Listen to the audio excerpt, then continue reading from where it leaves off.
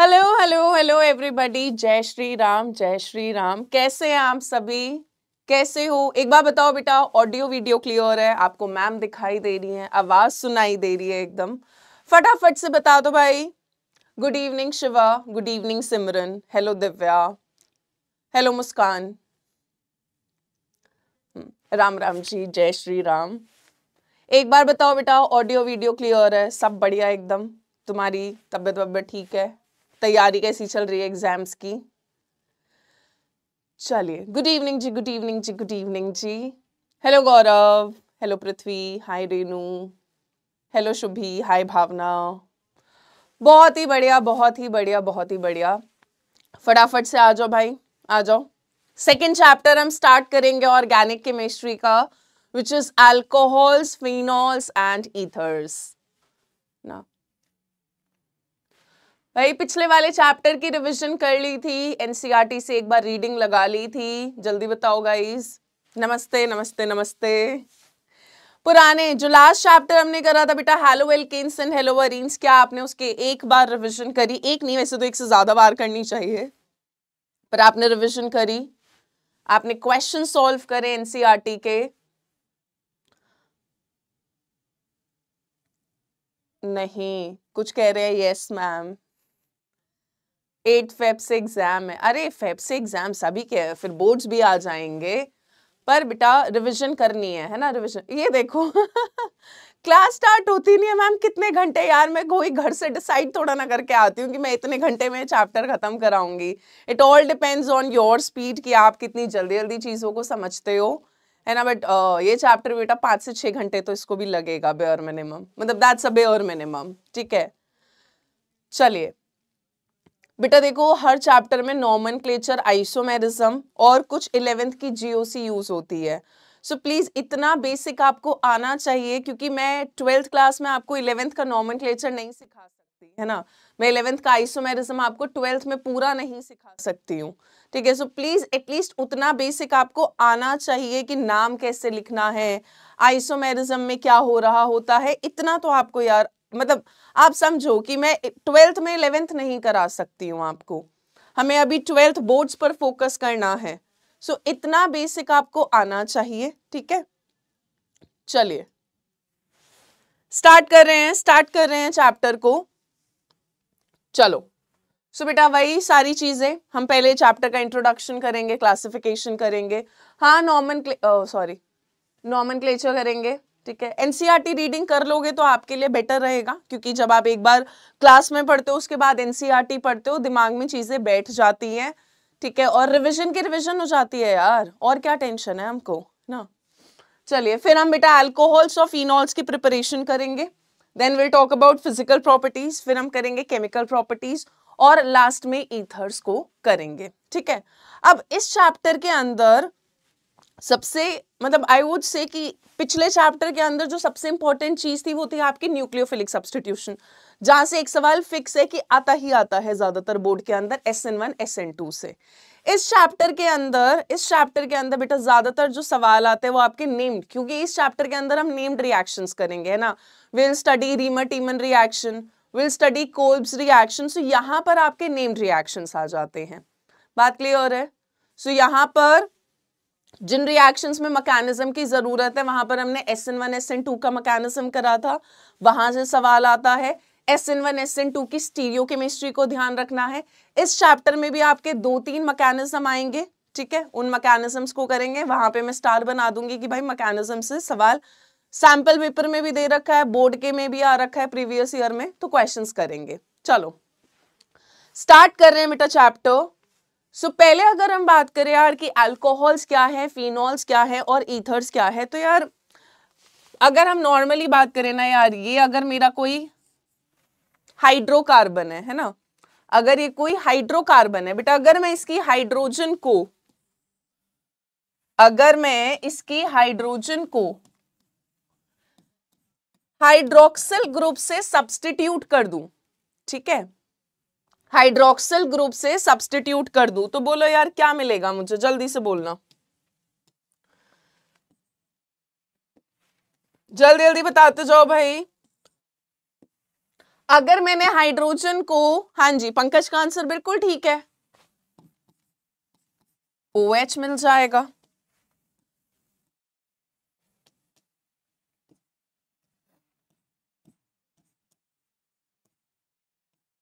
Alcohol मिल गया, ठीक है? अल्कोहल की जो होमोलोगस सीरीज़ होती है, बेटा होमोलोगस सीरीज़ की बात कर रही हूँ। अल्कोहल होमोलोगस सीरीज़ का जनरल फॉर्मूला होता है C N H two N plus one O H ठीक है? जब हम एल्केनॉल की बात करते हैं, इसी फॉर्मूले को आप ऐसे भी लिख सकते हैं C N H two N plus two O ठीक है? C N H two N plus ये वाले हाइड्रोजन को मैंने इधर प्लस कर दिया तो C N H two N plus two O भी लिख सकती हूँ। सो so, अल्कोहल क्या डिफाइन करेगा कि अगर हम एलिफैटिक हाइड्रोकार्बन एलिफैटिक क्या होते हैं बेटा जिनमें रिंग नहीं होती ठीक है? एलिफैटिक आर बेसिकली और ओपन चेन कंपाउंड्स जो स्ट्रेट चेन भी हो सकते हैं ब्रांच चेन भी हो सकते हैं। अगर उनकी हाइड्रोजन को मैंने ओ OH हाइड्रोक्सिल ग्रुप से रिप्लेस करा तो मुझे अल्कोहल्स मिल जाएँगे ठीक है जी? अगर बेटा मैंने एरोमेटिक हाइड्रोकार्बन जैसे मान लो बेंजीन हो गया बेंजीन की हाइड्रोजन को अगर मैंने बेटा जी रिप्लेस कर दिया बाय ओ एच ग्रुप जल्दी बोलो भाई, क्या मिल जाएगा हमको यहाँ पर? जल्दी जल्दी जल्दी। हाइड्रोकार्बन यानी एल्केन की, यानी ऐसे मान लो ना यार, मैंने अगर मीथेन इसमें एग्जांपल भी कर लेते हैं। मीथेन की एक हाइड्रोजन हटाकर, बेटा मैंने ओ OH लगाया तो क्या मिल गया मुझको? C H three O H यानी मीथेन से आपको कौन सा अल्कोहल मिल गया बेटा जी? मीथेनॉल कौन सा अल्कोहल मिल गया बेटा? मीथेनॉल है ना? तो हमने कहा, अगर हम हाइड्रोकार्बन की एलिफैटिक हाइड्रोकार्बन की हाइड्रोजन को ओ OH ग्रुप से रिप्लेस करते हैं, ठीक है? तो हमें अल्कोहल्स मिलते हैं।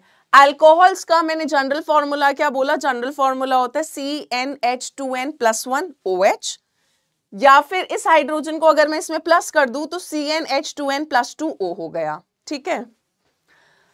ऐसे ही बेटा, अगर हमने एरोमेटिक हाइड्रोकार्बन की इस हाइड्रोजन को रिप्लेस करा बाय ओ एच ग्रुप तो यहाँ पर आपको क्या मिल जाएगा बच्चे? फिनॉल मिल जाएगा। यहाँ पर आपको क्या मिल जाएगा? फिनॉल मिल जाएगा। ठीक है? ये तो बात हो गई अल्कोहल्स और फिनॉल्स की। अब ईथर्स क्या बोला गया कि अगर अगर हम किसी हाइड्रोकार्बन की हाइड्रोजन को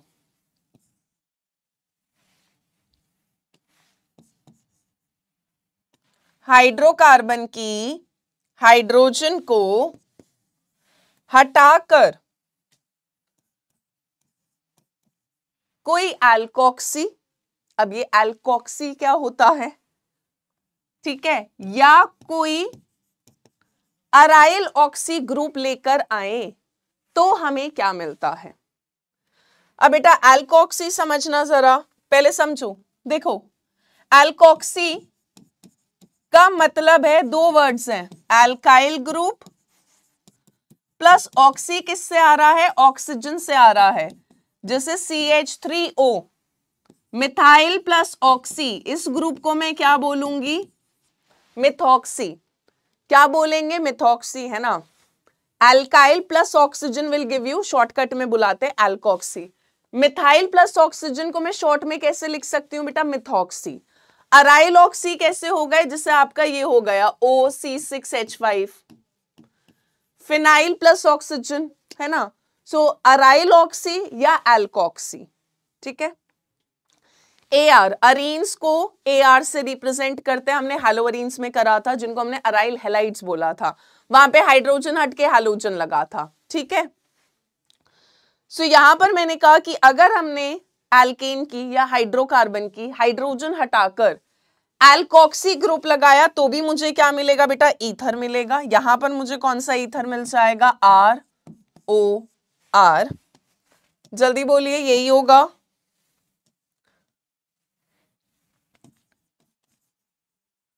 और अगर ये हाइड्रोजन हटकर ओ ए आर आ जाए, ठीक है तो भी आपको क्या मिलेगा बेटा? ईथर ही मिलेगा। तो भी आपको क्या मिलेगा बच्चे? ईथर ही मिलेगा। इसको हमने क्या बुलाया? एल्कोक्सी। इसको हमने क्या बुलाया? Aryl oxy. ठीक है? सो so, हमने कहा कि अगर हम एल्केन्स की या हाइड्रोकार्बन्स की एलिफैटिक कंपाउंड्स की एलिफैटिक हाइड्रोकार्बन्स की हाइड्रोजन को OH ग्रुप से रिप्लेस कर रहे हैं बेटा तब तो हमें अल्कोहल मिल रहा है। एरोमेटिक हाइड्रोकार्बन की हाइड्रोजन को OH से रिप्लेस कर रहे हैं तो फिनॉल मिल रहा है। एलिफैटिक हाइड्रोकार्बन्स की हाइड्रोजन को हटाकर, अगर मैं एल्कोक्सी ग्रुप ला रही हूँ तो भी मुझे ईथर मिल रहा है। मैं अराइल ऑक्सी ग्रुप ला रही हूँ तो भी मुझको क्या मिल रहा है बेटा? ईथर मिल रहा है। बात क्लियर है? यहाँ तक इंट्रोडक्शन तक सारी बात क्लियर है कि ये फंक्शनल ग्रुप्स क्या हैं? बाद में तो चैप्टर में पढ़ेंगे ही। इतनी बात तुमको क्लियर है? जल्दी बोलो भाई। ये तीन बातें। ठीक है। बेटा O C six H five पे जब माइनस चार्ज होता है then it is called as phenoxide ion है ना? चलिए।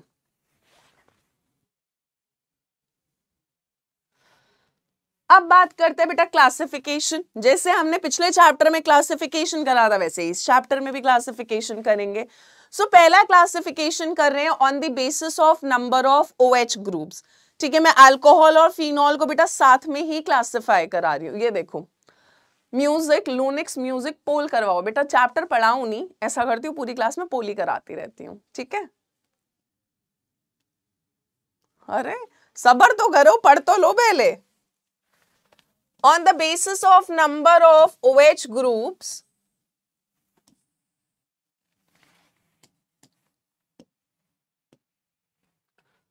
broadly हम बेटा चार में क्लासिफाई करते हैं।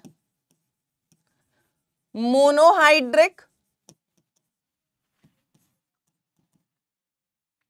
dihydric trihydric and polyhydric है ना? एल्कोहल्स है तो मोनोहाइड्रिक एल्कोहल्स फिनॉल है तो मोनोहाइड्रिक फिनॉल्स है ना? Dihydric alcohols dihydric phenols trihydric alcohols trihydric phenols और तीन से ज़्यादा है तो, तो फिर हम पॉली में ही रख देते हैं। एक ओ OH ग्रुप है तो मोनो दो ओ OH ग्रुप है तो डाई तीन ओ OH ग्रुप है तो बेटा ट्राई और अगर तीन से ज़्यादा है तो पॉली में क्लासिफाई कर देते हैं। चलिए पहला बेटा मोनोहाइड्रिक अल्कोहल्स का अगर मैं एग्जांपल दूँ अल्कोहल्स एंड फिनोल्स सो अपना हो गया C H three O H है ना? C H three O H हो गया C H three C H two O H हो गया C H three C H O H C H three हो गया, है ना? जहाँ पे एक ओ एच ग्रुप हो, अपना फिनॉल हो गया एंड और भी हो सकते हैं। है ना? मिथेनॉल इथेनॉल नीचे वाला मैंने प्रोपेन टूल नाम नाम पर अभी बाद में आएँगे मैं अभी सिर्फ़ स्ट्रक्चर बना रही हूँ ठीक है? सो so, ये वाले कंपाउंड्स में बेटा एक ही ओ OH ग्रुप है ये वाले आपके अल्कोहल्स है ये फिनॉल हो गया। सो so, ये मोनोहाइड्रिक है जहाँ पर एक ओ OH हो। डाइहाइड्रिक का मतलब बेटा दो ओ OH ग्रुप हो प्रेजेंट कंपाउंड के अंदर जैसे कि CH2OH single bond CH2OH this is called as ethylene glycol common name में, ठीक है? इसके अलावा,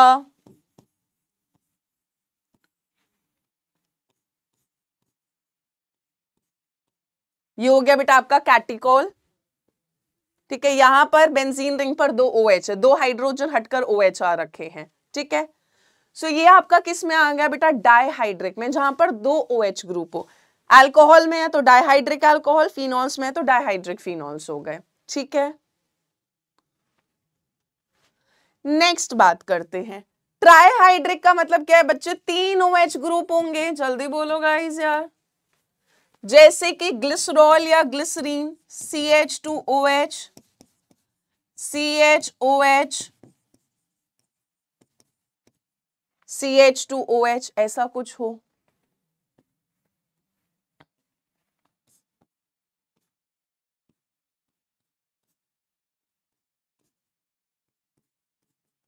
या ऐसा कुछ हो। ठीक है। और पॉलीहाइड्रिक में तो यार मतलब काफ़ी, जैसे C H two O H C H O H whole four C H two O H sorbitol या मैनिटॉल इनमें आपको बहुत सारे बहुत सारे ओ OH दिख रहे हैं है ना? सो so, जब हमारे पास एक ओ OH ग्रुप है तो मोनोहाइड्रिक बेटा दो ओ OH ग्रुप है तो डाईहाइड्रिक तीन ओ OH ग्रुप है तो ट्राईहाइड्रिक और तीन से ज़्यादा हो गए तो हमने किसमें क्लासिफाई कर दिया बेटा? पॉलीहाइड्रिक में। लिमिटलेस साइंस में नॉमिन में सारे नाम लिख दूँगी ये रिपीट होंगे। चलिए। अभी क्लासिफिकेशन कर रहे हैं नॉमन अभी आएगा। यहाँ तक लिखा बेटा तो आगे बढ़ू।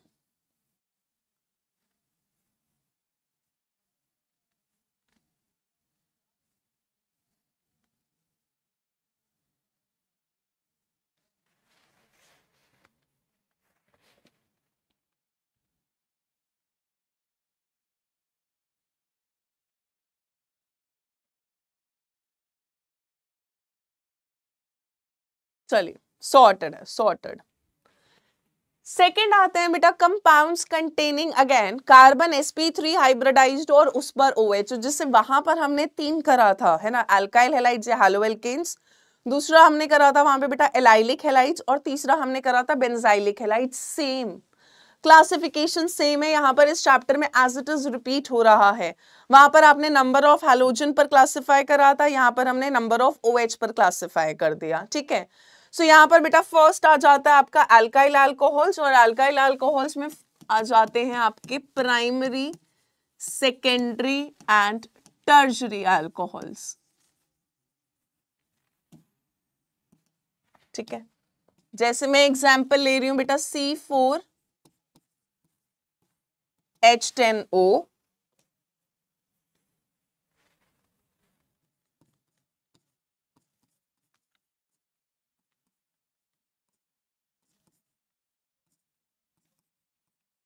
चलिए। डिग्री बतानी है बेटा डिग्री।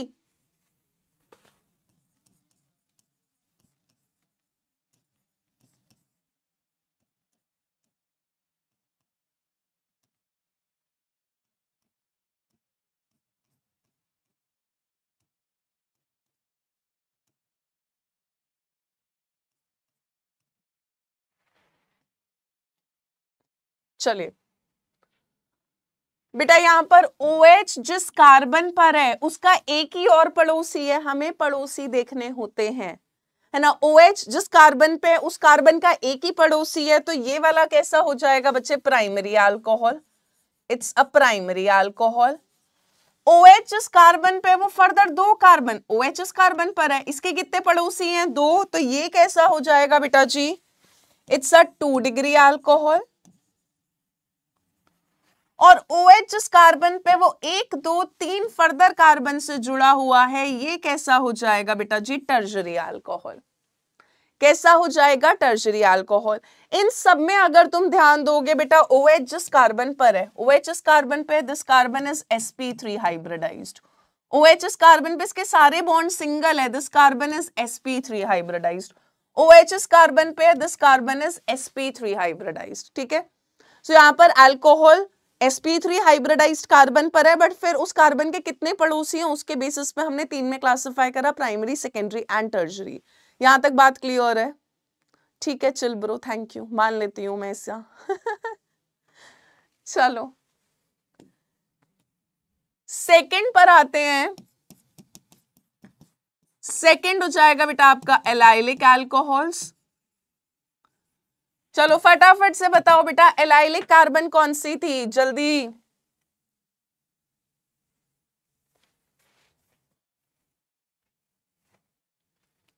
जल्दी बोलो यार। एलाइलिक कार्बन कौन सी थी यार? सी डबल बॉन्ड सी के नेक्स्ट वाली थी। और वो कार्बन कैसी होनी चाहिए थी बेटा? Sp3 थ्री हाइब्रिडाइज हाँ जी, बिल्कुल सही कहा मोहम्मद आकिब ने। डबल बॉन्ड के बगल वाली। वाह।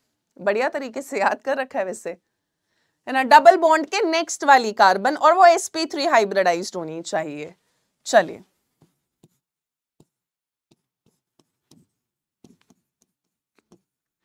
क्या बेटा ये जो स्ट्रक्चर मैंने बनाया है, ये लाइलिक अल्कोहल का है या नहीं? जल्दी बोलो यार। सी डबल बॉन्ड सी के नेक्स्ट कार्बन ये है। It's an allylic carbon single bond, दो हाइड्रोजन के साथ फिर सिंगल बॉन्ड है और ओ OH के साथ भी सिंगल बॉन्ड है। सारे बॉन्ड सिंगल है, ठीक है, एलाइलिक एल्कोहल है, मान लेते हैं। अब यहाँ पे बेटा अगेन कार्बन जो है, ये वाली है sp3 हाइब्रिडाइज्ड है। अब मैं कुछ एलाइलिक एल्कोहल्स लिख रही हूँ, आपको मुझे उनकी डिग्री बतानी है।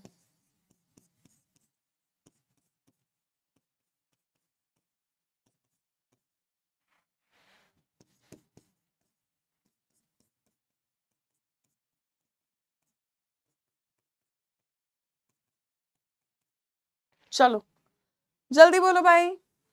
बेटा एलाइलिक एल्कोहल्स को भी आप फर्दर क्लासिफाई कर सकते हो as primary secondary and tertiary OH जिस कार्बन पे है, वो एक ही कार्बन से attached it's a primary allylic alcohol OH जिस कार्बन पर है, उसके दो पड़ोसी ये कैसा हो गया बेटा सेकेंडरी एलाइलिक एल्कोहल ओएच जिस कार्बन पे उस कार्बन के एक, दो, तीन पड़ोसी है, ये कैसा हो गया बेटा टर्जरी एलाइलिक एल्कोहल है ना? तीनों ही जगह पर जो मेरी एलाइलिक कार्बन है ये वाली। Sp3 हाइब्रिडाइज्ड है ये भी sp3 हाइब्रिडाइज्ड है। और ये कार्बन भी, भी कैसी है बेटा? Sp3 हाइब्रिडाइज्ड है है ना? सो so, यहाँ पर डबल बॉन्ड के नेक्स्ट वाली carbon which is sp3 hybridized उस पर OH है। एलाइलिक एल्कोहल को भी हम किसमें क्लासिफाई कर सकते हैं? प्राइमरी सेकेंडरी एंड टर्जरी यहाँ तक क्लियर है बेटा। नेक्स्ट चलूँ इसी का third part which is benzylic alcohols जल्दी बोलो। आगे बढ़ू।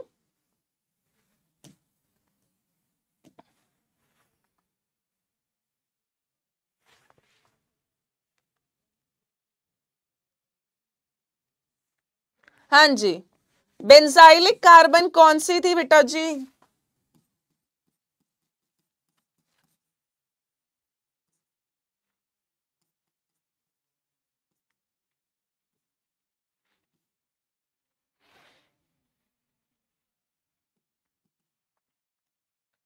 बेंजीन रिंग से जो नेक्स्ट कार्बन थी, है ना?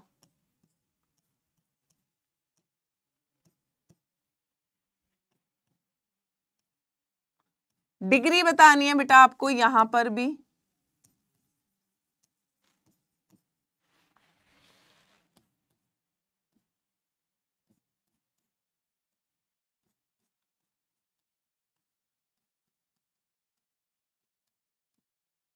चलिए।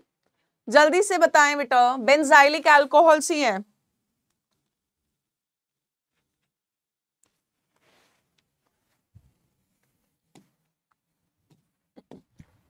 OH जिस कार्बन पे है बेटा, वो एक ही और कार्बन से, ये कार्बन एक ही और कार्बन से जुड़ा है तो ये बेंजाइलिक में कैसा हो गया प्राइमरी OH जिस कार्बन पे वो एक और दो कार्बन से जुड़ा है, ये कैसा हो गया सेकेंडरी ओ OH जिस कार्बन पे है वो एक, दो और तीन। इधर भी तो कार्बन है यार। कितनी कार्बन से जुड़ा हुआ है बेटा? तीन कार्बन से जुड़ा हुआ है। ये कैसा हो गया आपका? टर्जरी बेंजाइलिक अल्कोहल यहाँ तक बात क्लियर है। जल्दी बोले भाई। अगेन बेटा, तीनों ही केसेस में मेरी यहाँ पे भी कार्बन कैसी है? ये वाली sp3 यहाँ पे भी ये कार्बन कैसी है? Sp3 बेंजीन के जो नेक्स्ट वाली sp3 हाइब्रिडाइज्ड कार्बन है और ये कार्बन भी कैसी हाइब्रिडाइज्ड है? Sp थ्री ठीक है? सो so, एलाइलिक को भी हमने प्राइमरी सेकेंडरी टर्जरी में क्लासिफाई कर दिया। बेंजाइलिक को भी हमने प्राइमरी सेकेंडरी टर्जरी में फर्दर क्लासिफाई कर दिया। नेक्स्ट कर रहे हैं बेटा कार्बन sp2 हाइब्रिडाइज हो और उस पर OH हो तो उस पर हम किसमें दो में क्लासिफाई कर सकते हैं?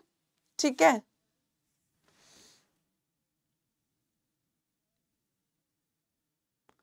चलो। Compounds containing sp2 hybridised carbon और उस पर ओ OH हो तो बेटा इसको हम फर्दर दो में क्लासिफाई करेंगे। फर्दर दो आपके कौन से हो जाएँगे? विनाइल अल्कोहल्स और सेकंड डायरेक्टली कौन सा हो गया बेटा आपका? Phenol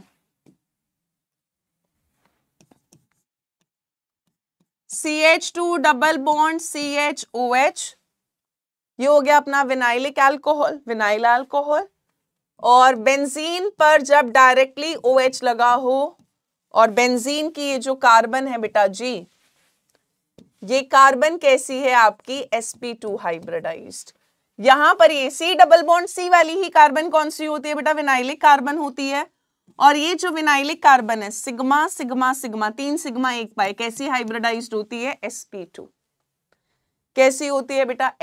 Sp2 व्लॉग बेटा CH3 नहीं होगा CH2 होगा। इस कार्बन के दो बॉन्ड तो बन गए तो दो ही तो हाइड्रोजन होगी। So C H two double bond C H और डबल बॉन्ड वाली कार्बन पे अल्कोहल है तो विनाइल विनाइलिक कार्बन पे है तो विनाइलिक अल्कोहल बेंजीन के sp2 हाइब्रिडाइज्ड कार्बन पर ओ OH है तो फिनॉल ठीक है? आगे बढ़े।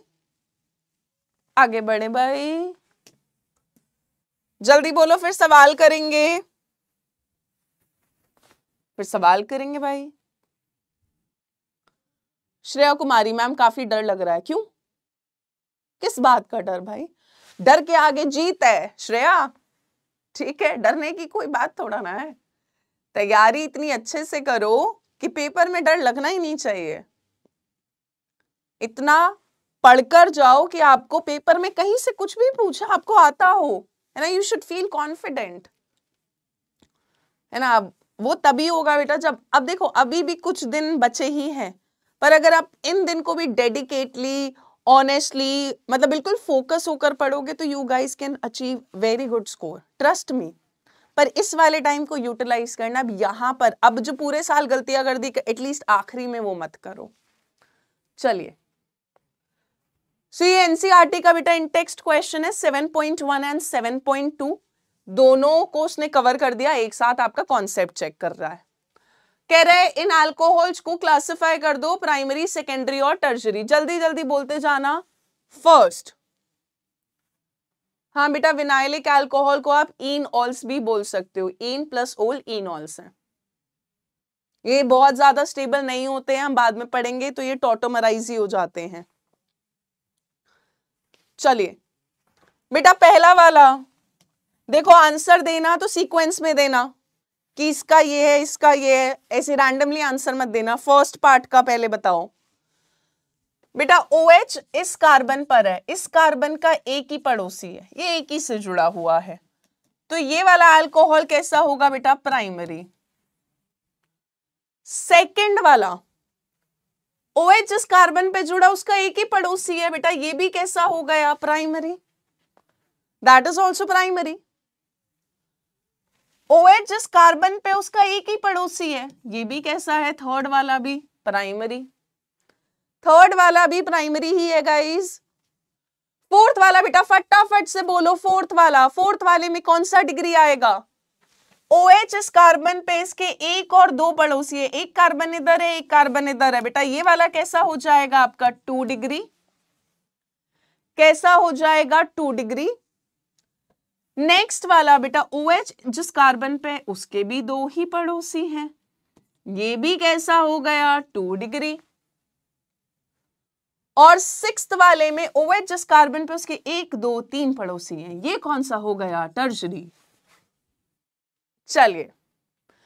So primary primary primary secondary secondary और लास्ट वाला था टर्जरी नेक्स्ट पार्ट में उसने कहा 7.2 इसी में से सवाल उसने उठा लिया कि इनमें एलाइलिक एल्कोहल्स आइडेंटिफाई कर दो। अब एग्ज़ाम्पल में बेटा आइडेंटिफाई करना है एलाइलिक एल्कोहल्स कौन कौन से हैं? जल्दी से बता दो यार। क्या पहला एलाइलिक एल्कोहल है? कतई नहीं। सेकंड वाला है हाँ सी डबल बॉन्ड सी के नेक्स्ट कार्बन sp3 हाइब्रिडाइज्ड है, उस पर OH है। सेकंड वाला एलाइलिक है थर्ड वाला नहीं फोर्थ वाला, बेटा बेंजीन वाली की जो नेक्स्ट कार्बन है बेंजाइलिक एल्कोहल है एलाइलिक नहीं है है ना? बेंजीन की जो नेक्स्ट कार्बन है sp3 हाइब्रिडाइज उस पर ओ OH है तो फोर्थ वाला नहीं होगा। फिफ्थ वाले में भी नहीं होगा, क्योंकि यहाँ पर तो बेंजीन रिंग प्रेजेंट है। हाँ यहाँ पर है। बेंजीन के ये नेक्स्ट कार्बन है सी डबल बॉन्ड सी के नेक्स्ट वाली कार्बन पर ओ OH है। So second and six are allylic alcohols second बहुत बढ़िया बहुत बढ़िया बहुत बढ़िया छा रहे हो तुम लोग गाइस आगे बढ़े। आपको क्लासिफाई करना आ गया है डिग्री वाइज कॉन्ग्रेचुलेशन अब हम नेक्स्ट टॉपिक पर चल रहे हैं नॉमन पे। बेटा एनसीआरटी का इंटेक्स्ट क्वेश्चन है।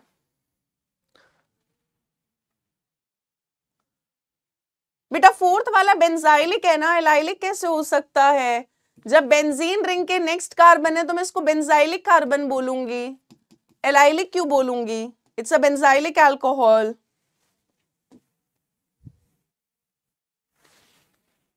चलो। तो स्टार्ट कर रहे हैं नॉमन से।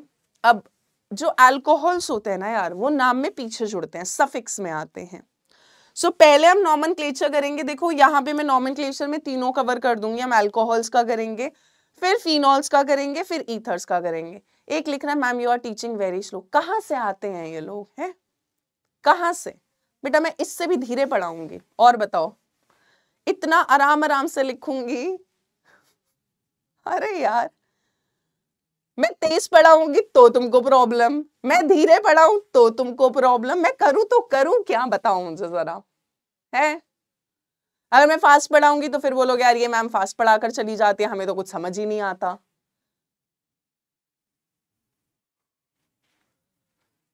चलो।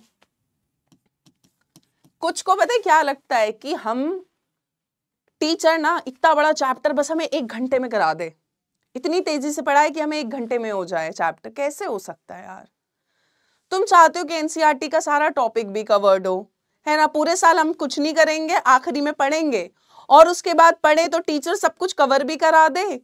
और उसके बाद स्पीड से भी पढ़ा दे एकदम तेज़ी से। और भगा, और अगर मैं भगा के पढ़ाऊँगी तो तुमको समझ नहीं आएगा, फिर तुम मुझ पे नाम लगा दोगे। हे भगवान, करे तो क्या करें हम? कहा जाए हम? चलिए नॉमन में फ़र्स्ट करेंगे बेटा एल्कोहल्स का। चलिए। एल्कोहल्स यानी ओ एच यहाँ पे बेटा नाम में एंड में टू डिग्री सफिक्स क्या लगाया जाता है? ओल यहीं से चुरा लेते हैं हम। ओल लगाया जाता है। ठीक है? सो so, अगर मैं अल्कोहल्स के आईयूपीएसी नेम की बात करूँ तो इनका आईयूपीएसी नेम कैसे लिखा जाता है बेटा? एल्केन प्लस ओल अब एल्केन में, क्योंकि अब देखो टू डिग्री सफिक्स ओ से स्टार्ट हो रहा है। ऑर्गेनिक में जो वोवल होते हैं, वो ये होते हैं। A E I O U नहीं वाई क्योंकि यू से कुछ ऐसा स्टार्ट नहीं हो रहा होता। अब ये वाला टू डिग्री सफिक्स बेटा ओ वोवल से स्टार्ट हो रहा है। तो एल्केन का ई e हट जाता है, उसको हम नहीं लिखते हैं। सो so बेसिकली हम कैसे नाम लिखते हैं? एज एल्केनॉल आईयूपीएसी नेम कैसे लिखा जाता है बेटा? एल्केनॉल साक्षी ने बिल्कुल सही कहा, ठीक है? सुमित कुमार ने बिल्कुल ठीक कहा। कॉमन नेम कॉमन नेम की अगर मैं बात करूँ बेटा अल्कोहल्स के तो कॉमन नेम कैसे लिखा जाता है? Common name is written as alkyl alcohol alkyl alcohol ठीक है? चलिए स्टार्ट करते हैं।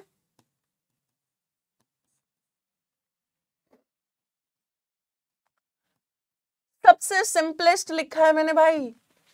सबसे सिंपलेस्ट बेटा, एक ही कार्बन है, एक ही कार्बन है तो इसका आईयूपीएसी नेम एक कार्बन के लिए वर्ड रूट क्या आ गया? Meth single bond N N का ई हट जाएगा और क्या लग जाएगा? ओ लग जाएगा। बहुत बढ़िया। इसका नाम क्या हो जाएगा बेटा? मीथेनॉल। कॉमन नेम में ब्रैकेट में लिख रही हूँ। कॉमन नेम में क्या हो जाएगा इसका? मिथाइल एल्कोहल मिथाइल alcohol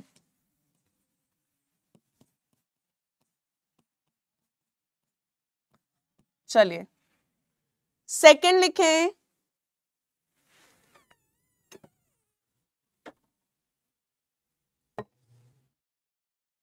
चलो। सेकंड लिखो यार फटाफट से।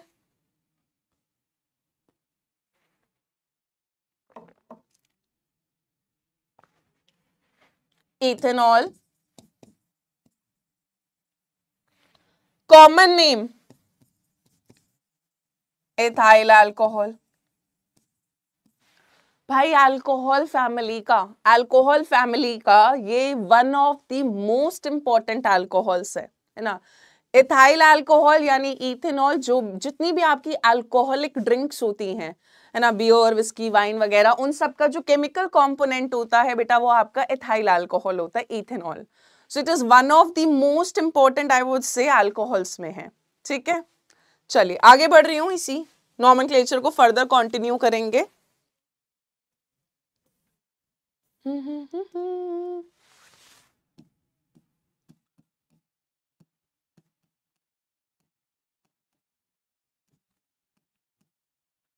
चलो।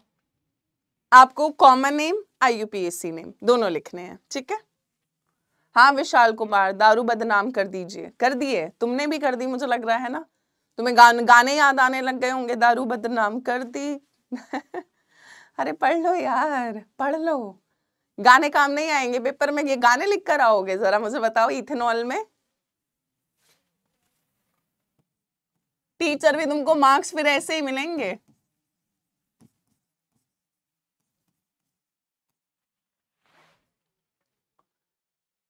चलिए। फिफ्थ उधर आ जाएगा।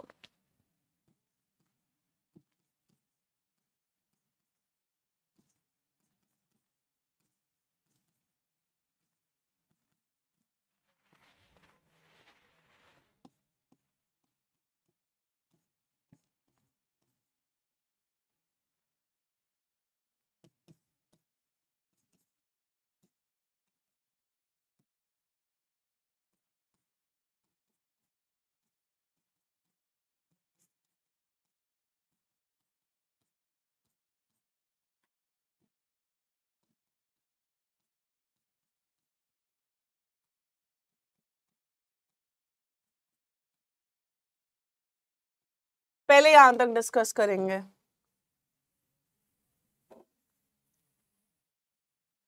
हम्म। वन टू थ्री तीन कार्बन के लिए बच्चे prop single bond N alcohol first carbon पे है तो propane one ol you can directly write it as propanol also बेटा this is commonly called as your N propyl alcohol. क्या बुलाया जाता है बेटा? एन नॉर्मल प्रोपाइल की भाई तीनों कार्बन जो है प्रोपाइल की प्रोपेन की, वो स्ट्रेट चेन में है। एन प्रोपाइल अल्कोहल एन का मतलब है नॉर्मल नॉर्मल का मतलब जब कोई ब्रांचिंग नहीं है everything is in a straight chain ठीक है? नेक्स्ट का मतलब फोर्थ वाले का अगर मैं बात करूँ तो वन टू थ्री बेटा कहीं से भी नंबरिंग कर लो alcohol will be on the second carbon IUPAC name के हिसाब से हो जाएगा प्रोपेन टूल और कॉमन नेम क्या हो जाएगा बेटा? देखो, मैंने आपको बताया था प्रोपेन वाले केस में। देखो ओ एच जिस कार्बन पे वो दो से अटैच्ड इट्स सेकेंडरी बट हम यहाँ पर सेकेंडरी नहीं लिखते हैं। We write it as iso propyl alcohol क्या लिखते हैं बेटा? आइसो प्रोपाइल अल्कोहल बहुत बढ़िया, बहुत ही बढ़िया, बहुत ही बढ़िया। तनुजा का आंसर सही है। नंदनी का आंसर सही है। दीपक पटेल का आंसर सही है। फिफ्थ वाले में, बेटा one two three four butane one ol या डायरेक्टली ब्यूटेनॉल लिख सकते थे। कॉमन नेम में क्या हो गया? N butyl alcohol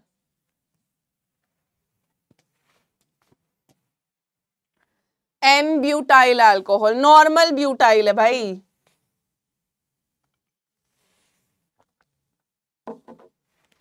चलिए सिक्स वाले में वन टू थ्री फोर ये हो जाएगा बेटा ब्यूटेन टूल मुझे इसका कॉमन नेम जानना है भाई, जल्दी बोलो। Butane two ol can also be written as. इसको मैं क्या बोलूँगी? कीशु का आंसर बिल्कुल ठीक था। बेटा, यहाँ पर देखो ओ एच जिस कार्बन पर है, वो दो और कार्बन से जुड़ा हुआ है। यहाँ पर सेकेंडरी है। सेकेंडरी अल्कोहल है, ये तो मान रहे हो? और चारों कार्बन स्ट्रेट चेन में ही है तो इसको क्या बुलाते हैं बेटा? Secondary butyl alcohol sec butyl alcohol.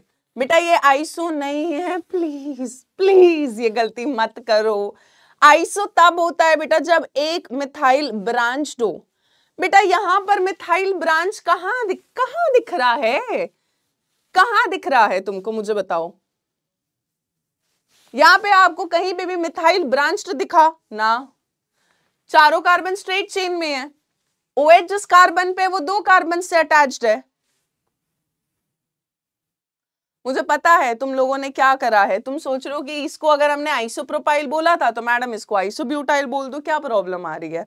बेटा, मैंने क्या बोला था कि प्रोपाइल के केस में हम सेकेंडरी प्रोपाइल नहीं लिखते we write it as isopropyl पर अब ब्यूटाइल वाले केसेस में देखो जरा, ठीक है? ब्यूटेन वन ओल में भी बेटा चारों कार्बन स्ट्रेट चेन में ब्यूटेन टू ओल में भी चारों कार्बन स्ट्रेट चेन में वहाँ पे अल्कोहल फ़र्स्ट कार्बन पे था प्राइमरी थी वो। यहाँ पर हुए सेकेंड कार्बन पे और ये सेकेंडरी कार्बन ये दो और से जुड़ी हुई है, ठीक है? सो इसको हम सेक ब्यूटाइल अल्कोहल बोलते हैं सेकेंडरी ब्यूटाइल अब नेक्स्ट वाला देखो जरा नेक्स्ट वाला. One two three IUPAC name तो हो जाएगा इसका टू मिथाइल प्रोपेनॉल या प्रोपेन वानोल है ना, मैं डायरेक्ट लिख रही हूँ प्रोपेनॉल अब यहाँ पर देखो बेटा थोड़ा सा ध्यान से समझना।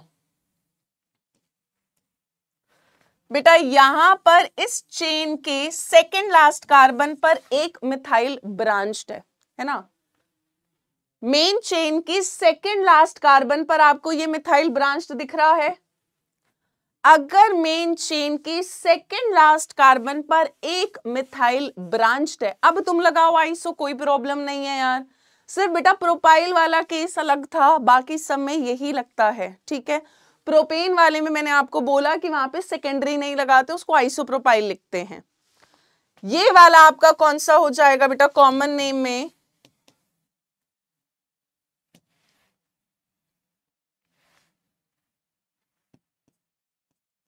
आइसो ब्यूटाइल अल्कोहल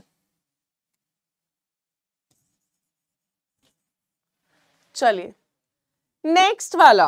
बेटा नेक्स्ट वाला देखो जरा। One two and three longest chain बेटा तीन की है आपकी। लॉन्गेस्ट चेन तीन की है तो आईयूपीएससी नेम क्या हो जाएगा बेटा? टू पर मिथाइल ब्रांच्ड है। टू पर methyl one two three carbon के लिए प्रॉप सिंगल बॉन्ड है एन और बच्चे अल्कोहल सेकेंड कार्बन पर है तो ये हो गया प्रोपेन टूल क्या हो गया बेटा प्रोपेन टूल दीपक प्रजापति, में क्या बोलूँ बताओ? मेरे पास लव्स कम पड़ रहे हैं हैं? बेटा नियो तब लगाते हैं जब दो मिथाइल ब्रांच हो क्या इस मेन चेन में, मुझे बताओ जरा, ये मेन चेन थी, क्या तुम्हें यहाँ पर दो मिथाइल ब्रांच दिख पा रहे हैं? मुझको तो नहीं दिख रहे, तुमको कहाँ से दिख रहे हैं? हाँ? जल्दी बोलो। बाकी सब भाई, तुमको यहाँ पर इस मेन चेन में एक ही तो मिथाइल ब्रांच था यार। दो मिथाइल कहाँ ब्रांच है बेटा यहाँ पर?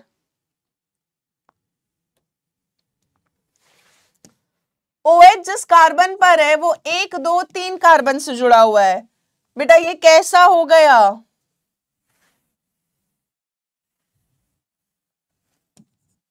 थ्री डिग्री है ये। सो so, इस अल्कोहल को क्या बुलाएँगे बेटा? टर्ट यानी टर्जरी ब्यूटाइल अल्कोहल आपको बेटा इस कंफ्यूजन को दूर करना पड़ेगा। आप देखो जो टू मिथाइल प्रोपेनॉल है यानी आइसोब्यूटाइल अल्कोहल ओ जिस कार्बन पे वो एक ही कार्बन से अटैच्ड है। It's a primary alcohol O जिस कार्बन पे वो एक ही कार्बन से तो अटैच्ड है। इट्स अ प्राइमरी अल्कोहल और ये मेरी मेन चेन थी। इसकी सेकेंड लास्ट कार्बन पर एक मिथाइल ब्रांच जो था। ठीक है?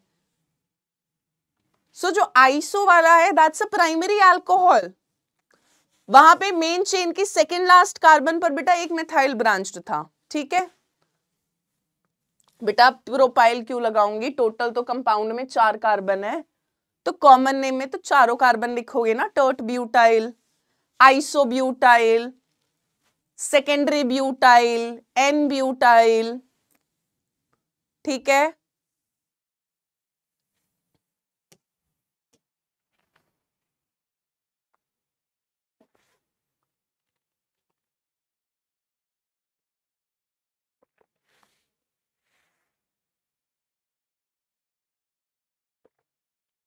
चलो।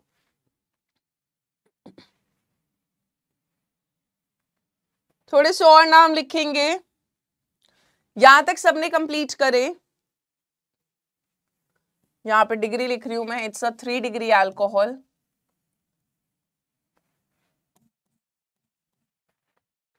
it's a two degree alcohol it's a one degree alcohol it's a two degree alcohol it's a one degree alcohol है ना? डिग्री भी कर सकते हैं बेटा हम साथ साथ चलो चलो चलो चलो।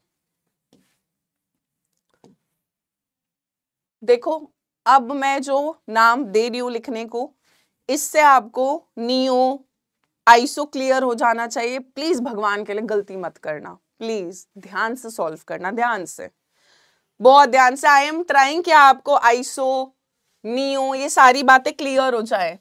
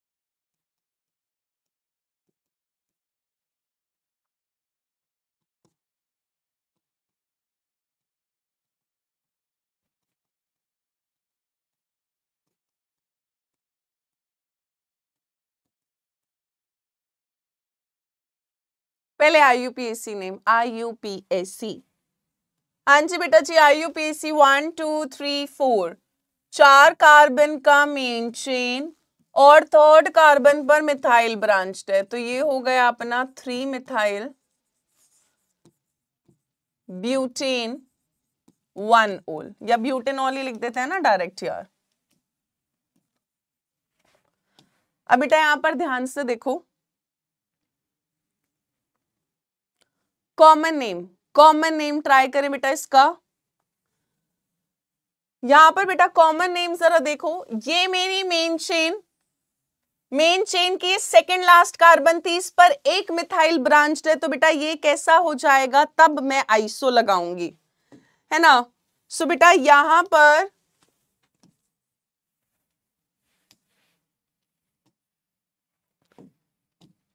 हम वेट करेंगे, हमारा मैजिक पेन डिसअपियर हो जाए। थ्री मिथाइल ब्यूटेनॉल ओएच जिस कार्बन पे इट्स अ प्राइमरी अल्कोहल बेटा कॉमन नेम में मैं इसका क्या लिखूँगी? आइसो क्योंकि एक मिथाइल सेकेंड लास्ट कार्बन पर ब्रांच है। टोटल कार्बन एक, दो, तीन, चार, पाँच है तो पेंटाइल और अल्कोहल क्या हो जाएगा बेटा ये? आइसो पेंटाइल अल्कोहल ठीक है? नेक्स्ट वाले का पहले आईयूपीएससी नेम लिखेंगे। बेटा, यहाँ पर अगर मैं मेन चेन सेलेक्ट करूँ अपनी so main chain will be और स्ट्रेट चेन जिसमें अल्कोहल प्रेजेंट है। इसकी नंबरिंग लेफ़्ट से करेंगे फंक्शनल ग्रुप वाली कार्बन को लोएस्ट नंबर देते हुए वन टू थ्री ये हो जाएगा बेटा two comma two dimethyl wait कर रही हूँ मैं, पहले आईयूपीएससी लिखो आईयूपीएससी जिया ने ठीक लिखा है। हम्म निखिल का आंसर ठीक है। जल्दी लिखो यार। टू कॉमा टू डाइमिथाइल हाँ हाँ हाँ हाँ। Two comma two dimethyl propane one ol अब बेटा देखो, ये भी अल्कोहल OH जिस कार्बन पे उसका एक ही पड़ोसी है। This is also primary alcohol अब यहाँ पर आप देखो मेन चेन की ये मेरी मेन चेन है. Where is our magic pen main chain की सेकेंड लास्ट कार्बन पर दो मिथाइल ब्रांच्ड है. अब अगर मेन चेन की सेकेंड लास्ट कार्बन पर दो मिथाइल ब्रांच्ड है तो बेटा जी आप क्या लगाओगे? नियो लगाओगे. अब आप नियो लगाओ. तो नियो लगा दिया हमने. टोटल कार्बन कितनी है कंपाउंड में? एक, दो, तीन, चार, पाँच. तो ये हो जाएगा अपना नियो पेंटाइल एल्कोहल क्या हो जाएगा नियो पेंटाइल एल्कोहल चलिए, बहुत बढ़िया। इलेवेंथ और ट्वेल्थ ट्राई करें फटाफट से।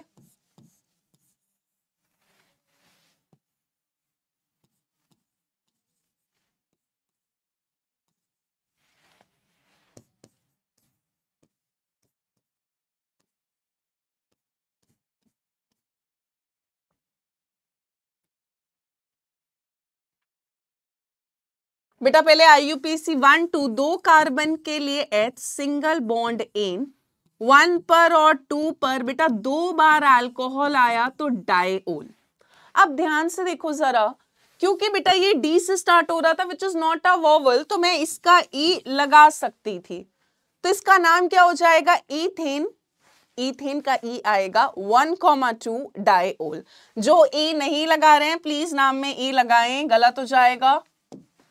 बेटा कॉमन नेम में this is called as your ethylene glycol किस नाम से जाना जाता है बेटा जी? इथाइलिन ग्लाइकोल चलिए ट्वेल्थ वाला, ये सारे बहुत इंपॉर्टेंट है। मैं जितने भी लिखवा रही हूँ आपको नॉर्मन क्लेचर में, वो वही सारे हैं जो फ्रीक्वेंटली पूछे जाते हैं, जो इंपॉर्टेंट हैं, जिनके कॉमन नेम इंपॉर्टेंट है। One two and three prop single bond है एन बेटा सफिक्स तो लगाओगे ना वन डिग्री लिंकेज बतानी है। दीपक प्रजापति, क्या कर रहे हो? तीन कार्बन के लिए प्रॉप सिंगल बॉन्ड की लिंकेज है तो बेटा एन वन पर टू पर थ्री पर, तीन बार आया तो ट्राई ओल टी वोवल नहीं है तो इधर ई e आएगा। बहुत बढ़िया। बेटा कॉमन नेम है this is called as your glycerol या ग्लिसरीन चलो, तुम्हें मुझे बताना है ग्लिसरॉल या ग्लिसरीन में कितने प्राइमरी ओ है, कितने सेकेंडरी ओ है? जल्दी बोल दो यार। जल्दी बोलो। ग्लिसरॉल या ग्लिसरीन में कितने प्राइमरी ओ है, कितने सेकेंडरी ओ है?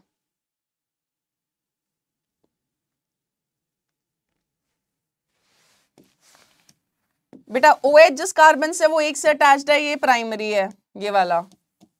ओ OH जिस कार्बन से अटैच्ड है, वो दो से अटैच्ड है, ये टू डिग्री है। ओ OH जिस कार्बन से अटैच्ड है, वो एक से ही अटैच्ड है, ये प्राइमरी है है ना? तो प्राइमरी वाले दो हैं सेकेंडरी वाला एक है, ठीक है? Two primary and one secondary बहुत बढ़िया।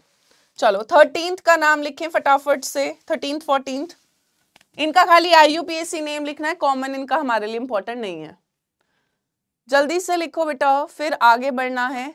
फिनॉल का भी करना है अभी इथर का भी करना है, फिर क्वेश्चंस भी करने हैं।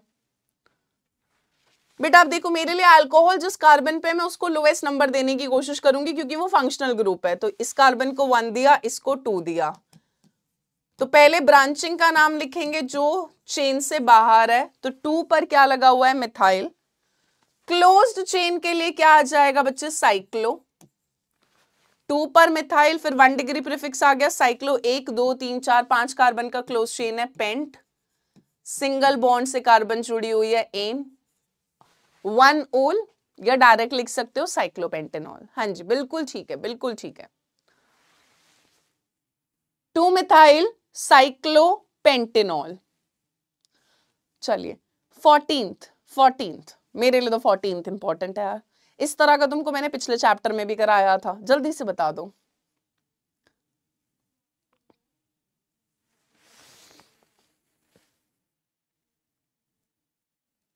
साइक्लोहेक्स टू इन होगा। अरे बेटा, अगर मैं इसको वन दूँगी तो इसको टू दूँगी तो इसको थ्री दूँगी। तो बिल्कुल ठीक लिखा। ना, नहीं नहीं नहीं। अल्कोहल और डबल बॉन्ड में बेटा अल्कोहल को लोएस देना है। साइक्लो हेक्स टू इन ठीक है टू पर डबल बॉन्ड है तो नेक्स्ट थ्री के साथ होगा। टू इन वन ओल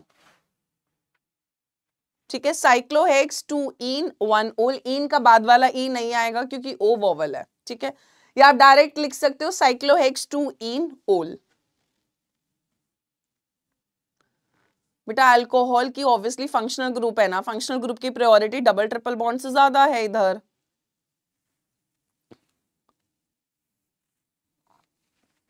चलो।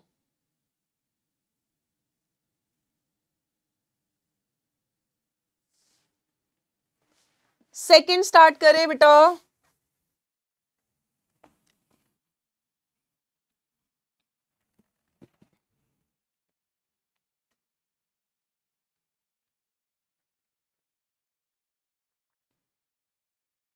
चलो। अब हम स्टार्ट कर रहे हैं फिनॉल्स का नॉमन क्लेचर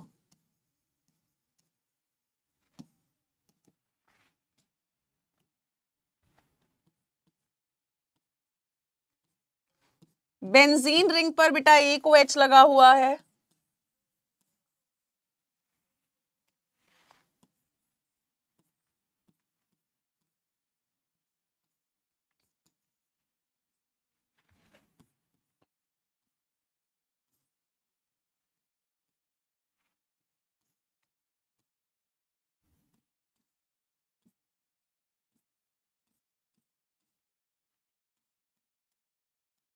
चलिए।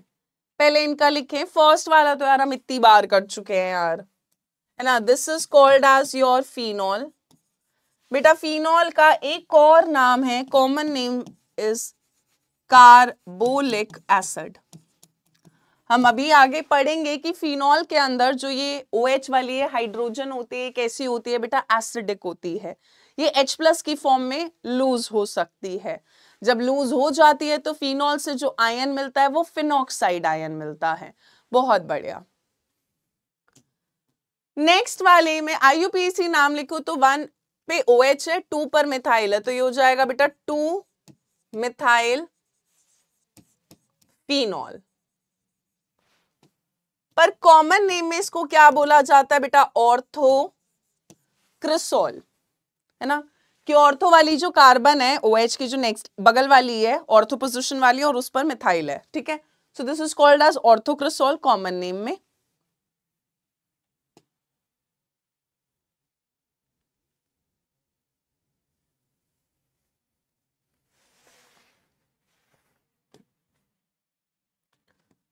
नेक्स्ट वाले में हो जाएगा बेटा थ्री मिथाइल फिनॉल उन दोनों के कॉमन नेम लिखें आईयूपीएससी नेम लिखें, और फिर इन वालों का नाम लिखें।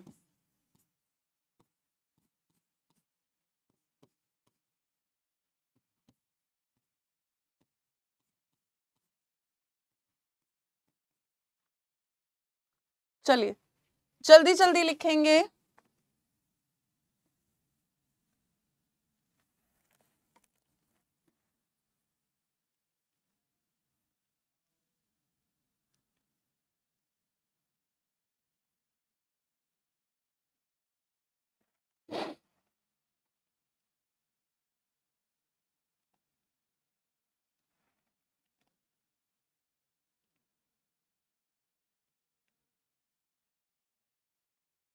बहुत बढ़िया बहुत ही बढ़िया। ये वाला हो जाएगा बेटा मेटाक्रिसोल। इसका भी कॉमन नेम पहले लिख देती हूँ ये हो जाएगा पैराक्रिसोल।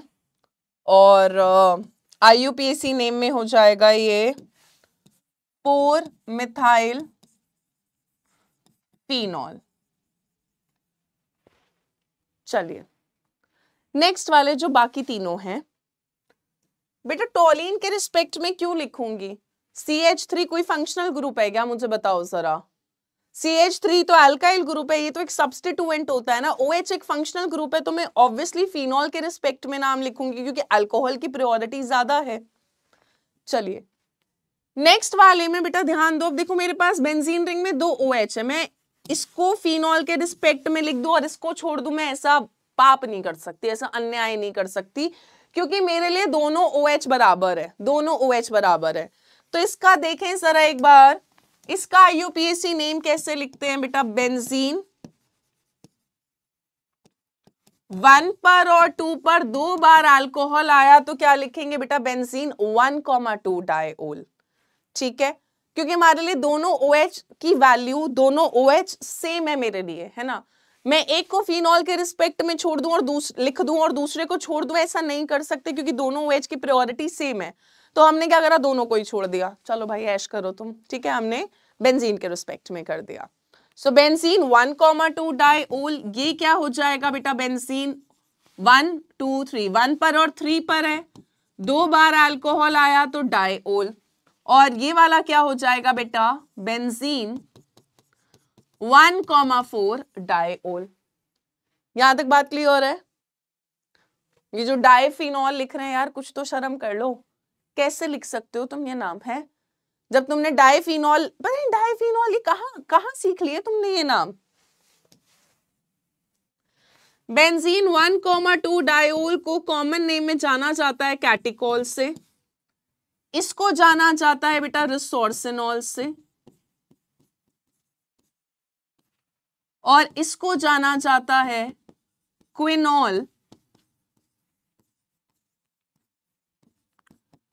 या हाइड्रोक्विनॉन के नाम से।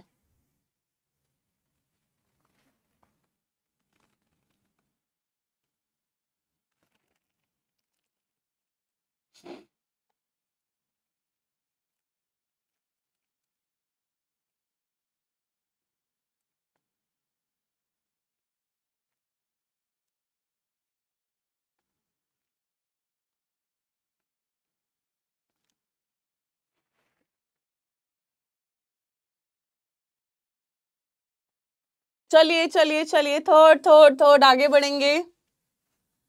नेक्स्ट बात करते हैं बेटा नॉर्मन क्लेचर में ईथर्स की। ठीक है, फिर हम इंटेक्स्ट क्वेश्चंस करेंगे, फिर कुछ एमसीक्यूज करेंगे।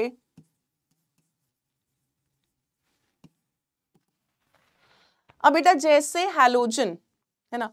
बेटा रिया कॉमन नेम जिन जिन के मैंने लिखे हैं मतलब वो इंपॉर्टेंट है, तभी मैंने लिखे हैं। ठीक है? तो जिन जिन का मैं कॉमन नेम लिख रही हूँ मतलब वो इंपॉर्टेंट है इसीलिए लिखे गए हैं क्लास के अंदर ठीक है?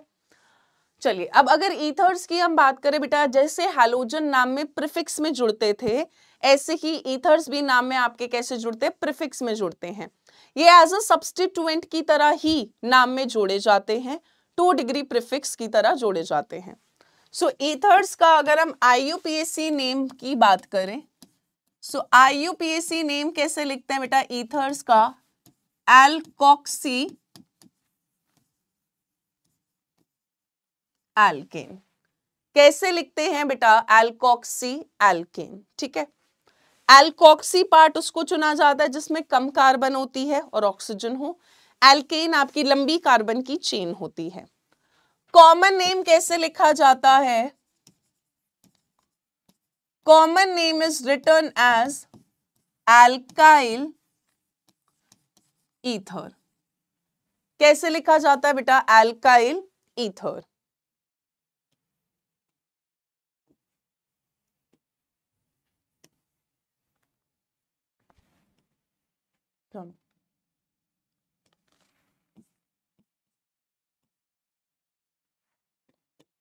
नाम लिखने से पहले एक छोटी सी चीज़ सीखेंगे।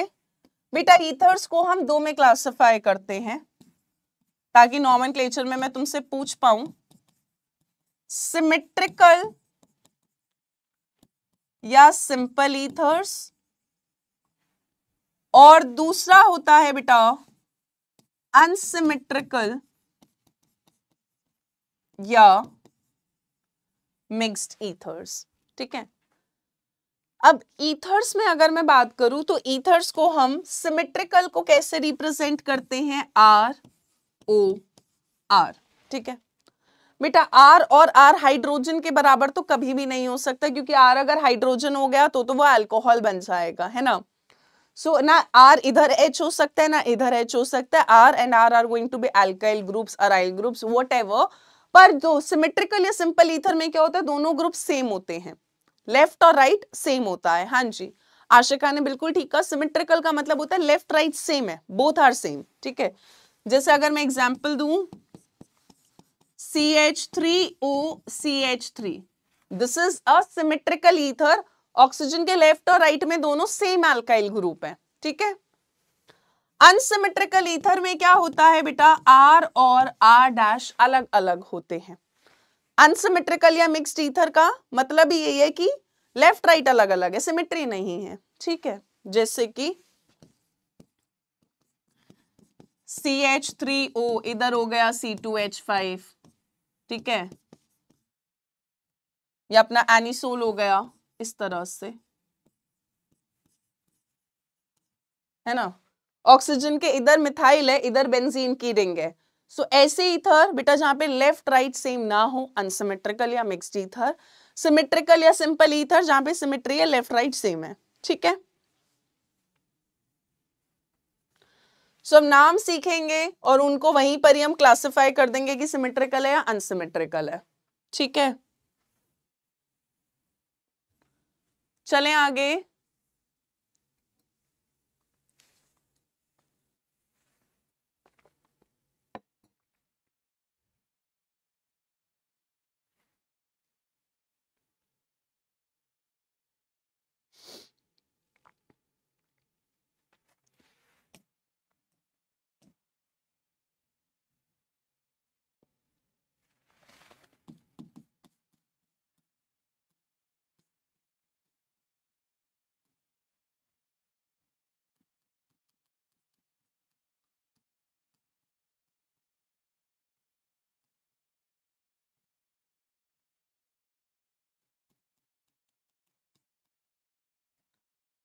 बेटा पहले वाले का अगर मैं आईयूपीएससी नेम लिखूं चाहे मैं इसको एल्कॉक्सी लू तो मिथाइल प्लस ऑक्सी मिथॉक्सी चाहे तुम इसको एल्कॉक्सी ले लो मिथाइल प्लस ऑक्सी मिथॉक्सी यहाँ पर दोनों जगह सेम है।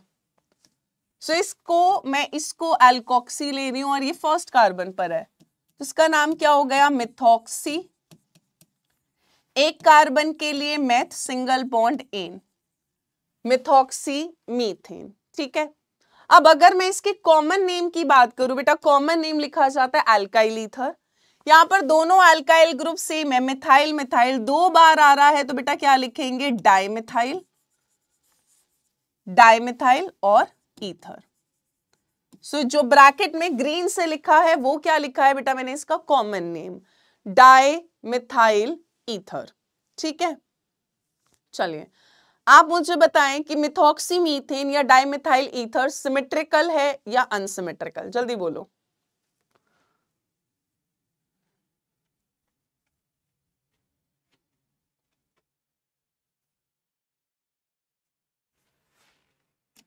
आयुष, बेटा एनसीआरटी देख लो, आपको पता लग जाएगा क्विनॉल। क्विनॉल और हाइड्रोक्विनॉन में यहाँ पर टोटोमराइजेशन चलता रहता है।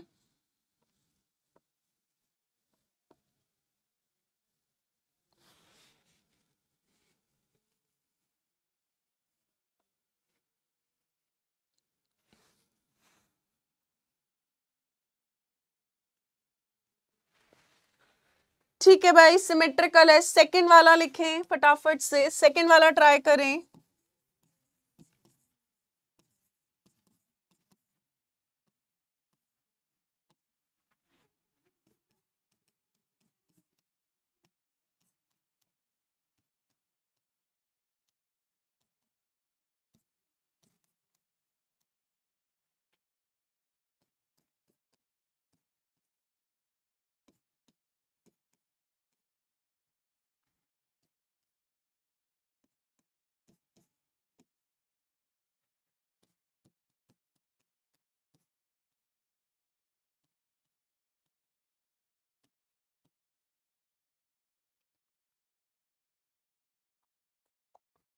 सेकेंड वाले का नाम क्या हो जाएगा बेटा? ये मेरा एल्कोक्सी पार्ट होगा, जिसमें लेस कार्बन है और एल्केन वाली मेरी लंबी चेन होगी।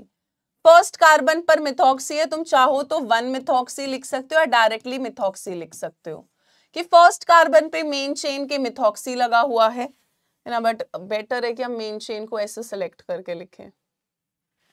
कि ये अपना मेन चेन हो गया, ये फ़र्स्ट कार्बन ये सेकंड कार्बन फ़र्स्ट कार्बन पर लगा हुआ है मिथॉक्सी सब्सटीट्यूएंट दो कार्बन के लिए एथ सिंगल बॉन्ड एन ये हो गया वन मिथॉक्सी इथेन ठीक है? अब ये कैसा ईथर है बेटा? ऑक्सीजन के लेफ़्ट में मिथाइल है राइट में इथाइल है. So it's an unsymmetrical ether इसका अगर मैं कॉमन नेम लिखूं तो कॉमन नेम कैसे लिखूँगी बेटा? सी एच थ्री के लिए मिथाइल होता है और C H two C H three के लिए इथाइल होता है. अल्फाबेटिकली ई e पहले आएगा तो कॉमन नेम इसका क्या हो जाएगा? इथाइल मिथाइल ईथर है ना? इथाइल मिथाइल ईथर चलिए। थर्ड वाले का नाम लिखते हैं यार। थर्ड वाले में बेटा, अगर मैं अपनी लॉन्गेस्ट चेन देखूँ तो लॉन्गेस्ट चेन कहीं से भी ले लो, दो की ही होगी।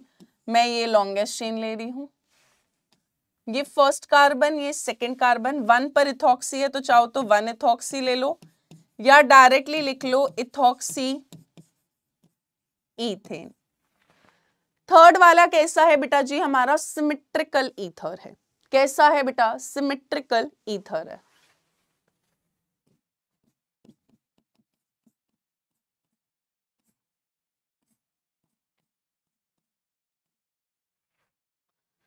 इसका कॉमन नेम अगर मुझे लिखना है तो ये क्या हो जाएगा बच्चे? डाई इथाइल ईथर हाँ जी, डाई, इथाइल ईथर मेरे लिए इंपॉर्टेंट है फोर्थ वाला. फोर्थ का नाम अगर तुमने सही बता दिया मतलब तुमको नॉमन ईथर का तो आ गया. फोर्थ वाला यार. जल्दी से ट्राई करें फोर्थ वाला. बेटा फोर्थ वाला अनसिमेट्रिकल है, इस ऑक्सीजन के इधर सी एच थ्री है, इधर C H C H three C H two C H three left right बराबर नहीं है, इतना तो समझ आ रहा है. अब यहाँ पर लॉन्गेस्ट चेन मेरी चार की होगी बेटा, ज़रूरी नहीं है ईथर हमेशा फ़र्स्ट कार्बन पर हो। है ना? It can be on any other carbon हमें सब्सटीट्यूएंट को लोएस्ट नंबर देना है। One two three and four इसका नाम क्या हो जाएगा बेटा? टू मिथॉक्सी ब्यूटेन बेटा ये एक सब्सटीट्यूएंट की तरह है, जैसे आप ब्रांचिंग लिखते थे, वैसे ही है। ठीक है, आपको इसको लोएस्ट नंबर देना है, पहला नंबर देने की कोशिश नहीं करना। आपका पहला फ़र्ज़ है अपनी लॉन्गेस्ट चेन सेलेक्ट करना तो आप पहले लॉन्गेस्ट चेन सेलेक्ट करो। फिर लॉन्गेस्ट चेन की नंबरिंग उस तरह से करो कि ये जो अल्कॉक्सी है, ये लोएस्ट नंबर पर आए। अब मेरी लॉन्गेस्ट चेन चार कार्बन की है है ना? लॉन्गेस्ट चेन चार कार्बन की हो गई लेफ़्ट से नंबरिंग करूँगी ताकि जो मिथॉक्सी है वो लोएस्ट नंबर यानी सेकंड नंबर पे आए। सो so, इसका नाम हो जाएगा टू मिथॉक्सी ब्यूटेन इसका हमारे लिए कॉमन नेम इंपॉर्टेंट नहीं है। चलिए नेक्स्ट वाले पर आए बेटा। फिफ्थ वाले पर। क्लोज्ड चेन की फ़र्स्ट कार्बन पे O M E M E methyl का शॉर्ट फॉर्म है। सो फ़र्स्ट कार्बन पर क्लोज चेन के क्या लगा हुआ है बेटा जी? मिथॉक्सी या आप मिथॉक्सी डायरेक्ट लिख सकते हो। क्लोज चेन के लिए मैं क्या लगाऊँगी? Cyclo one two three four चार का क्लोज चेन है ब्यूट और सिंगल बॉन्ड से अटैच्ड है एन तो इसका नाम क्या हो जाएगा बेटा जी? One methoxy cyclo butane master mind का आंसर बिल्कुल ठीक है। सुहानी का आंसर बिल्कुल ठीक है। निधि नागर का आंसर भी ठीक है। सो बेटा आप चाहो तो मिथॉक्सी साइक्लोब्यूटेन अगर मैंने मिथॉक्सी का नंबर नहीं बताया तो अंडरस्टूड है, वो पहले पर होगा। ठीक है? नेक्स्ट वाला नेक्स्ट वाला सिक्स जल्दी बोलो यार। बेटा ऑक्सीजन के बाद अगर मैंने एक ही लाइन बनाई है तो ये कार्बन हो गई। इस कार्बन का एक बॉन्ड बना है यानी यहाँ पर तीन हाइड्रोजन होंगी है ना? सो ये सी एच थ्री ही है। सो so, आप इसको मैं ओ एम ई लिख सकती थी या फिर क्या लिख सकती हूँ? ओ सी एच थ्री ये बॉन्ड लाइन की फॉर्म में बनाया था मैंने। इसका यूपीएससी नेम क्या हो जाएगा बेटा? फ़र्स्ट कार्बन पर क्लोज चेन के मिथॉक्सी है। वन पर O M E O C H three one methoxy cyclo pentane बहुत बढ़िया बहुत बढ़िया। प्रोपेन कहाँ से आ गया बेटा? प्रोपेन दिख रहा है क्या तुमको? है? तीन और पाँच में फ़र्क नहीं है क्या? प्रोप और पेंटेन में फ़र्क नहीं है? चलिए सेवेंथ वाला बताएँ बेटा सेवेंथ वाला। अब ओ सी एच थ्री तो मिथॉक्सी है पर मिथॉक्सी बेटा अब की बार किस पर प्रेजेंट है? बेंजीन पर। सो so, इसका आईयूपीएसी नेम क्या हो जाएगा? मिथॉक्सी बेंजीन मिथॉक्सी बेंजीन कोई मुझे इसका कॉमन नेम बता दो। शिल्पी ने इसका कॉमन नेम वैसे लिख दिया पर मैं बोलूँगी नहीं। आप बताएँ पहले। कि इसको किस कॉमन नेम से बहुत पॉपुलरली जाना जाता है। दीपक ने आंसर सही लिखा है। यावर ने आंसर ठीक लिखा है।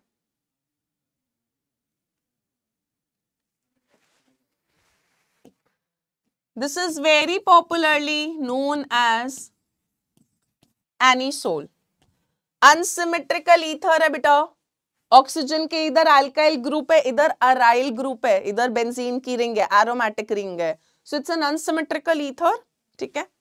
Very popularly called as anisole acetophenone कहाँ से आ गया बेटा? एसिटोफिनॉन में बेंजीन पर COCH3 लगा होता है। क्या क्या करें, बताओ। वो नेक्स्ट चैप्टर में आएगा, थोड़ा सबर रखो, ठीक है? ये ईथर है। एसिटोफिनॉन होता है बेंजीन पर सी ओ सी एच थ्री चलिए बेटा फिनाइल तब होता है जब वो सब्सटीट्यूएंट हो और फिनाइल है C six H five C six H five जब सब्सटीट्यूएंट बेंजीन रिंग जब सब्सटीट्यूएंट की तरह हो। यहाँ पे बेंजीन रिंग सब्सटीट्यूएंट थोड़ा ना है मेरा कि मैं फिनाइल लिखूँगी। मिथॉक्सी बेंजीन जब बेंजीन की रिंग सब्सटीट्यूएंट की तरह काम करती है, तब आप फिनाइल लगाते हो। ठीक है? चलिए एनालीन होता है बेटा बेंजीन पर NH2 आगे बढ़े क्वेश्चन प्रैक्टिस कर लें। फिर पोल वाले क्वेश्चन भी करने यहाँ तक तुम सबने लिख लिया, आगे बढ़ जाऊँ। चलिए। बेटा, जिनके कॉमन नेम लिखे हैं, वो इंपॉर्टेंट है। जिनके कॉमन नेम नहीं लिखे मतलब वो इंपॉर्टेंट नहीं है। ठीक है? जिन, जिनके कॉमन नेम बताए, उनका कॉमन नेम ध्यान रखना है आपको। वो इंपॉर्टेंट है। चलिए। सो हम एनसीईआरटी e का इंटेक्स्ट कर रहे हैं 7.3 जिसमें बोला है कि आईयूपीएससी सिस्टम के हिसाब से अगर आपको लगे कि इमेज क्लियर नहीं है तो आप अपनी एनसीईआरटी e में से भी रेफर कर सकते हो क्वेश्चन को। ठीक है, मुझे आंसर से मतलब है तुम्हारे। एक कह रहा है नो ब्रेक टिल अरे यार, अभी पढ़ाने तो दो यार। अभी तो बेसिक ही चल रहा है। मैंने तो अभी मतलब मैं फंक्शनल ग्रुप के स्ट्रक्चर पे भी नहीं आई हूँ यार। थोड़ा तो सबर करो। ना थोड़ा थोड़ा सा सबर करो, ब्रेक भी देंगे, पर थोड़ा टॉपिक तो कवर हो जाए, तब तो ब्रेक दूँ। बेटा लिख लो, वन मिथॉक्सी बेंजीन अंडरस्टूड है। मैंने अगर मिथॉक्सी का नंबर नहीं बताया तो वो फ़र्स्ट पर है, ठीक है? पर अगर वो वन के अलावा किसी और नंबर पे होता तब आपको नंबरिंग बतानी ही होती है। अगर मैं कहीं पर नंबर नहीं बता रही अंडरस्टूड है। लो, मैं यहाँ पे मिटा देती हूँ, ये लो। है ना? अगर मैंने नंबर नहीं बताया मतलब वो वन पर है। पर अगर वन के अलावा कहीं और है तो तुमको नंबर बताना पड़ेगा। चलो। फ़र्स्ट पार्ट का कोई नाम बताएगा फ़र्स्ट पार्ट में बेटा मेरी मेन चेन कौन सी होगी? बेटा ओ एच कार्बन पे अल्कोहल को तो मुझे देखो, अगर फंक्शनल ग्रुप होता है तो रूल कहता है select that chain which contains the functional group चाहे वो छोटी चेन हो, चलेगा।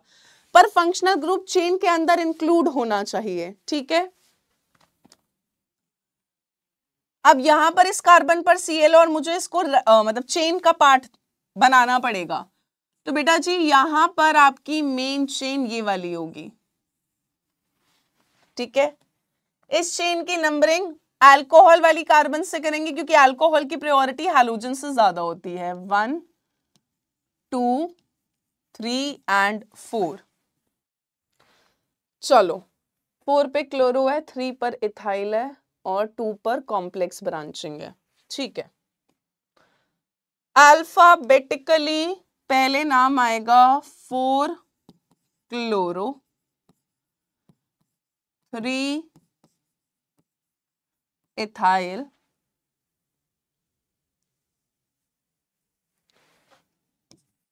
second carbon पर बेटा वन टू, है ना? वन मिथाइल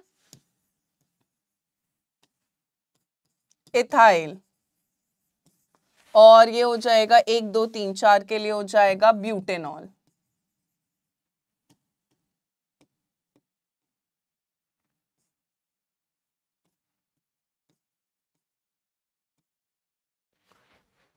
वेट कर रही हूँ यार कि कोई तो नाम लिखे, सिर्फ़ आकांक्षा त्रिपाठी ने लिखा है, सही नाम अभी तक तो. और किसी का आंसर ही नहीं दिख पा रहा.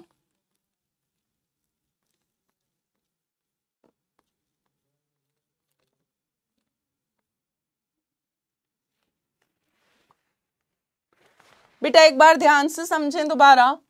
फोर्थ कार्बन पर क्लोरो तो फोर पे क्लोरो थर्ड कार्बन पर C H two C H three branch है तो थर्ड पर इथाइल यहाँ तक तो सबको समझ आ गया होगा। दिक्कत तुमको आएगी कॉम्प्लेक्स ब्रांचिंग में। अब बेटा मेन चेन की सेकंड कार्बन पे यहाँ पे फर्दर ब्रांचिंग है तो कॉम्प्लेक्स ब्रांचिंग का नाम कैसे लिखना है? टू पर मेन चेन की फर्दर कॉम्प्लेक्स ब्रांचिंग है तो ब्रैकेट स्टार्ट करेंगे। वन टू यहाँ से जब मैं लंबी चेन देखूँगी तो ये फ़र्स्ट है, ये सेकेंड है, ठीक है? कॉन्टिन्यूस होनी चाहिए। वन पर मिथाइल दो कार्बन के लिए इथाइल और ये सब्सटीट्यूएंट है ब्रांचिंग ही है, ठीक है? सो टू पर मेन चेन के ब्रैकेट स्टार्ट वन पर मिथाइल दो कार्बन के लिए इथाइल ब्रांचिंग का नाम लिख दिया। थैंक यू चार कार्बन के लिए ब्यूट सिंगल बॉन्ड के लिए एन और फिर अल्कोहल के लिए हो गया ओल ठीक है? चलिए। बेटा सब्सटीट्यूएंट वन पे मिथाइल है, ये ब्रांचिंग है तो पहले ब्रांचिंग का नाम लिखोगे ना कि फ़र्स्ट पर मिथाइल है, फिर दो कार्बन के लिए इथाइल है, ठीक है? चलिए सेकंड का कोई नाम बताएगा second second second second Mukesh Jaiswal बेटा यहाँ पे लॉन्गेस्ट चेन कहाँ से सिलेक्ट करूँ मैं? मुझे लॉन्गेस्ट चेन से ज़्यादा प्रायोरिटी है मेरे लिए कि मेन चेन के अंदर फंक्शनल ग्रुप आना चाहिए ठीक है? So, यहाँ पे लॉन्गेस्ट चेन चार की ही होगी इस चेन के अंदर अल्कोहल भी आ रहा है और हेलोजन भी आ रहा है। अगर तुम one two three four five ऐसे चले जाओगे तो जो हेलोजन है वो चेन का हिस्सा नहीं बन पाएगा ठीक है? चलो नेक्स्ट वाला नेक्स्ट वाला। बेटा one two three four five and six ये मेरी लॉन्गेस्ट चेन होगी, है ना? मैं थोड़ा बेटर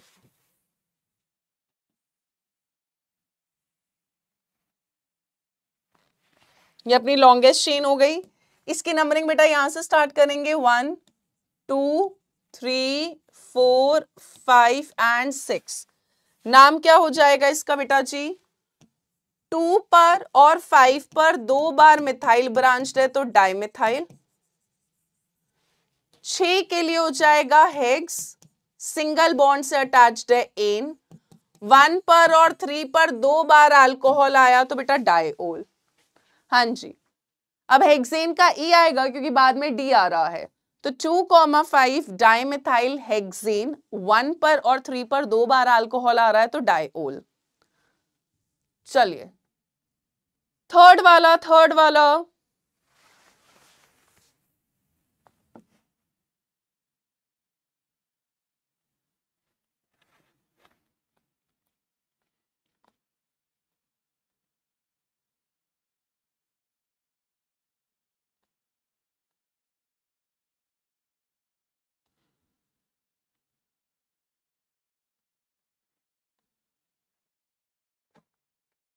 हाँ जी थर्ड वाले में बेटा अल्कोहल की प्रायोरिटी ज़्यादा है मेरे लिए तो थर्ड पर ब्रोमो लगा हुआ है क्लोज चेन के। फिर क्लोज चेन के लिए आ जाएगा साइक्लो एक, दो, तीन, चार, पाँच, छह का क्लोज चेन है hex single bond an one पर अल्कोहल है तो तुम चाहो तो हेक्सेन वन ओल लिख सकते हो या डायरेक्टली हेक्सेनॉल अगर मैंने अल्कोहल का नंबर नहीं बताया अंडरस्टूड है कि ये कहाँ पर है फ़र्स्ट पर है। चलिए। फोर्थ वाला फोर्थ वाला लिखे बेटा। One, two, three, one, two, three, four. Left से नंबरिंग करेंगे, one, two, three, four, five and six. छह कार्बन के लिए हेक्स डबल बॉन्ड वन पर है तो वन इन लिख लो या हेक्जीन लिख लो। हेक्जीन थ्री ओल। या चलो मैं लिख देती हूँ भाई, कल को कोई बोल दे मैम आपने नंबर नहीं लिखा। हेक्स वन इन थ्री ओल।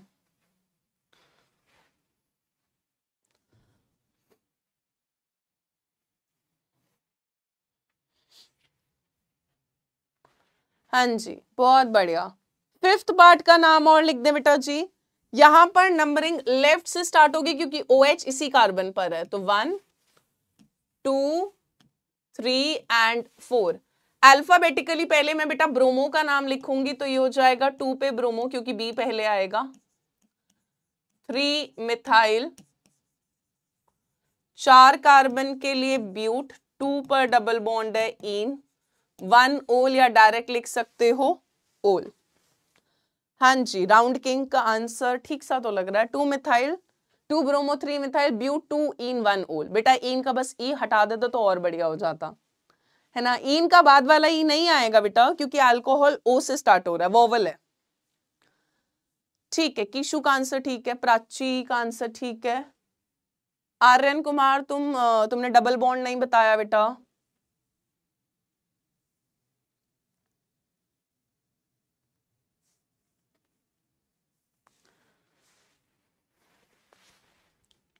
यहाँ तक सबने लिख लिया।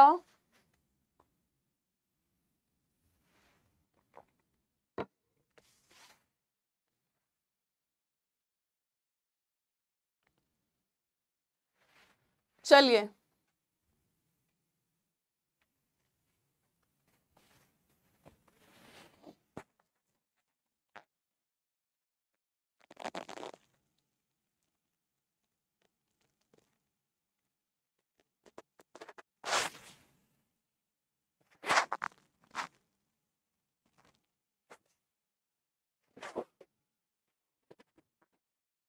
All right right.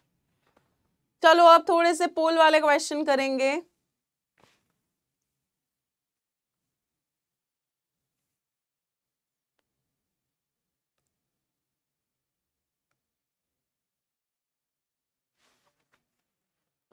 चलिए, पहला क्वेश्चन है ये, आपको आईयूपीएससी नेम बताना है इस कंपाउंड का। आई थिंक थर्टी सेकेंड्स बहुत रहेंगे। स्टार्ट कर रही हूँ मैं पोल चलिए। ट्राई करें।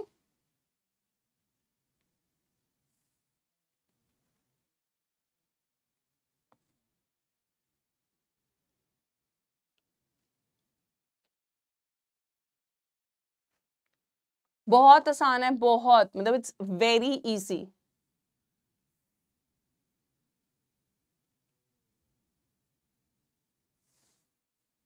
चलो।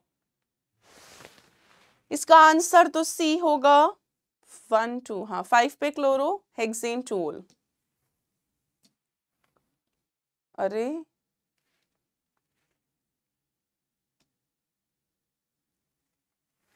एक मिनट रुकना।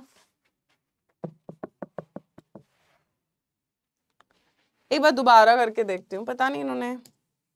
पोल कनेक्ट तो करा है सिंगल चॉइस है। स्टार्ट करा स्टॉप करा। सी करा, व्यू रिज़ल्ट। कुछ गड़बड़ थी। कुछ गड़बड़ हुई है यार, गड़बड़ हुई है। कोई बात नहीं। एक मिनट देना मुझको।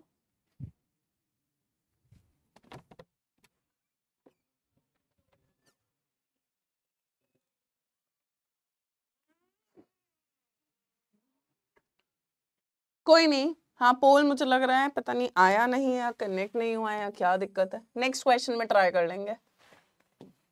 बेटा वन अब देखो लॉन्गेस्ट चेन ये इसमें अल्कोहल भी इंक्लूड हो रहा है हेलोजन भी हो रहा है। अल्कोहल बहुत ऊपर है हेलोजन से।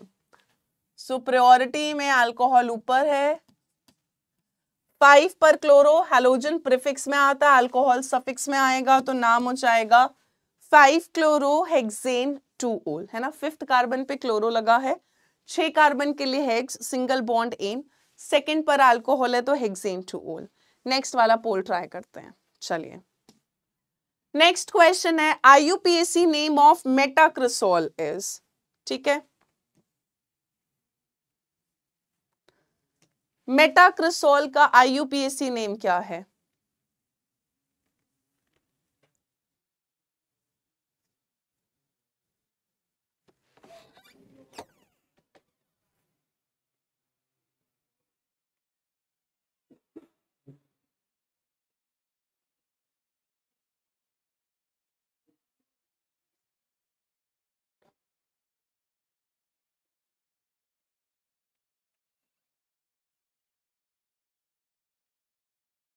चलिए।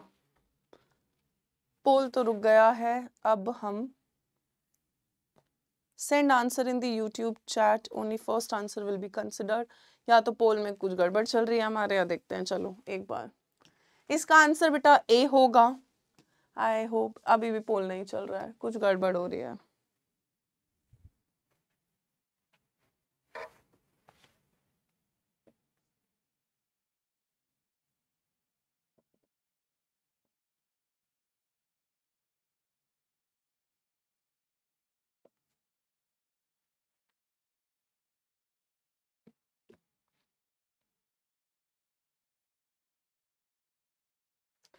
चलिए।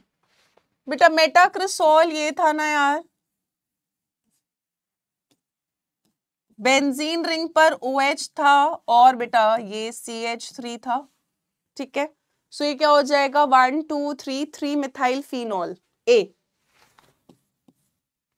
three chlorophenol नहीं भाई थ्री मिथॉक्सी फिनॉल नहीं। बेंजीन वन थ्री डायोल भी नहीं। Benzene one three diol is basically और रिसोर्सिनॉल ठीक है? आगे बढ़े नेक्स्ट पे। चलो। नेक्स्ट है आईयूपीएससी नेम इस कंपाउंड का बताना है आपको, ठीक है? एक बार और ट्राई कर लेती हूँ मैं, हो सकता है, चल जाए।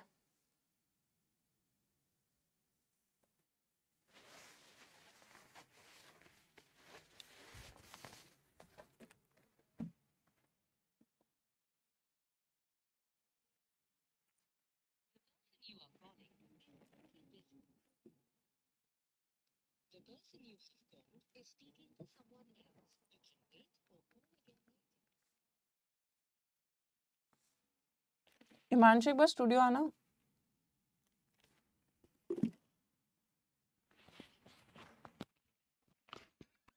यार Himanshu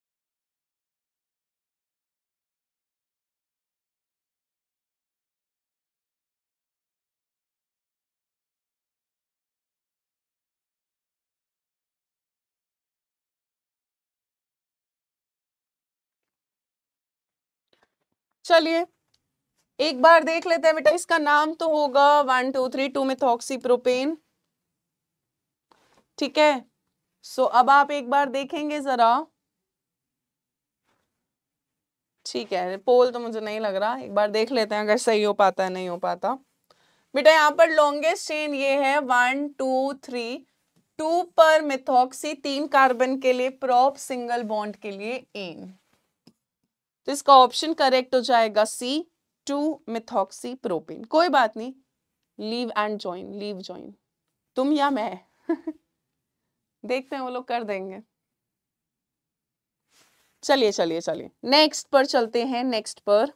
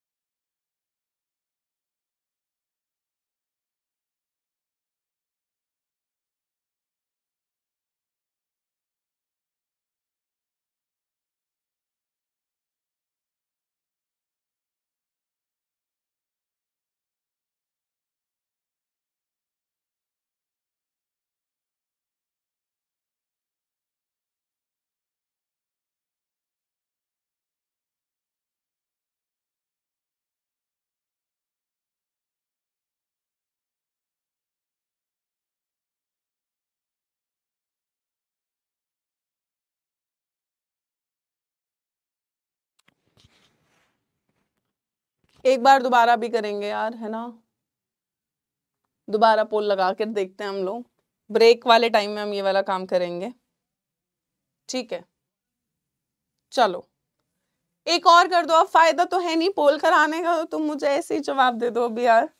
How many How many alcohols with molecular formula C4H10O are chiral in nature? ठीक है? जल्दी से बताएँ बेटा, कह रहे C four H ten O से कितने अल्कोहल कायरल होंगे? पहले तो मैं C four H ten O से अल्कोहल देखूँ क्या क्या बन सकते हैं। है ना? पहला अल्कोहल बनेगा बेटा आपका C H three C H two C H two C H two O H पहला ब्यूटेन वन ओल दूसरा बनेगा बेटा C H three C H O H C H two C H three butane two ol तीसरा बनेगा आपका एक, दो, तीन, चार एच और H two two methyl propane one ol और चौथा बनेगा बेटा two methyl one two three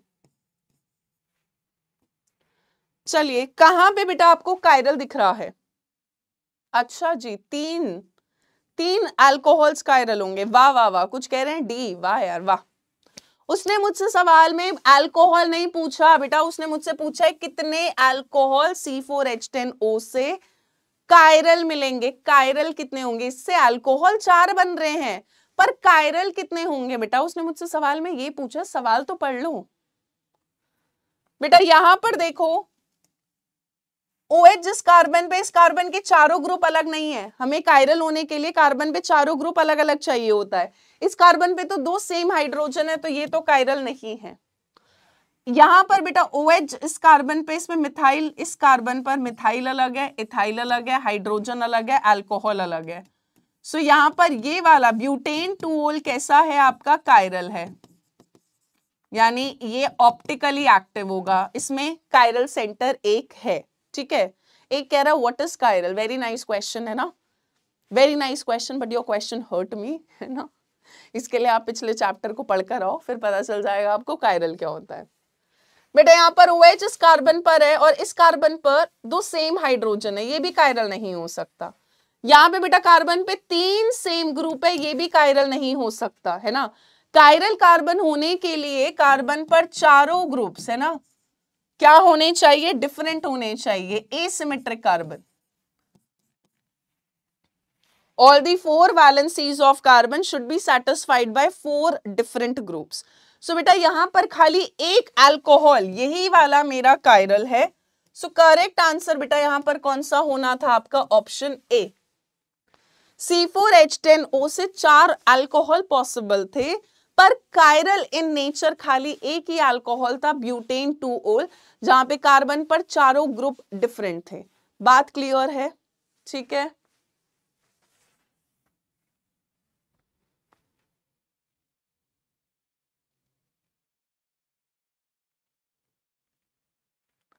आगे बढ़े।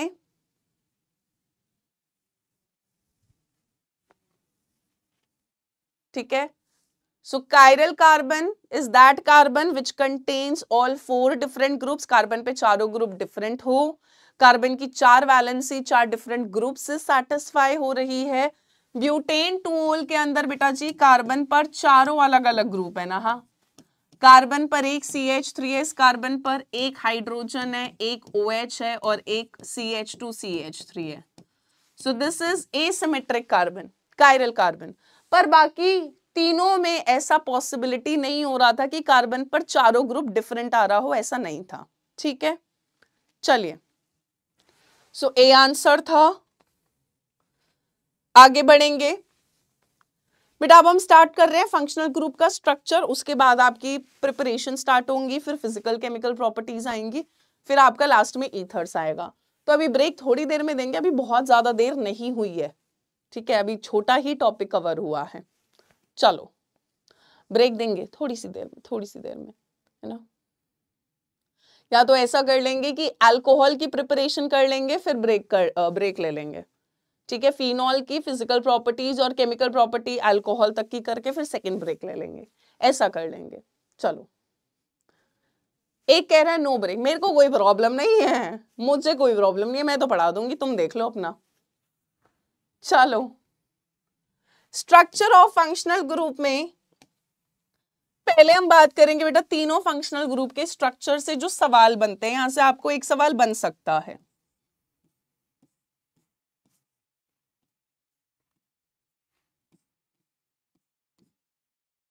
चलिए, फटाफट से बताएँ बेटा मैंने कौन से अल्कोहल का स्ट्रक्चर बनाया है? जल्दी बोलो भाई।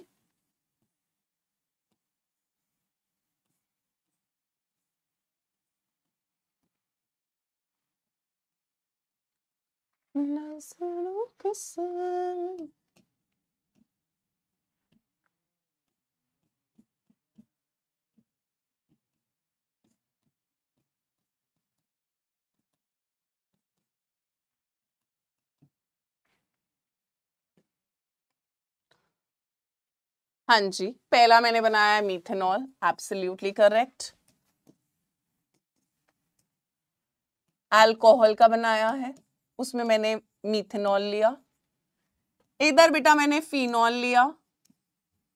इधर मैंने कौन सा लिया है? ईथर लिया है डाइमिथाइल ईथर या मिथॉक्सी मीथेन है ना? तो we are going to compare all the three functional groups का स्ट्रक्चर ठीक है? अब पहला, यहाँ पर जरा देखेंगे बॉन्ड एंगल सो बेटा मीथेनॉल के अंदर जो कार्बन ऑक्सीजन हाइड्रोजन का बॉन्ड एंगल है, ठीक है? यहाँ पर बेटा बॉन्ड एंगल आता है 108.9 डिग्री का, है ना? 108.9 डिग्री 108.9 डिग्री। फिनॉल के केस में कार्बन, ऑक्सीजन, हाइड्रोजन का जो बॉन्ड एंगल होता है, वो नियर अबाउट होता है 109 डिग्री। और बेटा ईथर के अंदर, ईथर के अंदर कार्बन, ऑक्सीजन, कार्बन का ये जो बॉन्ड एंगल है इस वाले में अगर मैं बात करूँ तो इट्स ऑलवेज मतलब 110 डिग्री से ज़्यादा ही होता है। इसमें 111.1 के करीब होता है। बॉन्ड लेंथ की बात करेंगे बेटा। अल्कोहल के अंदर कार्बन ऑक्सीजन का बॉन्ड लेंथ है 142 पिकोमीटर। फिनॉल में जो कार्बन ऑक्सीजन है बेटा, इसका बॉन्ड लेंथ है 136 पिकोमीटर। एक बार फिर भी चेक कर लेना वैल्यू और इसका होता है 141 पिकोमीटर ठीक है? हाँ जी हाँ जी हाँ जी. One one one point seven दे रखा है, ठीक है? मैंने अप्रोक्सीमेट एक सौ दस से ज़्यादा लिखा है. टेट्रा से ज़्यादा होता है, इससे ज़्यादा मुझे कोई मतलब नहीं है. चलो, हमें वैल्यू ऐसे भी याद नहीं करनी है. हमसे जो सवाल पूछे जाते हैं, पहला. एल्कोहल्स और फिनॉल्स दोनों ही केस में जो बॉन्ड एंगल है बेटा, वो टेट्राहेड्रल से थोड़ा सा कम होता है। अल्कोहल में भी, फिनॉल में भी, है ना? टेट्राहेड्रल एंगल हमारा कितना होता है? याद करें बेटा, अगर मेरे पास टेट्राहेड्रल ज्योमेट्री होती है, ठीक है? अब यहाँ पर ऑक्सीजन के दो बॉन्ड पेयर है, दो लोन पेयर है। ऑक्सीजन पे दो बॉन्ड पेयर दो लोन पेयर है, ठीक है? स्टेरिक नंबर चार है। स्टेरिक नंबर चार के लिए, यानी टेट्राहेड्रल के लिए बेटा बॉन्ड एंगल कितना होता था? 109 डिग्री 28 मिनट। बट यहाँ पर बॉन्ड एंगल टेट्राहेड्रल से थोड़ा सा कम है और यहाँ पे भी 109 डिग्री 28 मिनट से थोड़ा सा कम है। 109 डिग्री और 109.5 डिग्री में 0.5 का फ़र्क है। सो so, यहाँ पर ऐसा क्यों हो रहा है कि अल्कोहल्स एंड फिनॉल्स में in alcohols and phenols bond angle is slightly less than tetrahedral angle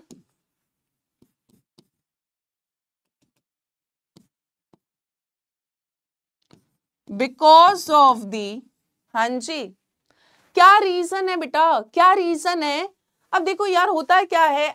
oxygen पर ये दो लोन पेयर प्रेजेंट होते हैं। Lone pair lone pair repulsion होता है बेटा, और lone pair bond pair repulsion होता है। इस रिपल्शन की वजह से यहाँ पर बेसिकली मैं अगर और अप्रोप्रिएटली दिखाऊँ ना तो आपको लोन पेयर ऐसे होते हैं। एक इधर होता है एक इधर होता है। इन लोन पेयर लोन पेयर में रिपल्शन होता है जिसकी वजह से बॉन्ड थोड़ा सा अंदर खिसक जाता है और बॉन्ड एंगल स्लाइटली क्या कर जाता है बेटा? डिक्रीज कर जाता है। So in alcohols and phenols, bond angle is slightly less than tetrahedral angle because of the lone pair, lone pair and lone pair, bond pair repulsion. First point जिसका आपको ध्यान रखना है दूसरा सवाल जो यहाँ पर आता है, दूसरा सवाल बेटा ईथर के बॉन्ड एंगल से in ethers bond angle is always more than tetrahedral angle बेटा ईथर्स के केस में जो कार्बन ऑक्सीजन कार्बन का बॉन्ड एंगल होता है, वो टेट्राहेड्रल से तो हमेशा ज़्यादा होता है। यानी 109 डिग्री 28 मिनट से तो ज़्यादा ही मिलेगा। अलग अलग ईथर्स में अलग अलग बॉन्ड एंगल होता है, पर 110 डिग्री से ज़्यादा ही होता है यहाँ पर। ऐसा क्यों हो रहा है? जल्दी बोलो भाई। Because of the because of the repulsion अब हो क्या रहा था? तुम कहोगे, मैम, यहाँ पे भी तो ऑक्सीजन पर दो बॉन्ड पेयर है, दो लोन पेयर है. तो यहाँ पर ऐसा क्यों नहीं हुआ? बॉन्ड एंगल टेट्राहेड्रल से कम क्यों नहीं हुआ? अब हुआ क्या? इन्होंने कोशिश तो करी कि बॉन्ड अंदर खिसक जाए बट यहाँ पर ये अल्काइल ग्रुप बल्कि होते हैं। है ना? यहाँ पर बेटा ऑक्सीजन पर एटलीस्ट एक हाइड्रोजन है, एक रिंग है। और यहाँ पर तो एक हाइड्रोजन और एक कार्बन का ग्रुप था। सो so, अल्कोहल और फिनॉल में क्या होता है? ऑक्सीजन के पास कम से कम एक एक हाइड्रोजन तो है एक ही साइड तो ग्रुप प्रेजेंट है। ईथर के केस में ऑक्सीजन के लेफ़्ट और राइट पे दोनों जगह पे बड़े बड़े ग्रुप्स होते हैं। और अल्काइल ग्रुप और बड़ा होगा और रिपल्शन होगा। सो so, यहाँ पर क्या होता है? ये जो बल्कि ग्रुप्स होते हैं ये एक दूसरे को रिपेल करते हैं और कह रहे भाई हम दूर दूर होंगे बॉन्ड बढ़ जाएगा। ये दूर हो जाएँगे तो बॉन्ड एंगल इंक्रीज कर जाता है। So because of the repulsion between bulky alkyl groups इस चीज़ को ध्यान रखें बेटा यहाँ से आपको बहुत बार सवाल आता है। ठीक है तो मैं इसको तो स्टार बना रही हूँ कि ये बहुत बार पूछा गया सवाल है कि ईथर्स के अंदर जो बॉन्ड एंगल होता है वो टेट्राहेड्रल एंगल से ज़्यादा क्यों होता है? सो so, आंसर क्या आ जाएगा? Because of the repulsion present between two bulky alkyl groups जो बल्कि एल्काइल ग्रुप्स होते हैं, उनमें रिपल्शन होता है, जिसकी वजह से बॉन्ड एंगल बढ़ जाता है। ये पास आने की बजाय दूर चले जाते हैं, ठीक है? बॉन्ड एंगल बढ़ जाता है। यहाँ तक बात क्लियर है? जल्दी बोले भाई। इसमें मैं लिख रही हूँ F A Q frequently asked question तीसरा पॉइंट यार, तीसरा पॉइंट अब आप देखो बेटा अल्कोहल में कार्बन ऑक्सीजन का और ईथर में कार्बन ऑक्सीजन का बॉन्ड लेंथ आसपास है। ठीक है, पर यहाँ पर तीसरा जो सवाल है मेरा, वो आपसे है कि फिनॉल के केस में कार्बन ऑक्सीजन का बॉन्ड लेंथ डिक्रीज क्यों कर गया? Why it is not near about 142 141 picometre यहाँ पर क्यों बॉन्ड लेंथ थोड़ा सा डिक्रीज हुआ? जल्दी से बोलो कीशु का आंसर तो मैंने पढ़ लिया, सही आंसर बाकी बाकी बाकी, दीपक पटेल का आंसर ठीक है। राजदीप सिन्हा का आंसर ठीक है। हम्म हम्म। चलिए थर्ड पॉइंट थर्ड पॉइंट है बेटा कि in phenol in phenol the carbon oxygen bond length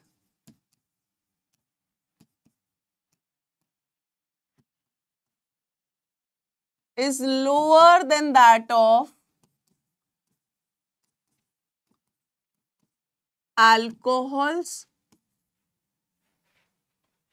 or ethers because in phenol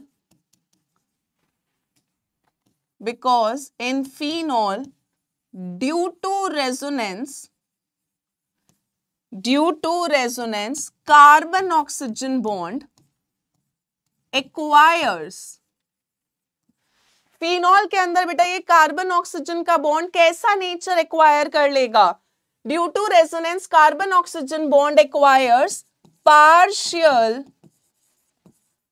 double bond character क्या एक्वायर कर लेता है बेटा? पार्शियल डबल बॉन्ड कैरेक्टर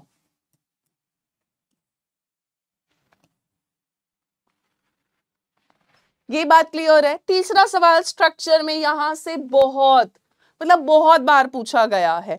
जैसे हमने हैलोअरीन्स में करा था कि हेलो हैलोअरीन्स के अंदर भी बेटा कार्बन हेलोजन का बॉन्ड लेंथ हैलो एल्केन्स के कंपैरिजन में छोटा होता था। वहाँ पे भी रेजोनेंस हो रहा होता था। यहाँ पर भी सेम कहानी है। यहाँ पर भी फिनॉल के केस में कार्बन ऑक्सीजन का बॉन्ड लेंथ कम होता है। यहाँ तक बात क्लियर है। सो अगर आप यहाँ पर देखेंगे फिनॉल के केस में इस तरह से रेजोनेंस होगा। ये लोन पेयर इधर, ये बॉन्ड इधर, इस तरह से। ये negative charge, double bond O H और प्लस एंड सो ऑन आगे चलता रहेगा, है ना? ये नेगेटिव चार्ज इधर हम आगे करेंगे एंड सो ऑन चलता रहेगा, ठीक है? सो so, क्योंकि ये लोन पे रेजोनेंस में पार्टिसिपेट करेगा तो कार्बन ऑक्सीजन में डबल बॉन्ड का कैरेक्टर आ जाता है। सिंगल बॉन्ड से डबल की बॉन्ड लेंथ छोटी होती है जिसकी वजह से यहाँ पर बॉन्ड लेंथ छोटी हो जाती है अल्कोहल और ईथर के कंपैरिजन में। यहाँ तक सबको बात क्लियर है जल्दी बोलो भाई। जल्दी बोलो यार। हाँ हाँ मुझे पता है तुम लोगों ने ब्रेक वाला सिलसिला शुरू कर दिया है।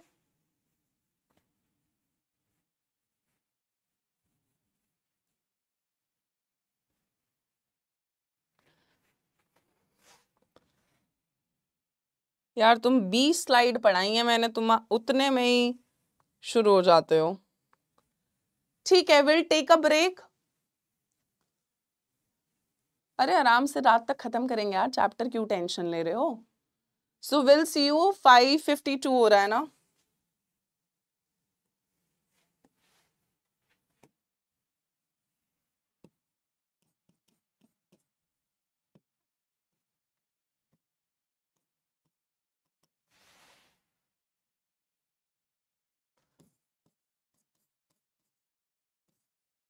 छह बजकर पाँच मिनट पे मिलेंगे। सो so, टाइमर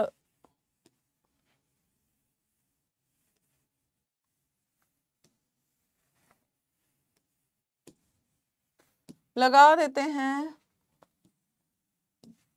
चलो ऑलमोस्ट पंद्रह मिनट का ब्रेक है। बट ठीक ठाक है। जाओ, ऐश करो, खाओ, पियो। ओके सी यू पंद्रह मिनट में।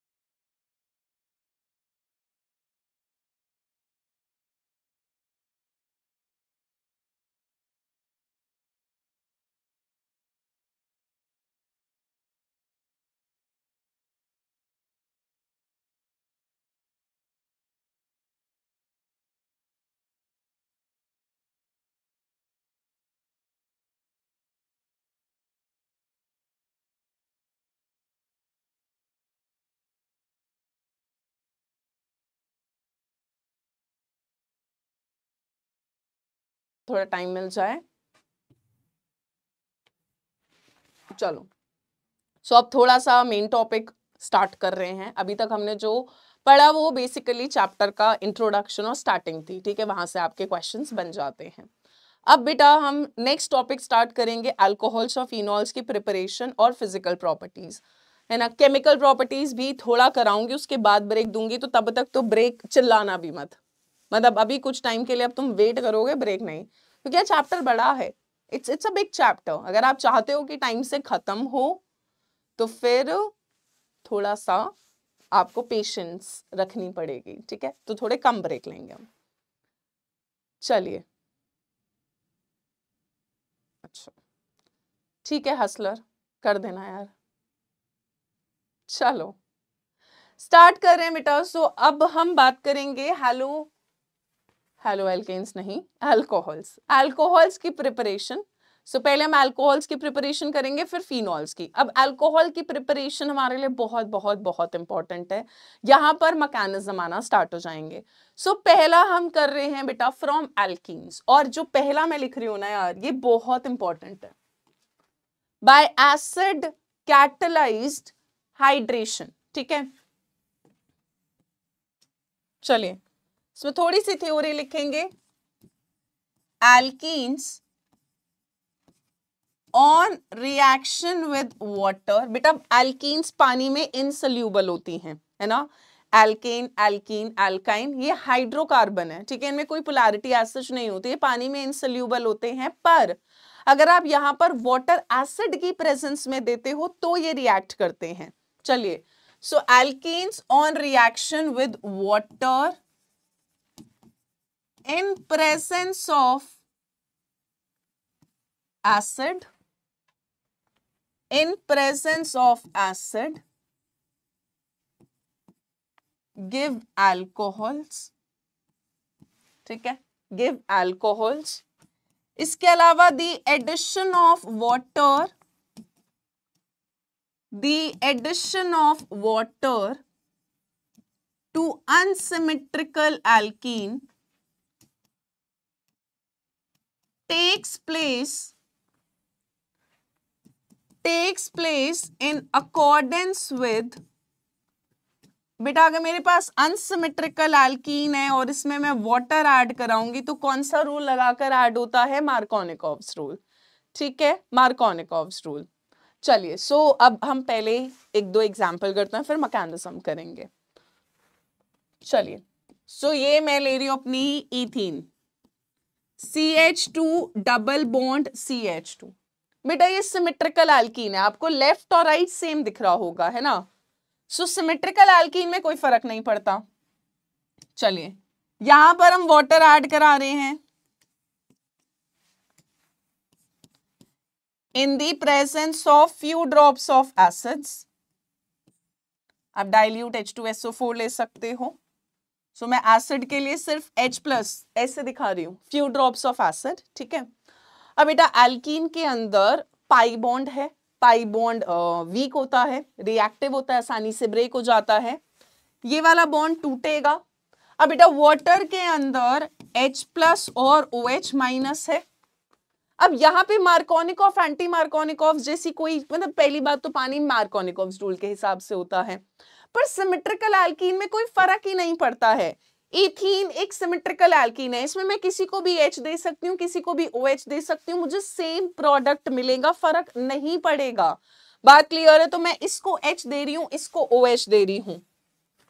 चलिए, क्या बन जाएगा बेटा? मैंने इसको एच दे दिया, इसको ओ OH दे दिया। जब पाई बॉन्ड तोड़ा, इसको एच दिया, इसको ओ OH दिया।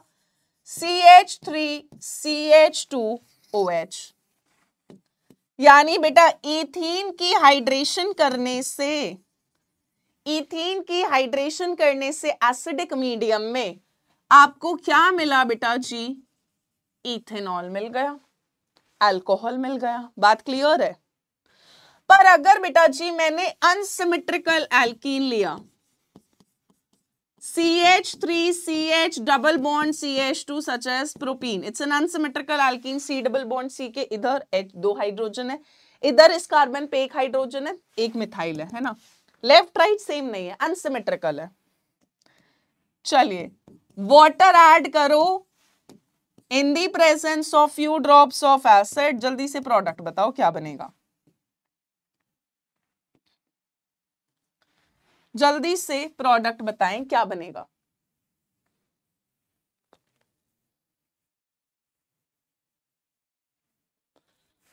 विकास राव ने आंसर ठीक बोला।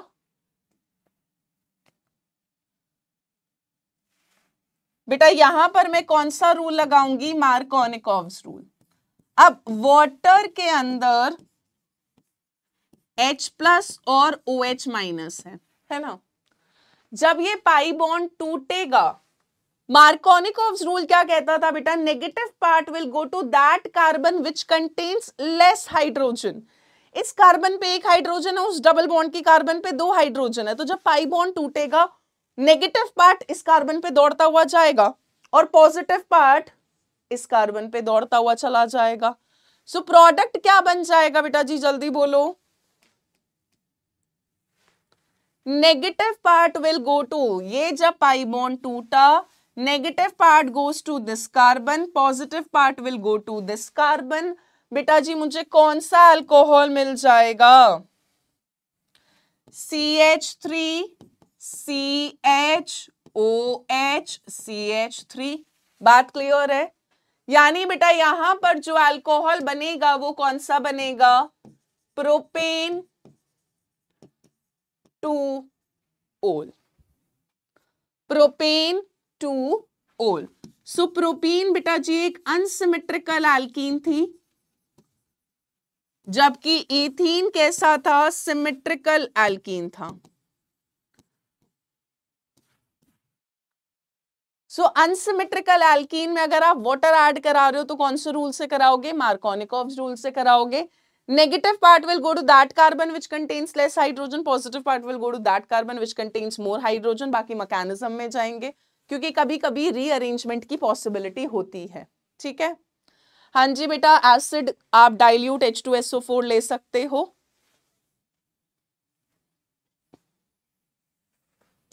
ठीक है? आगे बढ़ो। ये reaction in presence of acid है। तभी नाम है एसिड कैटलाइज्ड हाइड्रेशन कि एसिड जो होता है वो कैटलिस्ट की तरह काम कर रहा होता है और हम एल्कीन में वाटर डाल रहे होते हैं एडिशन ऑफ़ वाटर होता है, यानी हाइड्रेशन होता है in the presence of acid acid यहाँ पर कैटलाइज करा रहा होता है, इस रिएक्शन को अब मैं मैकेनिज्म पे जा रही हूँ। बेटा एम रूल का फुल फॉर्म है मार्कोनिकॉव रूल ठीक है? चले इस रिएक्शन का मैकेनिज्म कर ले। निखिल भारद्वाज, बिल्कुल, इसका मैकेनिज्म और डिहाइड्रेशन का। इन दोनों के मैकेनिज्म आपके लिए बोर्ड के पर्सपेक्टिव से बहुत इंपॉर्टेंट है पीवाईक्यूज में आ भी रखे हैं। चलिए। चलो भाई, चलो चलो चलो। अब देखो, अगर तुम चाहते हो कि तुमको मैकेनिज्म बहुत ही अच्छे से क्लियर हो तो तुमको ये जो चैटिंग है ना, ये कुछ देर के लिए रोकनी होगी। As in you have to focus on what I am writing and teaching now so please it's a humble request mechanism के लिए, कुछ देर के लिए अपने हाथों को थोड़ा आराम दे और मैकेनिज्म को ध्यान से समझे, जो मैं बोर्ड पर समझा रही हूँ, ठीक है? चलिए। मैकेनिज्म में बेटा जी, पहला स्टेप क्या होता है? जो वाटर होता है, वो एसिड के H प्लस आयन से क्योंकि एसिड से H प्लस आयन मिलेगा, पर H प्लस आयन बेटा अनस्टेबल होता है फ्रीली एग्जिस्ट नहीं करता। सो so, ये किसमें कन्वर्ट हो जाता है? हाइड्रोनियम आयन में, है ना? तो पहले स्टेप के अंदर एल्कीन का प्रोटोनेशन होगा, पर एल्कीन का प्रोटोनेशन होने से पहले वाटर H प्लस जो एसिड से मिल रहा होता है, उससे कंबाइन करके क्या बना लेता है बेटा? एच थ्री ओ प्लस ठीक है? अब हमने ली कोई हमारी, जो भी एल्कीन है मैं ये एल्कीन इस तरह से दिखा रही हूँ। ठीक है? बेटा प्लीज़ ध्यान से देखो। ये हाइड्रोनियम आयन ये कुछ इस तरह से होता है इसका स्ट्रक्चर और ऑक्सीजन पर पॉजिटिव चार्ज होगा। ध्यान से समझो, ध्यान से समझो। चलिए। अब बेटा जी, यहाँ पर क्या होता है? जो एल्कीन है, वो यहाँ से देखो, ये बॉन्ड इसको वापस मिल जाता है। यानी यहाँ से ऑक्सीजन अपने ऊपर ज़्यादा टाइम पॉजिटिव चार्ज बर्दाश्त नहीं कर पाती है। सो so, ये वाले बॉन्ड के इलेक्ट्रॉन ऑक्सीजन चुराती है। रिवर्सिबल रिएक्शन चल रहा होता है। ध्यान से समझते चलना प्लीज़ सो so, यहाँ से जब ऑक्सीजन इस बॉन्ड के इलेक्ट्रॉन्स ले लेगी तो बेटा यहाँ से तो वाटर निकल जाएगा। एच ओ एच इस बॉन्ड के दो इलेक्ट्रॉन आ गए तो ऑक्सीजन पे उसका लोन पेयर वापस आ जाता है। अब यहाँ से H प्लस रिलीज़ हुआ है ना? अब H प्लस फ्रीली एक्सिस्ट नहीं करता और H प्लस में भयंकर इलेक्ट्रॉन की कमी है। एक था वो भी लुट गया है ना? मैं तो लुट गया। सो so, अब यहाँ पर जो पाई बॉन्ड होता है एल्कीन का बेटा वो इस H प्लस पर अटैक करता है। क्योंकि इसको इलेक्ट्रॉन्स चाहिए होते हैं पाई बॉन्ड इलेक्ट्रॉन रिच होता है क्योंकि उस पर इलेक्ट्रॉन्स प्रेजेंट होते हैं। अब जरा यहाँ पर ध्यान से देखें। ध्यान से देखना बेटा, अगर ये पाई बॉन्ड इधर शिफ्ट हुआ, ध्यान से देखो भाई, ध्यान से। तो इस कार्बन पे नेगेटिव इस पर पॉजिटिव ये जो H प्लस यहाँ से मिल रहा है बेटा, वो इस नेगेटिव कार्बन के साथ जुड़ जाएगा। तो आपको कुछ ऐसा मिल जाएगा एच एच एच या वाइस वर्षा कर सकते हो, उल्टा कर सकते हो तुम। मैं ऐसे करके दिखाऊँगी आपको। कि अगर ये पाई बॉन्ड इस कार्बन पर शिफ्ट हुआ तो बेटा इस कार्बन पे नेगेटिव इस कार्बन पे पॉजिटिव है ना? पाई बॉन्ड इधर गया, इस बॉन्ड के इलेक्ट्रॉन इस कार्बन पे गए तो यहाँ नेगेटिव यहाँ पॉजिटिव यहाँ से जो H प्लस है, वो इस कार्बन पर आकर अटैक करेगा, है ना? इस कार्बन पर अटैक करेगा, जल्दी बोलो भाई। जब इस कार्बन पर बेटा H प्लस ने आकर अटैक करा तो यहाँ पर कुछ ऐसे बन जाएगा, देखो। ये दो बॉन्ड तो एज इट इज़ इस कार्बन पे बेटा H जुड़ जाएगा H प्लस नेगेटिव कार्बन पे जाएगा बॉन्ड बना लेगा और इस कार्बन पर पॉजिटिव चार्ज आ गया। यानी क्या? किसकी फॉर्मेशन हो गई बेटा यहाँ पर? कार्बो के कार्बोकेटायन की। जल्दी बोले भाई। सो so, बेटा पहला स्टेप होता है एल्कीन का प्रोटोनेशन जिस आपको क्या मिलता है यहाँ पर? कार्बोकेटायन मिलता है। फ़र्स्ट स्टेप में। ठीक है? सो so, दोबारा समझो फ़र्स्ट स्टेप में क्या हुआ था?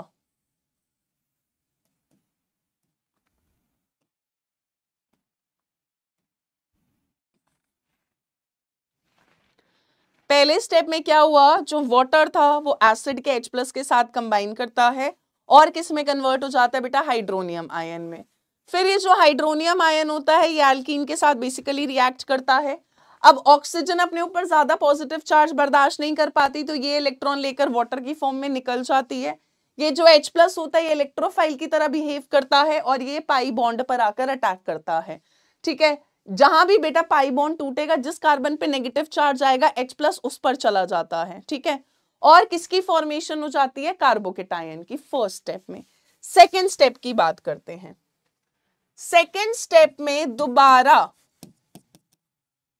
ठीक है? अगर आप चाहो तो आप लिख भी सकते हो। पहला स्टेप है protonation of alkene to form carbocation second step में होता है बेटा अटैक ऑफ़ न्यूक्लियोफाइल यानी ये जो वाटर है, ये अटैक करेगा दोबारा। अब जरा ध्यान से देखें। ये था अपना कार्बोकेटाइन ये था अपना वाटर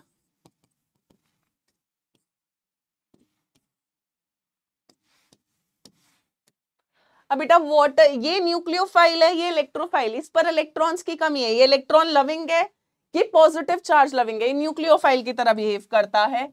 सो ये जो न्यूक्लियोफाइल है, ये इस कार्बोकेटायन पर अटैक करता है, ठीक है? क्या बन जाएगा बेटा जी यहाँ पर? जल्दी से बोले, इधर कार्बन का ये bond as it is H as it is इधर सी ए ये बॉन्ड एज इट इज़ बेटा ऑक्सीजन जब अपने दो इलेक्ट्रॉन इसको दे देगा तो बॉन्ड बना लेगा। ओ एच एच और ऑक्सीजन पर कैसा चार्ज आ जाएगा बेटा? पॉजिटिव कैसा स्टार्ट आ जाए मतलब स्टार्ट हो जाएगा, कह कैसा चार्ज आ जाएगा बेटा? पॉजिटिव है ना? ऑक्सीजन अपने ये दो इलेक्ट्रॉन इस कार्बन को देगा तो बॉन्ड बना लेगा। अब ऑक्सीजन पे दो हाइड्रोजन है, पर ऑक्सीजन का एक लोन पेयर कम हो गया, क्योंकि उसने वो कार्बन को दे दिया बॉन्ड बनाने के लिए उसके साथ। ठीक है, अब ऑक्सीजन पे पॉजिटिव चार्ज जनरेट हो गया। फिर से ऑक्सीजन यार परेशान हो रहा होता है, कह रहा है, यार मेरे को पॉजिटिव चार्ज नहीं चाहिए क्योंकि वो पीरियोडिक टेबल का सेकेंड मोस्ट इलेक्ट्रोनेगेटिव एलिमेंट है। बहुत ज़्यादा देर तक अपने ऊपर पॉजिटिव चार्ज नहीं बर्दाश्त कर पाएगा। सो थर्ड स्टेप में थर्ड स्टेप में क्या होता है बेटा? H प्लस निकलेगा यहाँ से। सो थर्ड स्टेप पर चलूँ। पहले स्टेप में एल्कीन का प्रोटोनेशन हुआ कार्बोकेटायन बना। सेकेंड स्टेप में बेटा न्यूक्लियोफाइल का अटैक होता है। थर्ड स्टेप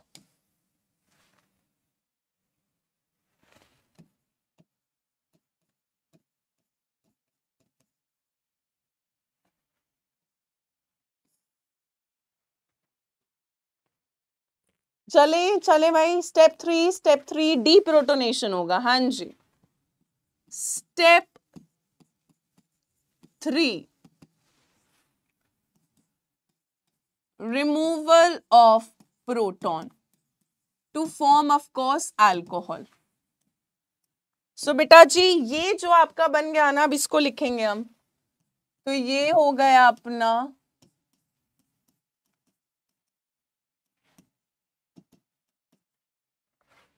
ठीक है। अब वाटर की हमारे पास कमी नहीं है मीडियम में।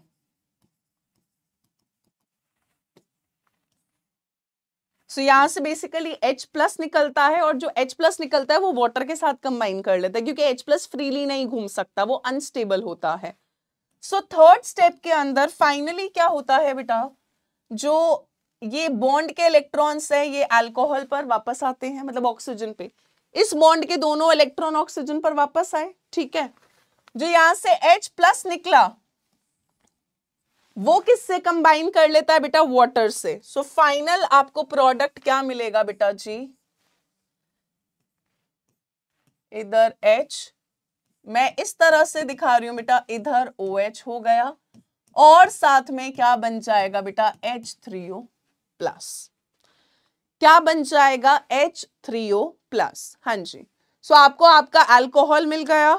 और जो H3O प्लस तुमने बिल्कुल स्टार्टिंग में यूज़ करा था मैंने यहाँ पर H3O प्लस यूज़ करा था बेटा वो मुझे वापस मिल गया है रिएक्शन में ठीक है?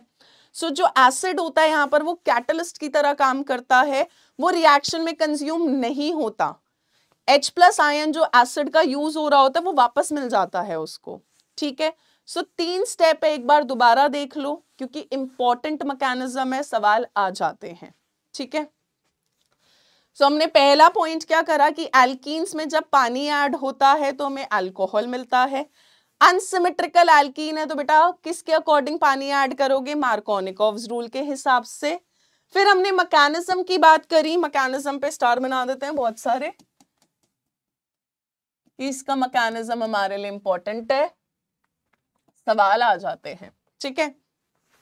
पहले स्टेप में अटैक किसका हो रहा है बेटा? बेसिकली जो हाइड्रोनियम आयन है वो एल्कीन को प्रोटोनेट एल्कीन का प्रोटोनेशन होता है। कार्बोकेटायन का फॉर्मेशन होता है। सो so, यहाँ से H3O प्लस से वाटर निकल जाता है और जो H प्लस होता है वो एल्कीन पर अटैक करता है और कार्बोकेटायन बनता है। सेकेंड स्टेप के अंदर हमने क्या बोला? कि कार्बन का पॉजिटिव चार्ज भी यार कार्बोकेटायन को भी स्टेबलाइज होना है। सो so, जो वाटर होता है वो न्यूक्लियोफाइल की तरह बिहेव करता है क्योंकि इस पर लोन पेयर प्रेजेंट है। इस पर इलेक्ट्रॉन्स की कमी है। ये अटैक करेगा, आपके पास ये आयन बनता है। ठीक है, अब ऑक्सीजन अगेन बहुत ज़्यादा पॉजिटिव चार्ज अपने ऊपर बर्दाश्त नहीं करती। तो इस बॉन्ड के इलेक्ट्रॉन्स बेसिकली अगर मैं तुमको आसान भाषा में समझाऊं, इस बॉन्ड के इलेक्ट्रॉन्स इधर आ जाते हैं। H प्लस वाटर के साथ कंबाइन करता और H थ्री प्लस बन जाता है। बात ही खत्म। ठीक है सो थर्ड स्टेप में क्या हुआ? इस बॉन्ड के इलेक्ट्रॉन्स इधर आए अल्कोहल बन गया ऑक्सीजन पर उसके लोन पर वापस आ गए।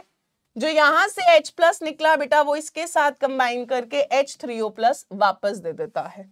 बात क्लियर है? जल्दी बोले। सो इस मैकेनिज्म में याद रखे इंटरमीडिएट जो है बेटा इंटरमीडिएट यहाँ पर क्या बनता है? कार्बोकेटायन बनता है। इस रिएक्शन में इंटरमीडिएट कार्बोकेटायन बनता है। है ना? यहाँ पर किसकी फॉर्मेशन हुई थी बेटा? कार्बोकेटायन की।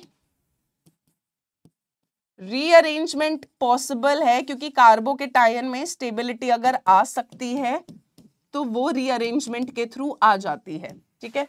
रीअरेंजमेंट की पॉसिबिलिटी रहती है। अगर प्राइमरी से सेकेंडरी बन सकता है तो वो बनेगा। सेकेंडरी से टर्जरी बन सकता है तो वो बनेगा, ठीक है? सो मेन मेन पॉइंट्स ध्यान रखें। जब एल्कीन में वाटर ऐड होता है तो एसिड की प्रेजेंस में होता है। अनसिमेट्रिकल एल्कीन में मार्कोनिकोव्स रूल के हिसाब से होता है। इसके अलावा हमने बोला यहाँ पर रिएक्शन इंटरमीडिएट क्या जनरेट होता है बेटा? कार्बोकेटायन होता है। रीअरेंजमेंट की पॉसिबिलिटी होती है। ठीक है? चलिए। यहाँ तक लिखा तो फिर आगे बढ़ेंगे बेटा। हाइड्रोबोरेशन ऑक्सीडेशन पर।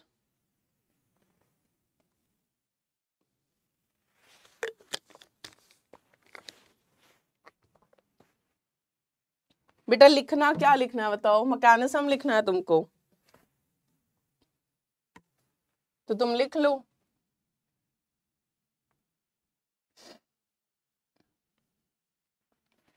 एनसीआरटी में दे रखा है बेटा। नोट्स तुमको मिल जाएँगे पीडीएफ में। बेटर होगा कि हम आगे बढ़े तो तुम बाकी तुम्हारी मर्ज़ी, यार लिख लो, मुझे कोई प्रॉब्लम नहीं है। आराम से लिखो।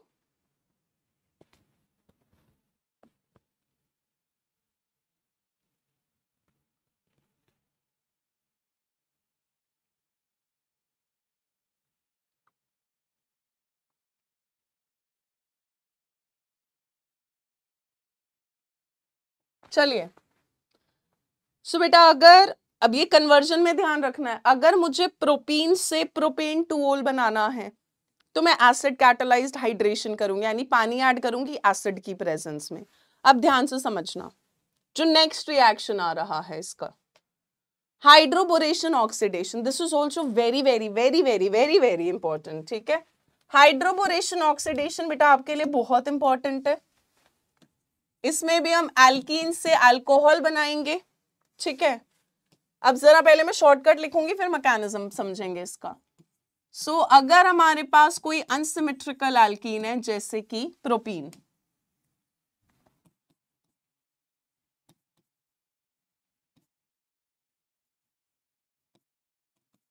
अनसिमेट्रिकल एल्कीन सो बेटा हाइड्रोपोरेशन ऑक्सीडेशन में क्या होता है? सबसे पहले डाइबोरेन ऐड होता है। टीएचएफ की प्रेजेंस में टीएचएफ सॉल्वेंट होता है टेट्राहाइड्रोफ्यूरान ठीक है? सो so, सबसे पहले B2H6 in the presence of T H F second step में बेटा वाटर ऐड हो रहा होता है in the presence of H2O2 and OH minus ठीक है? हाइड्रोजन पैरोक्साइड की प्रेजेंस में पानी ऐड हो रहा होता है। सो हाइड्रोबोरेशन ऑक्सीडेशन पहले ट्राइल्काइल बोरेन बनता है फिर उसको ऑक्सीडेशन होता है। उस पर अभी आऊँगी जब मैकेनिज्म करेंगे। यहाँ पर पानी जो होता है बेटा जी, वो कौन से? पहला, यहाँ पर याद रखे वाटर कौन से रूल के हिसाब से ऐड करेंगे? एम रूल साइड में लिख देंगे, चलो। प्रोडक्ट बनाते हैं बेटा। एंटी मार्कोनिकॉव्स रूल क्या कहता था कि वाटर का H प्लस और OH माइनस है। एंटी मार्कोनिकॉव्स कहता है बेटा negative part goes to that carbon which contains more hydrogen अरे भाई रुक जाओ विकास राव प्रोपेन टूल नहीं बनेगा। सो so, यहाँ से डबल बॉन्ड टूटेगा। Negative part goes to that carbon which contains more hydrogen and positive part will go to that carbon which contains less hydrogen पुराने वाले का उल्टा कर दो। जो पिछला पड़ा था उसका उल्टा करना है। सो so, बेटा जी यहाँ पर आपका प्रोडक्ट क्या बनेगा? C H three C H two C H two O H क्या बन गया बेटा जी? प्रोपेन वन ओल प्रोडक्ट किसके अकॉर्डिंग बनाया हमने? एंटी मार्कोनिकॉफ्स रूल के हिसाब से. एंटी मार्कोनिकॉफ्स रूल के हिसाब से. ठीक है? इसमें बेटा कोई रीअरेंजमेंट नहीं होता. यहाँ पर रीअरेंजमेंट की पॉसिबिलिटी नहीं होती है, पर पीछे वाले में रीअरेंजमेंट की पॉसिबिलिटी थी। वहाँ पर पानी अनसिमेट्रिकल एल्कीन में मार्कोनिकॉव्स रूल से हुआ था, यहाँ पर एंटी मार्कोनिकॉव्स रूल से होता है। इसका एक बार मैकेनिज्म देखेंगे। आइए मैकेनिज्म देखें, आसान सा है वेरी इजी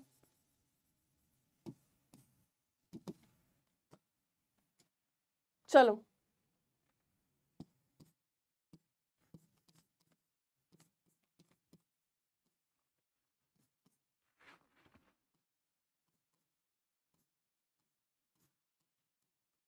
पहले तो यार ये बताओ ये क्या लिखा है मैंने? तब तो फिर आगे बढ़ूँगी मैं। बेटा देखो B H three electron deficient compound होता है ये आपने शायद ग्यारहवीं में समझा होगा पढ़ा होगा। ठीक है जो बी एच थ्री होता है इसमें बोरॉन पे सिक्स इलेक्ट्रॉन्स होते हैं। So B H three dimeric form में यानी किसकी फॉर्म में एग्जिस्ट करता है? B two H six diborane ठीक है? सो so, मैंने diborane B two H six को बेसिकली कैसे लिखा है? बी एच थ्री का whole twice B H three का होल ट्वाइस एक्चुअली तो बी टू एच सिक्स ही है. बी टू टू थ्री जा six B two H six और इसको मैंने थोड़ा सा और ब्रेक करके लिखा है। बेटा बी एच थ्री को मैंने ऐसे लिख दिया एच बी एच टू का होल ट्वाइस इतनी बात क्लियर है? जल्दी बोले भाई। इतनी बात क्लियर है? ठीक है। चलो। यहाँ तक ठीक? सब ठीक? ओके। अब बेटा बोरॉन जो होता है वो थोड़ा नॉन मेटल की तरह बिहेव करता है। अगर वो नॉन मेटल की तरह बिहेव करता है तो इस पर नेगेटिव चार्ज होगा इस पर पॉजिटिव चार्ज होगा। अब एंटी मार्कोनिकॉव रूल अगर आप लगाओगे तो एंटी मार्कोनिकॉव रूल क्या कहता था? Negative part will go to that carbon which contains more hydrogen and positive part will go to that carbon which contains less hydrogen उल्टा हो जाता था। सो so, बेटा जी यहाँ पर ध्यान से देखें सी एच थ्री वाइट से ही लिखते हैं, फिर C H three C H single bond C H two H इस पर आ जाता है बी एच टू इस पर आ जाता है। इतनी बात क्लियर है बेटा, जल्दी बोलो। यहाँ तक ठीक है? Negative part will go to this carbon positive part will go to this carbon यहाँ तक बात क्लियर है बेटा जी अब इस BH2 के अंदर दो और हाइड्रोजन प्रेजेंट है, दो बार और एल्कीन इसमें ऐड हो जाती है। है ना? बेटा अटैक यहाँ पर BH3 का हो रहा होता है, पर BH3 अकेला एग्जिस्ट नहीं करता। ऐसे यहाँ पर लिख लेते हैं।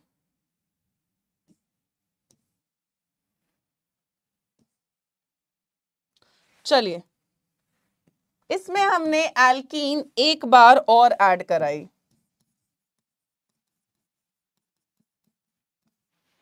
क्या बनेगा अब? बेटा, एक बार जब मैं और एल्कीन ऐड कराऊँगी ध्यान से देखना। अब बी पर माइनस है और इधर दो हाइड्रोजन है। है ना? इस एक हाइड्रोजन पे प्लस होगा। वो मोर इलेक्ट्रोनेगेटिव है सो इस पे माइनस होगा, इस पे प्लस होगा। नेगेटिव पार्ट बेटा, जब डबल बॉन्ड टूटेगा इसका पाई बॉन्ड का negative part will go to that carbon which contains more hydrogen तो ये जो नेगेटिव वाला बी एच ये पूरा ग्रुप बेटा ये पूरा group this whole group will go to this carbon and H plus will go to this carbon ठीक है? सो so, यहाँ पर बेटा जी क्या बन जाएगा? ध्यान से समझना। C H three C H two C H two whole twice B H ठीक है? C H three C H two C H two whole twice B H इसका जो एक H प्लस था, वो इस कार्बन पर गया और जो बी एच ये पूरा ग्रुप है, ये पूरा ग्रुप ये इस कार्बन पर चला गया। तो CH3 CH2 CH2 और ये दोबारा CH3 CH2 CH2 दो बार आ जाता है। ठीक है? इसका मैकेनिज्म बेटा एनसीईआरटी में दे रखा है। वैसे मैकेनिज्म इसका बहुत रेयर पूछा गया है, पर एनसीईआरटी में दिया है तो हम तो करेंगे कवर चलिए, एक और बार एल्कीन ऐड होता है। मतलब एक बार और एल्कीन के साथ रिएक्शन हो सकता है। और फाइनली बनता है बेटा जी आपका। ट्राई एल्काइल बोरेन्स क्या बनते हैं बेटा? ट्राई एल्काइल बोरेन ठीक है, फिर दोबारा एक बार और एडिशन होती है। क्योंकि यहाँ पर एच पे प्लस होगा, इधर नेगेटिव होगा, ये एच प्लस इधर जाता है, ये पूरा इस पर चला जाता है, ठीक है? So C H three C H two C H two ऐसा तीन बार आ रहा होता है होल थ्राइस बी हो जाता है। और उसके बाद अब जब तुम इसकी ऑक्सीडेशन करोगे फाइनली चलिए। सो so, यहाँ पर water in the presence of three moles of H two O two and O H minus will give you जल्दी से बताएँ बेटा जी यहाँ पर कितने अल्कोहल्स के मोल बनते हैं? यहाँ पर कितने मोल्स अल्कोहल के मिलेंगे बेटा? आपको तीन मोल्स मिलेंगे C H three C H two C H two O H साथ में बनता है B O H whole thrice क्या बन जाता है बेटा? बोरिक एसिड बन जाता है साथ में। और आपको प्रोपीन से क्या मिल गया? आपका प्रोपेनॉल मिल गया। ठीक है? तीन मोल्स मिलते हैं अच्छे खासे अमाउंट में अल्कोहल मिल रहा होता है। सो प्रोपीन से यू विल गेट प्रोपेनॉल हाँ जी हाँ जी। सो so, यहाँ पर तीन बार एडिशन होता है क्योंकि डाइबोरेन में diborane B two H six है वो एक्चुअली इसीलिए यूज़ करे क्योंकि बी एच थ्री अकेला एग्जिस्ट नहीं करता। सो बी एच थ्री में तीन हाइड्रोजन होती है तीन बार जो उसका एच प्लस होता है वो एल्कीन पर जाता है ठीक है? बेटा अमीन्स जब आएगा वो चौथे नंबर का चैप्टर है तो वो चौथे नंबर पे ही आएगा ठीक है? सो so, बेटा एल्कीन से आप मेजरली टू मेथड से बना सकते हो बाय टू मेथड्स फ़र्स्ट था एसिड कैटलाइज्ड हाइड्रेशन दूसरा था हाइड्रोबोरेशन ऑक्सीडेशन मार्कोनिकॉव्स रूल यहाँ एंटी मार्कोनिकॉव्स रूल इतनी बातों का ध्यान रखोगे तो बहुत आसान है ठीक है? चलिए आगे बढ़े नेक्स्ट मेथड पर चलेंगे बेटा। चलू आगे।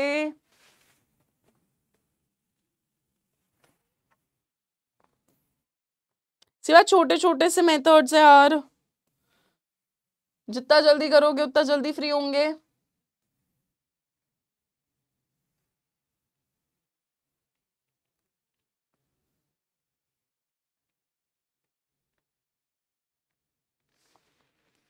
चलिए। नेक्स्ट बेटा from hydrolysis of alkyl halides alkyl halides की हाइड्रोलिसिस हमने पिछले चैप्टर में करी थी। अगर मैं एल्काइल हेलाइड का reaction aqueous K O H N H है ना सिल्वर हाइड्रोक्साइड ले लो, या मॉइस्ट सिल्वर ऑक्साइड ले लो आर एक्स की जगह बेटा क्या आ जाएगा आपके पास? आर ओ एच साथ में के एक्स एन एच लोगे तो एन एक्स बन जाएगा ए जी ओ एच लोगे तो ए जी एक्स बन जाएगा। कौन सी रिएक्शन है बेटा? कौन सी रिएक्शन है यहाँ पर? न्यूक्लियोफिलिक सब्सटीट्यूशन रिएक्शन बेटा ऑक्सीमर्क्यूरेशन डीमर्क्यूरेशन एनसीआरटी में नहीं दे रखी है, निहाल सिंह, इसीलिए मैंने वो नहीं लिया ठीक है? हम सिर्फ़ एनसीईआरटी e के ही रिएक्शंस करेंगे क्योंकि जो हमारे लिए इंपॉर्टेंट है। जो बोर्ड में आने हैं हमारे लिए, ठीक है? चलिए। गायत्री हाइड्रोबोरेशन ऑक्सीडेशन का mechanism as such PY Qs में नहीं दिखता। ज़्यादातर जो मैकेनिज्म पूछा जाता है वो आपसे हाइड्रेशन ऑफ़ एल्कीन वाला ही पूछा जाता है, ठीक है? मैंने मैंने फिर भी बता दिया है कि एनसीईआरटी e में मैकेनिज्म दे रखा है तो बता दिया है, ठीक है? चलो। सो एल्काइल हेलाइड का बेटा अगर हम न्यूक्लियोफिलिक सब्सटीट्यूशन रिएक्शन कराएँगे तो जो ओ एच माइनस होगा, वो हमारे हेलाइड आयन को सब्सटीट्यूट कर देता था।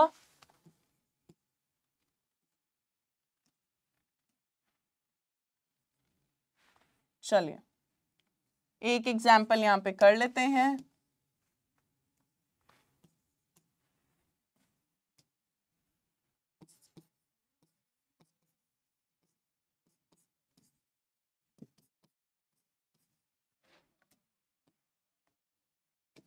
चलिए। प्रोडक्ट बता दे बेटा फटाफट से। है ना mechanism will vary S N one लगेगा या S N two that depends on the alkyl halide आप यहाँ पर वैसे देख सकते हो, ये वाली जो एल्काइल हेलाइड है, ये वन डिग्री भी नहीं है। सो so, ये वाला जो सब्सटीट्यूशन होगा this will prefer S N two mechanism ठीक है? पर अभी हम मैकेनिज्म पर नहीं जा रहे, वो हम पहले कर चुके हैं। यहाँ पे बेटा क्या बन जाएगा? C H three O H और साथ में क्या बन जाएगा? के बी आर है ना? यहाँ से जो ओ OH माइनस का न्यूक्लियोफाइल है वो बी आर को सब्सटीट्यूट कर देगा। चलिए। सो so, ये वाला हमने पिछले चैप्टर में कर रखा है तो ये मैं बहुत ज़्यादा डिटेल में नहीं जा रही हूँ।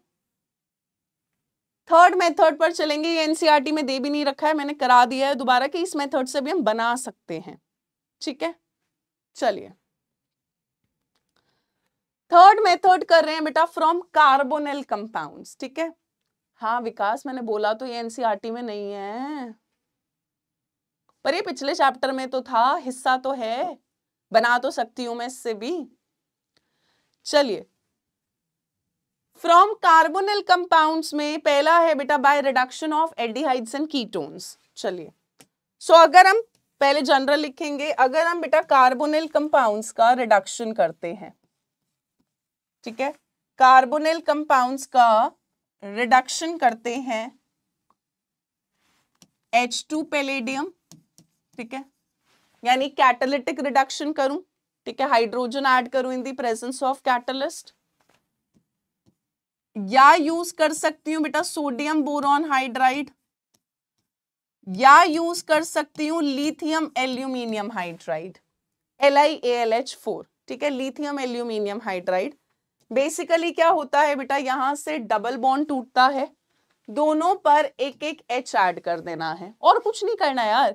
रिडक्शन का मतलब है या तो हाइड्रोजन ऐड हो या ऑक्सीजन का रिमूवल हो। यहाँ पर बेटा एच टू ऐड करती है। एच टू कैसे ऐड करती है? डबल बॉन्ड टूटेगा कार्बन ऑक्सीजन का एक एच इधर दे दो, एक एच इधर दे दो। क्या बन जाएगा? क्या बनेगा बेटा जी मेरे पास? यहाँ एच और इधर ओ OH आ जाएगा। ठीक है एग्ज़ाम्पल देखो फटाफट से। अगर तो बेटा जी आपने एल्डिहाइड लिया, जैसे मैंने यहाँ पर लिया इथेनल एसिटल्डिहाइड चलो रिडक्शन कराओ, इसकी प्रोडक्ट बनाओ फटाफट से।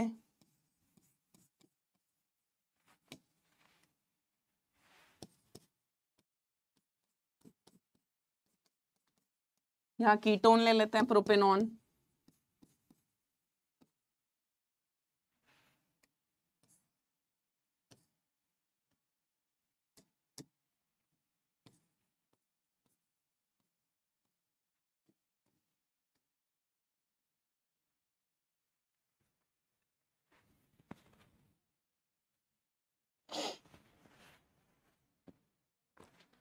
हाँ जी भाई।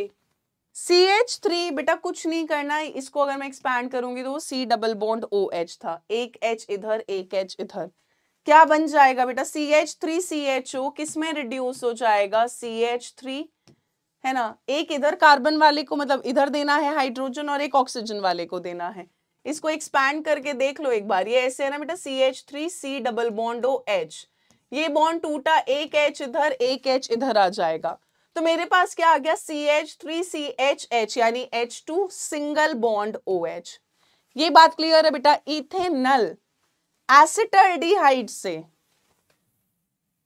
एल्डिहाइड से बेटा आपको क्या मिल रहा है? अल्कोहल मिल रहा है।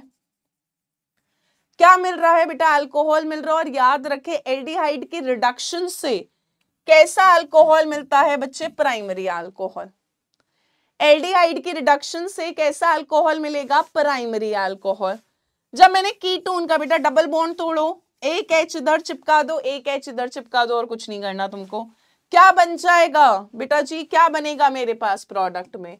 C H three C H O H C H three यानी क्या बन गया बेटा? प्रोपेन टू ओल ओ जिस कार्बन पे वो फर्दर दो और कार्बन से अटैच्ड है। यानी कीटोन की रिडक्शन से मुझे कैसा अल्कोहल मिलेगा बेटा? सेकेंडरी अल्कोहल कैसा अल्कोहल मिलेगा? सेकेंडरी अल्कोहल क्या ये बात क्लियर है आपको? जल्दी बोलो भाई। ठीक है? एल्डिहाइड की रिडक्शन से प्राइमरी अल्कोहल कीटोन की रिडक्शन से सेकेंडरी अल्कोहल इतनी बात क्लियर है? तो नेक्स्ट मेथड पर चलेंगे।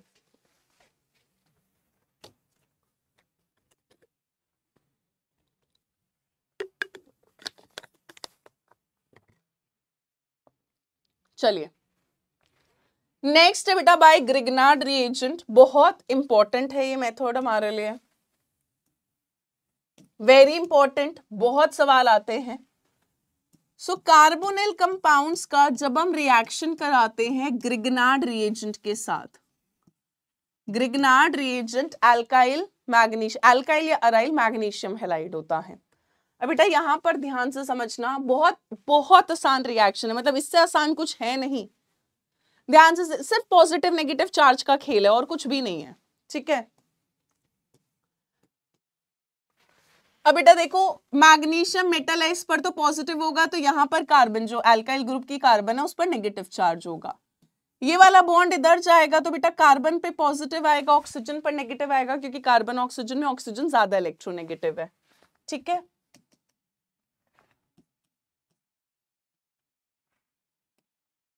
बेटा दुनिया की रीत के हिसाब से नेगेटिव वाला पॉजिटिव पर जाएगा पॉजिटिव वाला नेगेटिव पर जाएगा। यानी मुझे क्या मिलेगा? इस कार्बन पर आर आ जाएगा।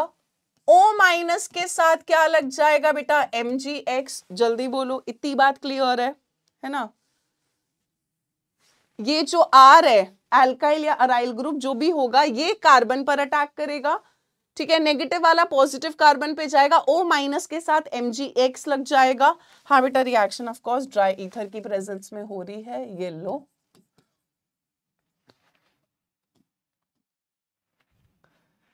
यहाँ पर बेटा, ये जो बन गया आपका, इसको हम एडक्ट बुलाते हैं। ठीक है, फिर जब हम इस एडक्ट की हाइड्रोलिसिस करते हैं सो अब हाइड्रोलिसिस में बेटा वाटर पे H प्लस और ओ OH माइनस है प्लीज़ ध्यान से समझना। इधर O पर माइनस है, Mg पर प्लस है, ठीक है? सो बेटा जी, H प्लस ओ माइनस पर जाएगा और ओ OH माइनस किस पर जाएगा? Mg प्लस पर जाएगा। इतनी बात क्लियर ठीक है? So H plus will go to this OH minus will go to तो थोड़ा हम ऐसे दिखा देते हैं।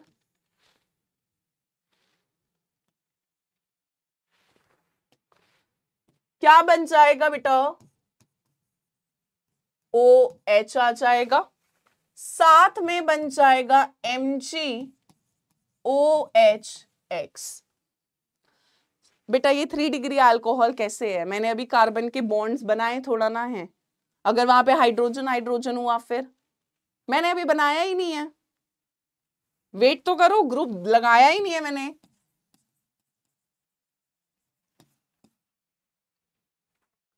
चलिए।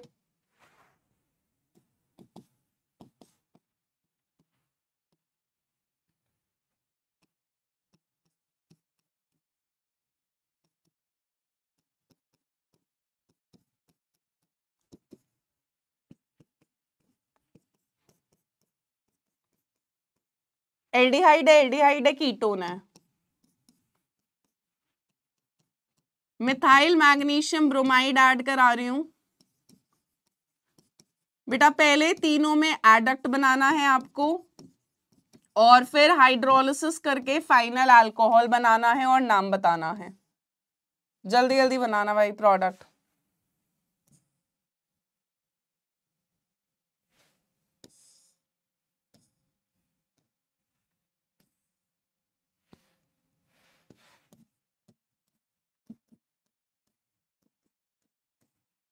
चलिए। फटाफट बनाएँ भाई।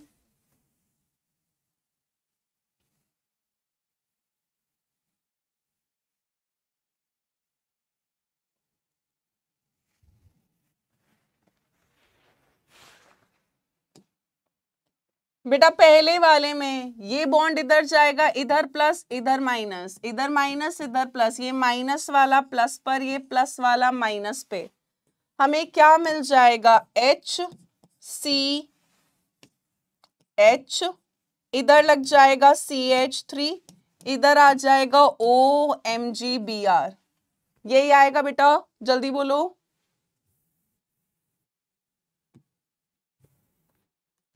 एच सी एच इधर लगा सी एच थ्री इधर लगा ओ पे minus M G B R इधर प्लस है।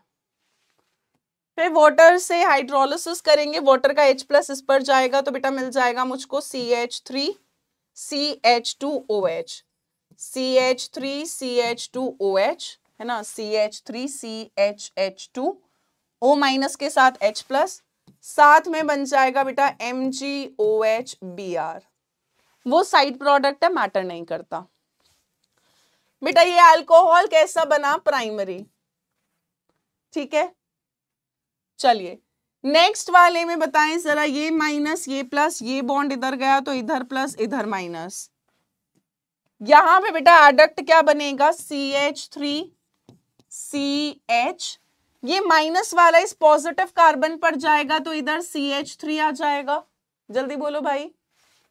ये सी एच थ्री इधर आ जाएगा और ये प्लस इधर आ जाएगा तो इधर क्या आ गया बेटा? O M G B R hydrolysis करेंगे, इधर माइनस है, इधर प्लस है तो ओ माइनस के साथ वाटर का वाटर का क्या जुड़ जाएगा बेटा? H प्लस तो यहाँ हो जाएगा C H three C H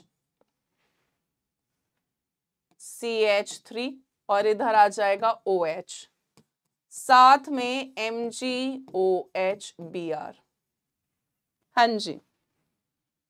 propane two ol बन जाएगा, यानी यहाँ पर अल्कोहल कैसा बन गया बच्चे? टू डिग्री यहाँ तक सबको क्लियर हो रहा है? जल्दी बोलें। ये नेगेटिव पॉजिटिव पे पॉजिटिव नेगेटिव पर। दिखाई नहीं है। नेक्स्ट वाले में भी बेटा, इधर पॉजिटिव इधर नेगेटिव इधर नेगेटिव इधर पॉजिटिव नेगेटिव वाला पॉजिटिव पे पॉजिटिव वाला नेगेटिव पर। यहाँ पर एडक्ट क्या बन जाएगा? C H three C C H three C H three O M G B R जगह का अभाव होते हुए हम थोड़ा इधर की साइड लिखेंगे। C H three C C H three C H three O M G B R चलिए लास्ट वाले में बताएँ फटाफट से कौन सा अल्कोहल मिल रहा है। हाँ जी, शिल्पी ने आंसर ठीक लिखा है। और बाकी भाई, जल्दी बताओ कौन सा अल्कोहल मिलेगा? इधर माइनस है, इधर प्लस है बेटा वाटर का H प्लस जाएगा, O माइनस पर। क्या मिल जाएगा आपको? C H three C C H three C H three O H साथ में बन जाएगा अपना M G O H B R बेटा, यहाँ पर कैसा अल्कोहल मिल गया आपको? थ्री डिग्री कैसा अल्कोहल मिल गया? थ्री डिग्री बेटा ग्रिगनार्ड रिएजेंट बहुत रिएक्टिव होता है। इसकी मदद से आप प्राइमरी सेकेंडरी टर्जरी कोई सा भी अल्कोहल बना सकते हैं। जबकि आपने देखा होगा कार्बोनिल कंपाउंड के रिडक्शन से एल्डिहाइड से मुझे प्राइमरी अल्कोहल मिल रहा था। कीटोन के रिडक्शन से टू डिग्री अल्कोहल मिल रहा था। वहाँ मैं थ्री डिग्री अल्कोहल नहीं बना पा रही थी। बात क्लियर है?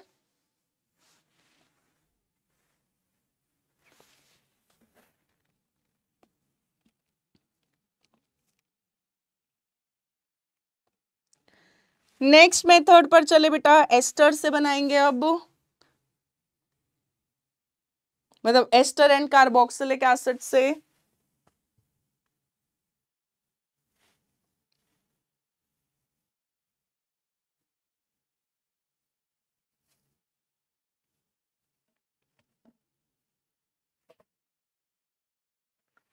चलिए। सो नेक्स्ट मेथड है बेटा कार्बोनिल कंपाउंड्स में कार्बोक्सिलिक एसिड से बनाना। बेटा डिस्टिंग्विश टेस्ट अभी आए नहीं है, इस चैप्टर में जब आएँगे, आपको पढ़ा दिए जाएँगे। So, carboxylic acids can be reduced directly to alcohols using a strong oxidizing agent such as lithium aluminium hydride so, बेटा, यहाँ पर मैं कार्बोक्सिलिक एसिड को डायरेक्टली किसमें रिड्यूस कर सकती हूँ? देखो कार्बोक्सिलिक एसिड पहले अगर रिड्यूस होगा तो वो एल्डिहाइड या कीटोन में होगा, फिर फर्दर आपको एल्कोहल मिलता है, ठीक है? पर हम कार्बोक्सिलिक एसिड को अगर डायरेक्ट एल्कोहल में रिड्यूस करना चाहते हैं so we use a strong reducing agent जैसे कि लिथियम एल्यूमिनियम हाइड्राइड और आपको क्या मिल जाएगा? आपका अल्कोहल मिल जाएगा। पर होता क्या है कि लिथियम एल्यूमिनियम हाइड्राइड से जब हम रिडक्शन करते हैं कार्बोक्सिलिक एसिड की तो प्रोसेस थोड़ा सा एक्सपेंसिव पड़ता है। क्योंकि लिथियम एल्यूमिनियम हाइड्राइड कोई आसान मतलब ऐसा रिड्यूसिंग एजेंट नहीं है जो तुम लैब में बल्क में मिल रहा है। थोड़ा महँगा होता है। सो यहाँ पर क्या करा जाता है बेटा?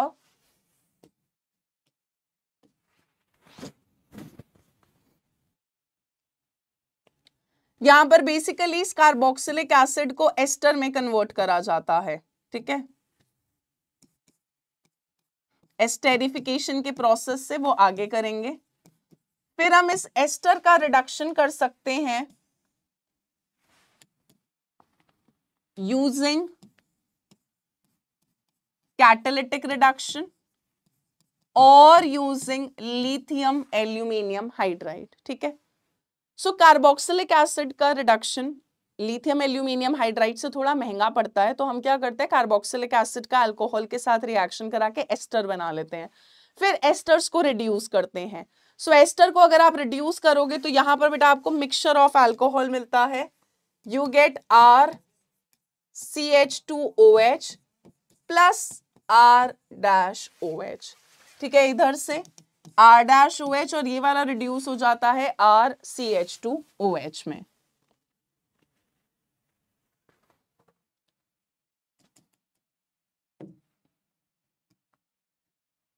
ये ध्यान रखे बेटा sodium boron hydride H four does not reduce carboxylic acids और एस्टर्स अगर आपको एस्टर या कार्बोक्सिलिक एसिड दे रखा है और फोर दे रखा है, बेटा सोडियम बोरॉन हाइड्राइड इनको रिड्यूस नहीं कर पाता। उसमें उतनी ताकत नहीं होती है। रिड्यूसिंग एजेंट अच्छा है, पर बहुत स्ट्रॉन्ग रिड्यूसिंग एजेंट में नहीं बोलूँगी इसको। ठीक है? यहाँ तक क्लियर है? चले एनसीआरटी के फिर कुछ क्वेश्चंस करेंगे पोल वाले क्वेश्चन करेंगे देखते हैं अब हमारा पोल चलेगा नहीं चलेगा। फिर बेटा हम फिनॉल्स की प्रिपरेशन स्टार्ट करेंगे। फिनॉल की प्रिपरेशन बहुत छोटी छोटी सी है। So will start then phenols की प्रिपरेशन ठीक है? सो so, हमने अभी तक अगर बात करूँ तो हमने अल्कोहल्स पहले बनाया बेटा एल्कीन से। एक बार फटाफट से क्विक रिवीजन करेंगे। हमने पहले बनाया एल्कीन एल्कीन में दो तरीके से बनाया एसिड कैटलाइज्ड हाइड्रेशन जिसमें हमने बड़ा सा मैकेनिज्म करा, दूसरा करा हाइड्रोबोरेशन ऑक्सीडेशन नेक्स्ट हमने करा बेटा अल्काइल हेलाइड्स की हाइड्रोलिसिस न्यूक्लियोफिलिक सब्सटीट्यूशन रिएक्शन करा के भी मिल जाता है. तीसरा हमने करा कार्बोनिल कंपाउंड्स कार्बोनिल कंपाउंड्स में तीन मेथड है एल्डिहाइड कीटोन की रिडक्शन दूसरा है ग्रिगनार्ड रिएजेंट का attack on aldehydes and ketones यानी carbonyl compounds followed by hydrolysis ठीक है? यानी अगर हम कार्बोनिल कंपाउंड का ग्रिगनार्ड रिएजेंट के साथ रिएक्शन कराते हैं फॉलोड बाय हाइड्रोलिसिस आपको अलग अलग तरह के अल्कोहल मिलते हैं। चलिए थर्ड मेथड था बेटा कार्बोक्सिलिक एसिड को आप डायरेक्टली रिड्यूस कर सकते हो अल्कोहल में, ठीक है, पर महँगा प्रोसेस पड़ता है lithium aluminium hydride is is an expensive मतलब it's an expensive reducing agent तो हम कार्बोक्सिलिक एसिड को पहले एस्टर में बदलते हैं, फिर एस्टर को रिड्यूस करते हैं। Sodium boron hydride carboxylic acid या एस्टर को रिड्यूस नहीं कर सकता इनटू अल्कोहल्स इतनी बात क्लियर है? जल्दी बोले। यहाँ तक बात क्लियर है बेटा? जल्दी बोलो।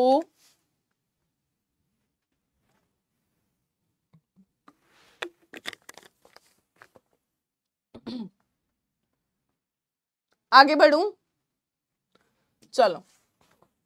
क्वेश्चन कह रहा है कि स्ट्रक्चर बना दो और आईयूपीएसी नेम लिख दो प्रोडक्ट का ऑप्टेन्ड बाय दी पहला कह रहे हैं, बेटा catalytic reduction of butanal butanal क्या हो गया? C H three C H two C H two C H O है ना? कैटेलिटिक रिडक्शन का मतलब है, बेटा हाइड्रोजन ऐड हो रही होगी कैटलिस्ट की प्रेजेंस में। पेलेडियम लिया जाता है क्योंकि निकल इतना एफिशिएंट नहीं होता। पेलेडियम या प्लैटिनम एफिशिएंट होते हैं। चलिए, बताएँ जरा बेटा। कार्बोनिल कंपाउंड एल्डिहाइड की रिडक्शन करनी है। क्या मिलेगा मुझको प्रोडक्ट जल्दी बोलो गाइस जल्दी। C H three C H two C H two एक एच इसको दे दो, एक एच इसको दे दो। C H two O H I U P S C name लिख देते हैं। क्या मिल गया बेटा हमको? ब्यूटेनॉल। ठीक है? या ब्यूटेन वन ओल बहुत बढ़िया बहुत बढ़िया। Very nice very nice next वाले में कह रहा है प्रोपीन की हाइड्रेशन करने in the presence of dilute sulphuric acid जल्दी बोलो यार, क्या लगना चाहिए? पहली बात तो बेटा प्रोपीन अनसिमेट्रिकल एल्कीन हाइड्रेशन का मतलब पानी ऐड हो रहा है। किसकी प्रेजेंस में हो रहा है? डाइल्यूट सल्फ्यूरिक एसिड यानी डाइल्यूट सल्फ्यूरिक एसिड इसको क्या दे रहा होगा? H प्लस दे रहा होगा। बेटा एसिड कैटलाइज्ड हाइड्रेशन है। यहाँ पर पानी कौन से रूल के हिसाब से ऐड होगा? Markovnikov's rule negative part will go to that carbon which contains less hydrogen यानी ओ OH माइनस इस पे जाएगा। H प्लस इस पर जाएगा। और आपको बच्चे, कौन सा अल्कोहल मिल गया? प्रोपेन टू ओल ठीक है। नेक्स्ट कह रहा है रिएक्शन ऑफ़ प्रोपेनॉन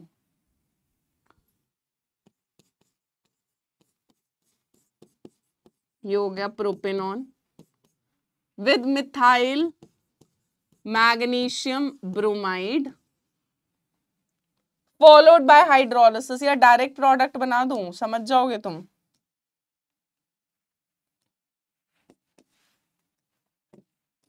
देखते हैं कितने लोग समझ पाएँगे, नहीं पाएँगे।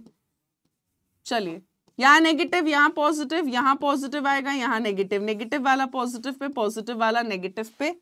बेटा बनेगा, पहले आएगा C H three C C H three C H three O M G B R hydrolysis करूँगी। तो मुझे मिल जाएगा C H three C C H three C H three O H साथ में मिलेगा M G O H B R है ना, मैंने डायरेक्ट लिखा ही मैंने अभी तुमको बिल्कुल अभी पीछे ही कराया था सेम मुझे क्या बताता एनसीआरटी यही पूछ लेगी। नहीं कराती मैं, वहाँ पे मेरा टाइम बच जाता। कोई नहीं। प्रोडक्ट क्या मिला बेटा? वन टू थ्री टू पर मिथाइल प्रोपेन टू ओल हाँ जी। बहुत बढ़िया। निधि नागर का आंसर ठीक है। निशांत पटेल टू मिथाइल बेटा प्रोपेनॉल नहीं होगा ना alcohol is on second carbon Jyotsna का आंसर ठीक है, आयुषी का आंसर ठीक है, तनुजा का आंसर ठीक है। टू मिथाइल प्रोपेन टू ओल होगा हाँ जी थ्री डिग्री है। ओ OH जिस कार्बन पे बेटा वो फर्दर तीन कार्बन से अटैच्ड है।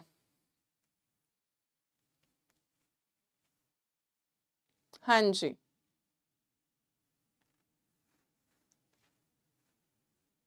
चलिए।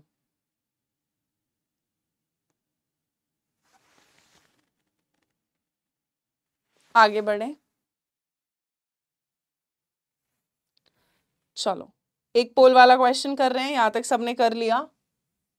पोल वाला क्वेश्चन आई होप हमारा पोल चल जाए। कह रहा the process of converting alkyl halides into alcohols involves चलो थर्टी सेकेंड बहुत है। Let us see our poll works or not. जल्दी से बताएँ बेटा अल्काइल हेलाइड से अल्कोहल बनाने के प्रोसेस में क्या इन्वॉल्व होता है? एडिशन सब्सटीट्यूशन डिहाइड्रोहेलोजनेशन या रीअरेंजमेंट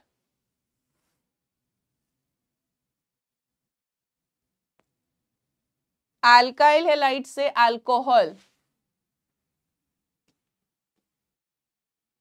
हो फाइनली हमारा पोल चल गया। 83 परसेंट लोगों ने सही जवाब दिया है, पर कुछ गलत जवाब देने वाले लोग भी थे। आदर्श ने आंसर सबसे तेज़ी से दिया, सभ्य साची। वाह। सुहानी एनिमे पीयू आर्गा दिवांशी मैं सिर्फ़ टॉप टेन बता रही हूँ गेमिंग शिमरिंग एंड विहान ठीक है? चलिए। बेटा सब्सटीट्यूशन था एल्काइल हेलाइड न्यूक्लियोफिलिक सब्सटीट्यूशन जाएगा अल्कोहल बन जाएगा, है ना? चलिए, आगे बढ़े नेक्स्ट टॉपिक पर चलें।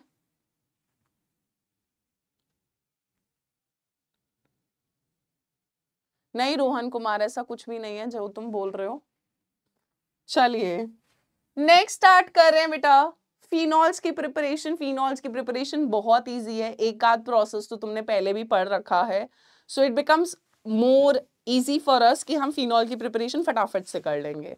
सो so, बेटा फिनॉल की अगर मैं प्रिपरेशन की बात करूँ तो हमने हालोवरीन से कर रखा है। है ना? चलिए हैलोरीन से बताएगा कोई भाई पिछले चैप्टर में पढ़ाया था मैंने तुमको यार। अगर बेटा मैं हैलोरीन्स में मान लेती हूँ कि मैंने लिया क्लोरोबेंजीन इसका रिएक्शन मैंने किसके साथ कराया बेटा पहले? NaOH के साथ? एट 623 केल्विन 300 atm का प्रेशर न्यूक्लियोफिलिक सब्सटीट्यूशन होती है बेसिकली बट विगरस कंडीशन में होती है क्योंकि हमने पिछले चैप्टर में पढ़ा था कि हेलोरिन्स आसानी से न्यूक्लियोफिलिक सब्सटीट्यूशन नहीं जाती थी। अगर गई तो एक्सट्रीम कंडीशंस में जाती थी। पर हाँ इलेक्ट्रॉन विड्रॉइंग ग्रुप अगर लगा दूँ तो थोड़ा आसान हो जाता था प्रोसेस ठीक है? सो so, बेटा, यहाँ पर पहले क्या बनता है आपका? ओ पर माइनस इधर N A plus sodium phenoxide फिर जब हम इसकी हाइड्रोलिसिस करते हैं एसिडिक मीडियम में तो अपने को फाइनली क्या मिल जाता है? फिनॉल बहुत ही बढ़िया। कौन सा प्रोसेस था बेटा जी? मैंने देख लिया, बहुत लोगों ने आंसर सही दे दिया है। This is called as your Dow's process कौन सा होता है बेटा? डाउज प्रोसेस देखो, ये फिनॉल की जितनी भी प्रिपरेशन है all are very important for you क्योंकि ये कन्वर्जन में काम आ जाती हैं। ठीक है?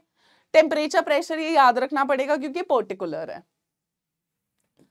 सेकेंड मेथड कर रहे हैं बेटा। पहले हम क्या करते हैं? बेंजीन की सल्फोनेशन कराते हैं। ठीक है? सो so, बेंजीन की सल्फोनेशन कराते हैं। किससे रिएक्शन कराते हैं बेटा? ओलियम के साथ। सो so, हमें यहाँ पर क्या मिलता है? सल्फोनेशन हो जाती है बेंजीन की। और हमें मिल जाता है बेटा बेंजीन सल्फोनिक एसिड। आप चाहो तो benzene sulphonic acid direct use कर सकते हो, पर अगर बेंजीन से शुरुआत करनी है तो पहले सल्फोनेशन कराते हैं बेंजीन की उसके बाद फ़र्स्ट स्टेप में NaOH followed by acidic hydrolysis, will give you phenol.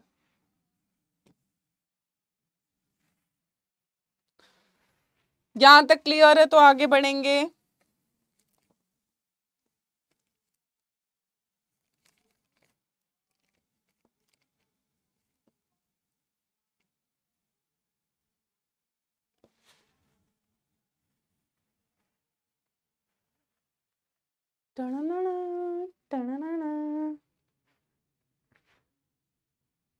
चलिए। थर्ड मेथड है बेटा डाइसोनियम सॉल्ट ये भी हमने पिछली क्लास में करा था मतलब पिछले चैप्टर में। पहले हम बेंजीन से एनालीन बनाते थे, वो सिलसिला हम अमीन्स में दोबारा देखेंगे। मैं अभी सीधा स्टार्ट कर रही हूँ एनालीन से। बेंजीन पर NH2 लगा था तो क्या बुलाते थे बेटा? एनलिन इस एनलिन का पहले हम क्या कराते थे? डाईआजोटाइ मतलब डाइजोनियम बनाते थे। NaNO2 plus L at zero two five degree Celsius या 273 से 278 केल्विन कोल्ड टेम्परेचर आइस बात पर होता है। सो so, यहाँ पर बेटा जी हमें क्या मिल रहा था? बेंजीन डाइजोनियम सॉल्ट यहाँ पर बना है बेंजीन डाइजोनियम क्लोराइड। फिर इस बेंजीन डाइजोनियम क्लोराइड का अगर हम इसको बस वॉर्म वाटर के साथ पानी डालें और गर्म कर दें सो यहाँ पर बेटा जी क्या बनता है? ध्यान से देखें। इधर बन जाएगा फिनॉल N2 गैस निकल जाती है, ठीक है, यहाँ से H प्लस और OH माइनस है। ओ एच माइनस इधर लगा एन टू प्लस निकल गया और H प्लस सी माइनस के साथ कंबाइन करके बेटा जी आपको क्या दे देता है? एच एल बात क्लियर है? ठीक है? सो बेंजीन डाइसोनियम क्लोराइड की से मतलब वार्म वाटर से हीट करोगे वार्म वाटर के साथ रिएक्ट करोगे तो फिनॉल मिल जाता है। और जो सबसे लास्ट मेथड है वो आपके लिए सबसे सबसे सबसे ज़्यादा इंपॉर्टेंट है। ठीक है? मतलब क्यूमीन वाला तो इतनी बार पूछा गया है, इतनी बार पूछा गया है, जिसकी कोई हद नहीं है। मतलब ये बार बार पूछा जाता है पेपर के अंदर सवाल। ठीक है? चलिए। पहले तो मुझे कोई बताएगा, क्यूमीन क्या होता है? बेटा, क्यूमीन। सिर्फ़ अगर किसी से पूछा जाए तो क्यूमीन क्या है बेटा?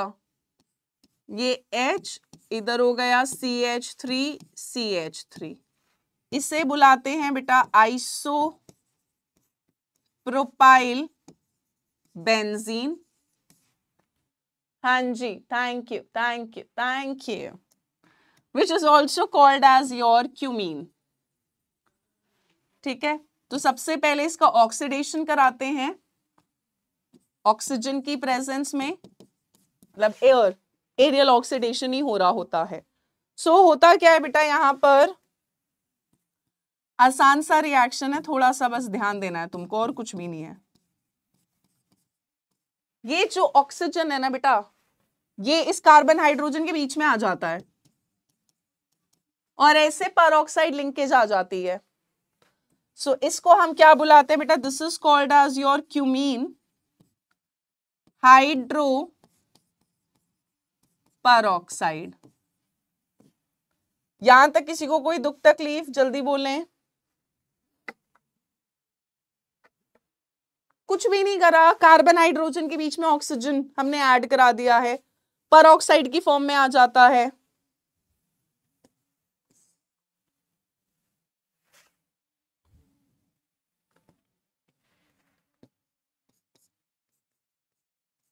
चलिए।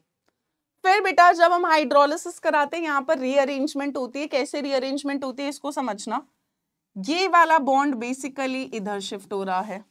ये वाला बॉन्ड इधर शिफ्ट होता है और और। यहाँ से बहुत बढ़िया प्रोडक्ट बनता है। एक तो फिनॉल बन गया।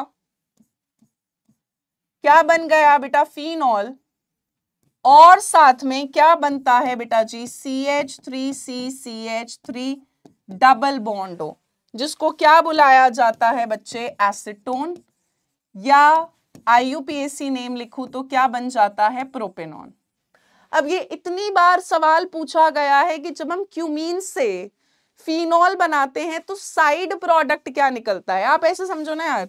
ये निकल गया बेटा acetone C H three C C H three और ये डबल बॉन्ड हो और ये जो ओ OH है वो बेंजीन रिंग पर शिफ्ट हो जाता है। सो so, आपका एसिटोन निकल जाता है और फिनॉल बन जाता है। इतनी बात क्लियर है? जल्दी बोलें।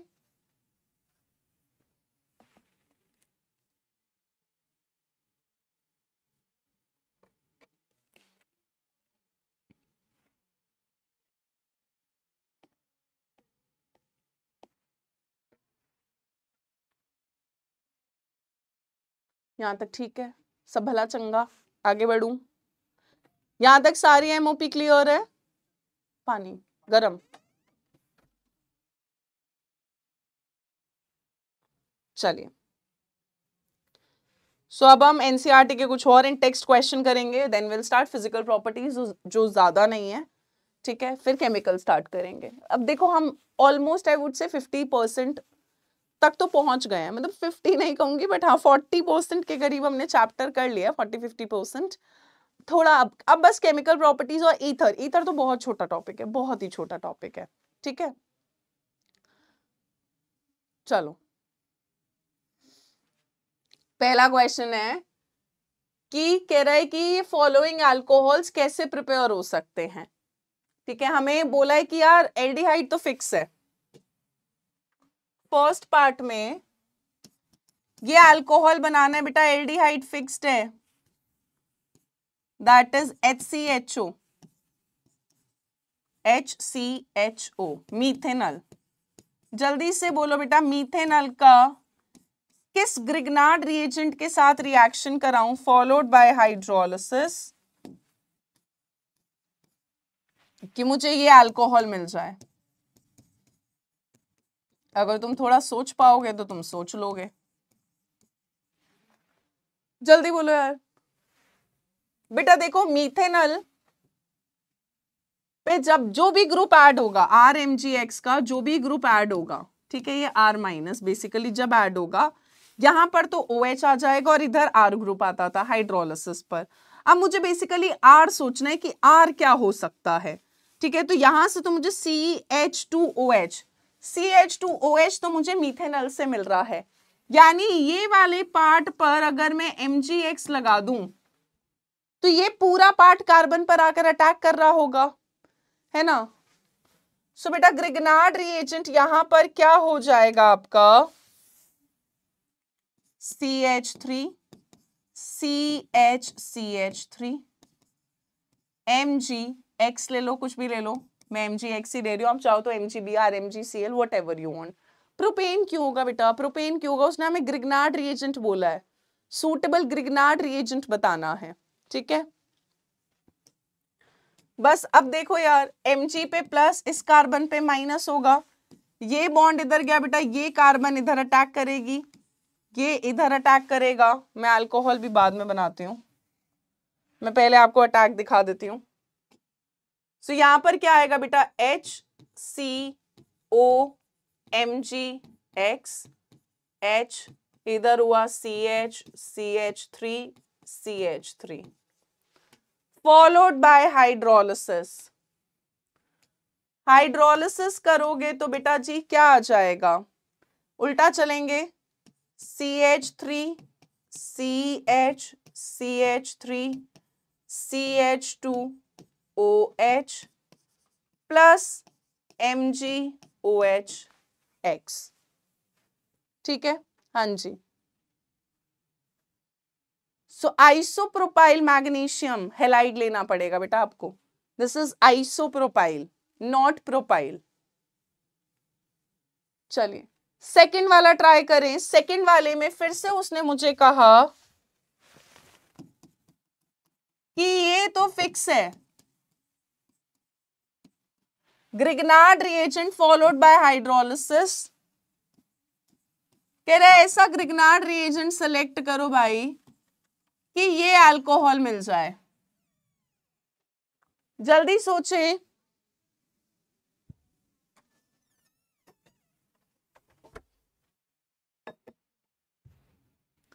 अरे बेटा प्रोडक्ट में से तोड़ लो ना यार, ये देखो। शॉर्टकट मैं इससे आसान मतलब मैं तुमको सीधा शॉर्टकट बता रही हूँ। देखो एच सी एच ओ जब मीथेनल पर ग्रिगनाट जो भी आएगा आर ग्रुप आएगा, वो आएगा। ये तो किसमें रिड्यूस हो रहा है बेटा? C H two O H यानी ये मुझे मीथेनल से मिल रहा है। ये मुझे मीथेनल से मिल रहा है। यहाँ से बॉन्ड तोड़ो एम लगा दो। यहाँ से बॉन्ड तोड़ो एम लगा दो। बात खत्म। अगर मैं सीधा बात करूँ तो ये है शॉर्टकट इसका। इतना आसान सा शॉर्टकट है। क्योंकि मीथेनल के उससे, जब ग्रिगनार्ड इस पर आएगा तो यहाँ से C H two O H तो मुझे मिलेगा ही एनी विच वे तो यहाँ पर बेटा आपका ग्रिगनार्ड रिएजेंट क्या हो जाएगा? साइक्लोहेक्साइल मैग्नीशियम हेलाइड मैंने ये ले लिया, ठीक है? M G plus B R मतलब बी आर पे तो माइनस हो गए, इस कार्बन पे नेगेटिव ये बॉन्ड इधर गया, बेटा नेगेटिव वाला पॉजिटिव पे पॉजिटिव वाला नेगेटिव पर हाइड्रोलिसिस करोगे, ये बन जाएगा और साथ में बन जाएगा M G O H B R है ना? ये इधर जाएगा C H two O H बन जाएगा, ठीक है? चलिए। ये वाले क्लियर है शॉर्टकट क्लियर है।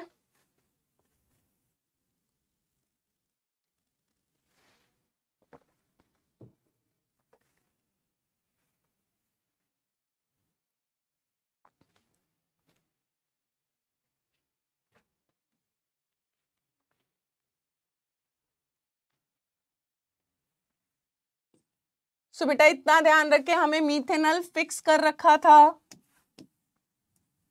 मीथेनल से मुझे ये मिलना ही था C H two O H क्योंकि जब यहाँ पे O माइनस जाएगा तो इधर H प्लस जुड़ जाएगा।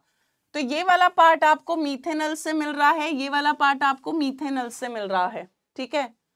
सो so, यहाँ से बेसिकली हम बॉन्ड तोड़ेंगे और यहाँ पर हम क्या लगा देंगे? एम जी एक्स यहाँ से बॉन्ड तोड़ेंगे और क्या लगा दिया हमने? एम जी एक्स ये इस सवाल के लिए था ठीक है? सो so, यहाँ पर आइसोप्रोपाइल मैग्नीशियम ब्रोमाइड हेलाइड जो भी ले सकते हो ये हो गया आपका साइक्लोहेक्साइल मैग्नीशियम हेलाइट आगे बढ़े आगे बढ़े नेक्स्ट क्वेश्चन पर चलिए. नेक्स्ट में बेटा स्ट्रक्चर बनाना है प्रोडक्ट का. तुम स्ट्रक्चर तो नहीं बना पाओगे तो तुम मुझे नाम बता दो.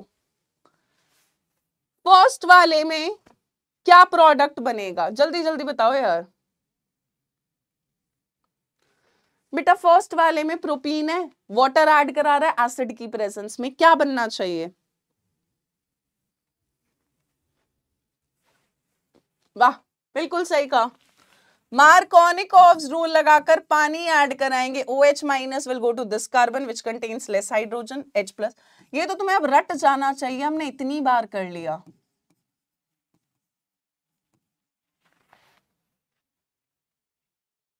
हाँ जी। स्ट्रक्चर बनाना है, नाम भी लिख सकते हैं प्रोपेन टूल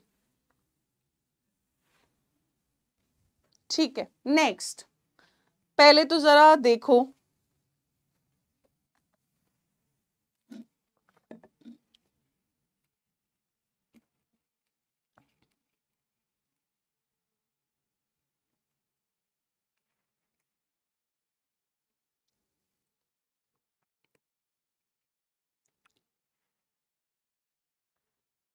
अच्छा नेक्स्ट वाले में जरा देखो बेटा मेरे पास ये कीटोन है ये एस्टर है। ध्यान से समझना बेटा NaBH4 sodium boron hydride aldehyde या कीटोन को तो रिड्यूस कर सकता है कॉरस्पॉन्डिंग अल्कोहल में बट एस्टर को नहीं कर सकता उतनी ताकत उसमें नहीं होती है। सो so, यहाँ पर एस्टर पे काम नहीं करेगा इस पर काम कर सकता है। सो so, प्रोडक्ट क्या बन जाएगा? कीटोन का डबल बॉन्ड टूटेगा, एक एच इधर, एक एच इधर टू डिग्री अल्कोहल मिल जाएगा। और बेटा एस्टर वाला पार्ट एज इट इज़ रहेगा। इसको मत छेड़ना। इसको नहीं छेड़ना हमें। ठीक है? ये बात क्लियर है। सोडियम बोरॉन हाइड्राइड जो होता है that can not reduce carboxylic acid और एस्टर। एल्डिहाइड या कीटोन को कर सकता था। ठीक है? नेक्स्ट वाले में बेटा ये एल्डिहाइड है। एल्डिहाइड को ये रिड्यूस कर सकता है। सो so, यहाँ पे प्रोडक्ट क्या बन जाएगा? C H three C H two C H C H three C H two O H one two three four two methyl butanol बन जाएगा। हाँ जी हाँ जी। ठीक है। अरे बेटा एक हाइड्रोजन किसकी? वो यहाँ पर है यार ये अंडरस्टूड है। इस कार्बन के बेटा तीन बॉन्ड बने हैं तो चौथा बॉन्ड हाइड्रोजन के साथ होगा ना? ये बातें तो अंडरस्टूड होती हैं बॉन्ड लाइन के अंदर। कुछ नहीं है तो कार्बन पे हाइड्रोजन तो होगा ही।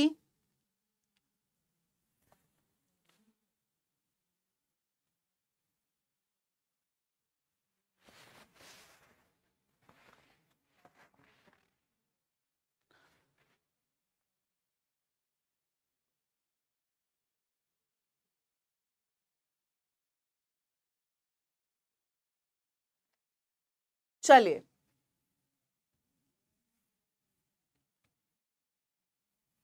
बेटा NaBH4 से हाइड्रोजन ऐड होगी, एक एच इधर ऐड होगा, एक एच इधर होगा तो C H three C H two C H C H three C H two O H ही तो होगा। अभी तो पीछे पढ़ाया है।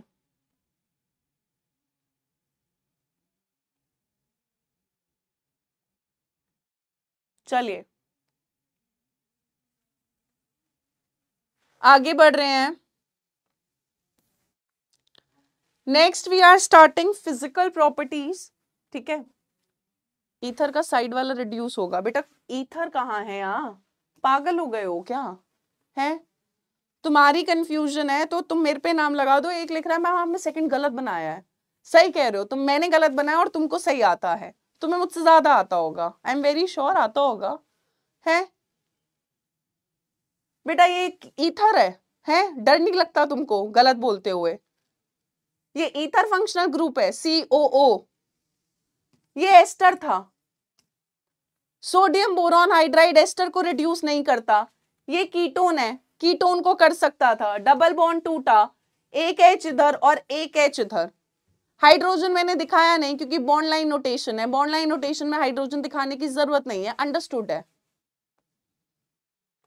पर तुम लोग इतनी खुशी से टीचर पर इल्ज़ाम लगा देते हो कि हाँ मैंने गलत बता दिया होगा, तुमने बिल्कुल सही, तुम तुम सही हो अपनी जगह, मैं गलत हूँ।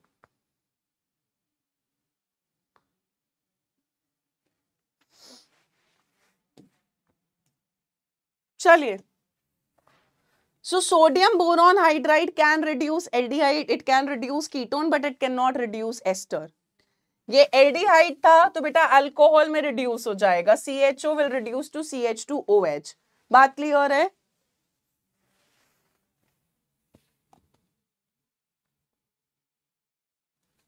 मैं तुम्हारे बैच में चार्ट देखना ही बंद कर दूँगी। सबसे बेस्ट तरीका यही है।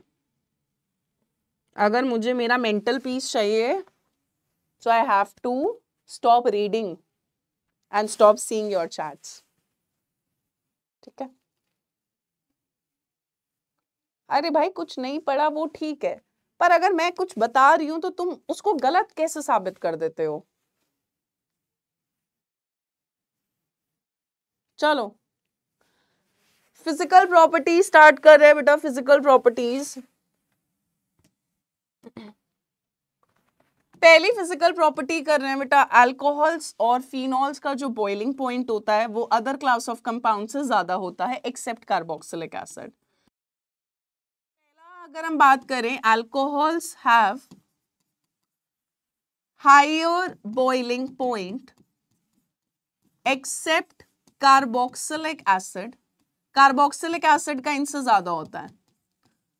ठीक है alcohols have higher boiling point, except carboxylic acid than other class of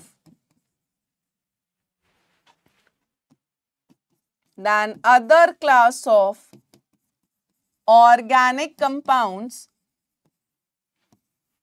of comparable molecular mass. अगर मेरे पास सिमिलर मॉलिक्यूलर मास है, पर फंक्शनल ग्रुप अलग अलग है, अब मैं कैसे डिसाइड करूँ कि अलग अलग फंक्शनल ग्रुप है, पर मास सिमिलर आ रहा है तो बॉइलिंग पॉइंट किसका ज़्यादा होगा? सो बेटा अल्कोहल्स का बॉइलिंग पॉइंट कार्बोक्सिलिक एसिड से कम होता है अगर मॉलिक्यूलर मास सिमिलर है, पर बाकी फंक्शनल ग्रुप से ज़्यादा होता है। यानी अगर मेरे पास अल्काइल हेलाइड है तो उससे ज़्यादा होगा ईथर से इनका ज़्यादा होगा। ठीक है? एल्केन्स एल्कीन या एल्काइन सिमिलर मॉलिक्यूलर मास के तो भी अल्कोहल्स का बॉइलिंग पॉइंट उनसे ज़्यादा होता है, ठीक है? एल्डिहाइड कीटोन से भी ज़्यादा होता है अल्कोहल्स का, ठीक है? जब हम नेक्स्ट चैप्टर कर लेंगे, तब हम पूरा ऑर्डर करेंगे तो सबसे ज़्यादा बॉइलिंग पॉइंट होता है कार्बोक्सिलिक एसिड्स का कंपेरेबल अगर सिमिलर मॉलिक्यूलर मास है। फिर आता है आपका एल्कोहल ठीक है? हाँ जी, आकृति आर्य ने बिल्कुल ठीक कहा। And this is because reason की अगर मैं बात करूँ so this is because of the This is because of the presence of presence of intermolecular H bonding in alcohols. बेटा अल्कोहल्स के अंदर क्या होता है R O H R O H R O H एक दूसरे के साथ एच बॉन्डिंग से जुड़े होते हैं same happens in phenol also जिसकी वजह से इनका बॉइलिंग पॉइंट बाकी फंक्शनल ग्रुप से ज़्यादा होता है कार्बोक्सिलिक एसिड से कम होता है क्योंकि कार्बोक्सिलिक एसिड में इनसे भी ज़्यादा अच्छी एच बॉन्डिंग होती है ठीक है? सो so, वो हम नेक्स्ट चैप्टर में करेंगे जब कार्बोक्सिलिक एसिड की बात आएगी। पर अगर मैं अभी की बात करूँ तो अल्कोहल्स का बॉइलिंग पॉइंट जो होता है वो other class of functional group से ज़्यादा होता है। शर्ते मॉलिक्यूलर मास सिमिलर होने चाहिए कंपेरेबल होने चाहिए ठीक है?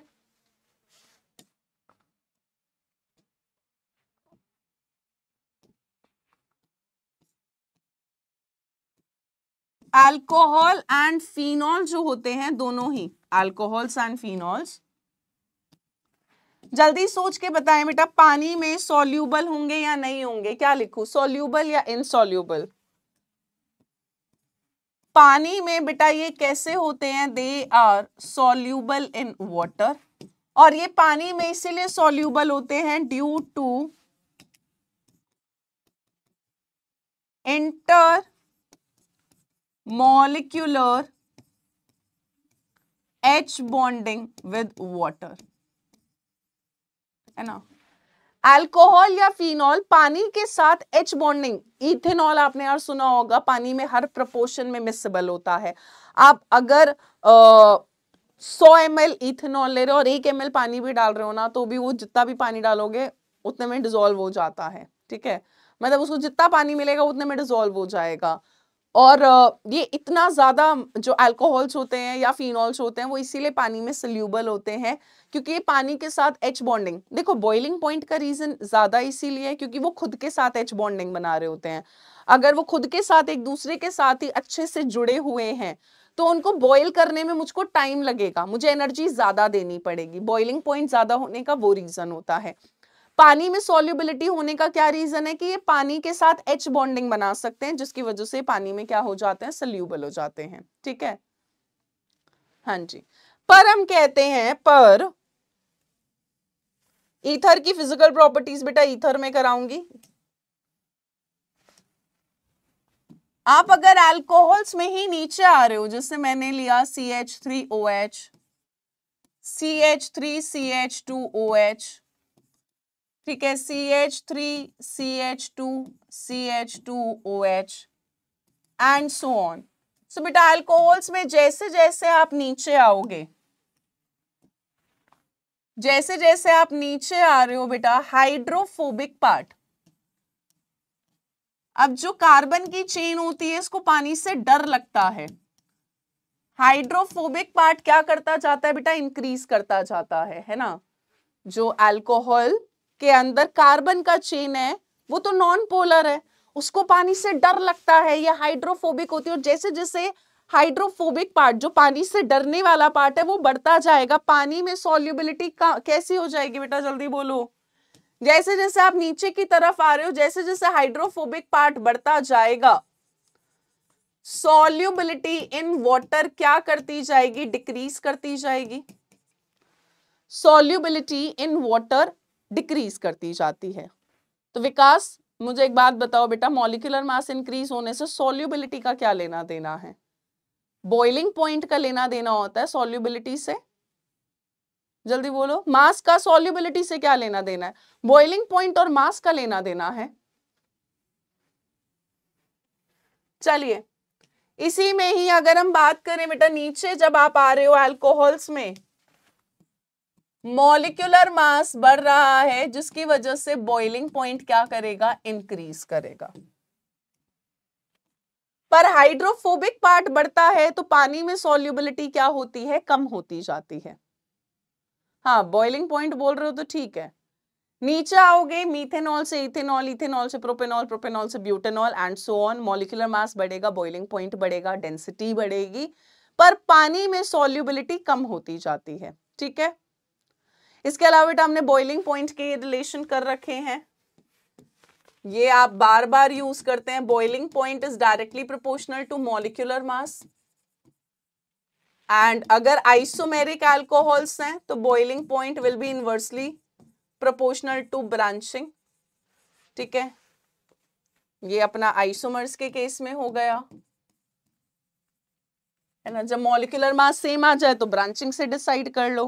और अगर अलग अलग फंक्शनल ग्रुप से तो याद रखें कि अल्कोहल का बॉइलिंग पॉइंट जो है, वो अदर फंक्शनल ग्रुप से ज़्यादा है। इतनी बात क्लियर है? सवाल लगा लें अब जल्दी बोलो भाई। आगे बढ़ू?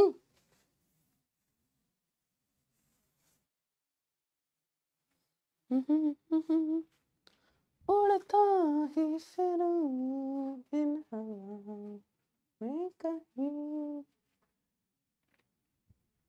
चलिए।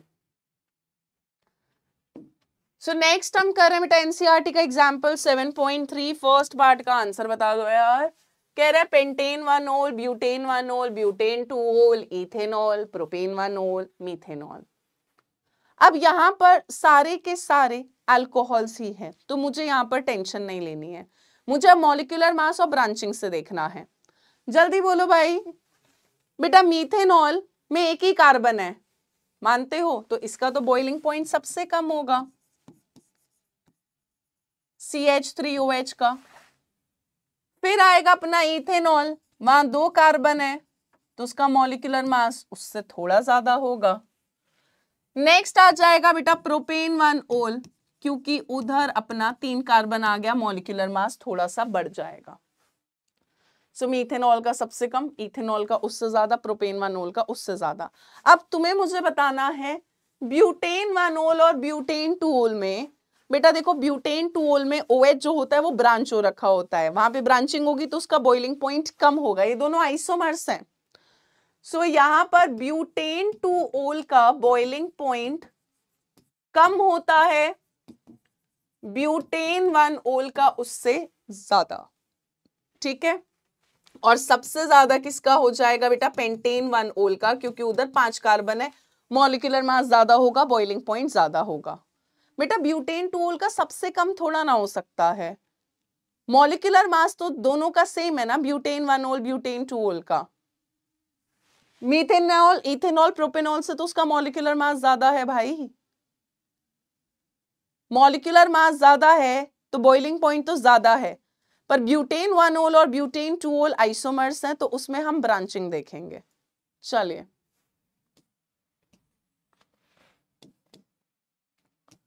सो ये था C H three O H molecular mass कम मॉलिकुलर मास थोड़ा बड़ा मॉलिकुलर मास और बढ़ गया। इन दोनों का मॉलिकुलर मास सेम है, पर इनसे ज़्यादा है। तो इन दोनों में हमने कहा ब्यूटेन टूल में क्योंकि ब्रांचिंग हो रखी होती है थोड़ी सी तो इसका बॉइलिंग पॉइंट ब्यूटेन वन ओल के कंपैरिजन में थोड़ा सा कम होता है। है ना? और सबसे ज़्यादा होगा बेटा पेंटेनॉल का C five H eleven O H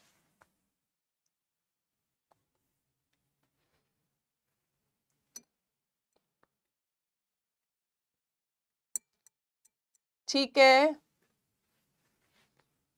चलिए नेक्स्ट वाला सॉल्व करें।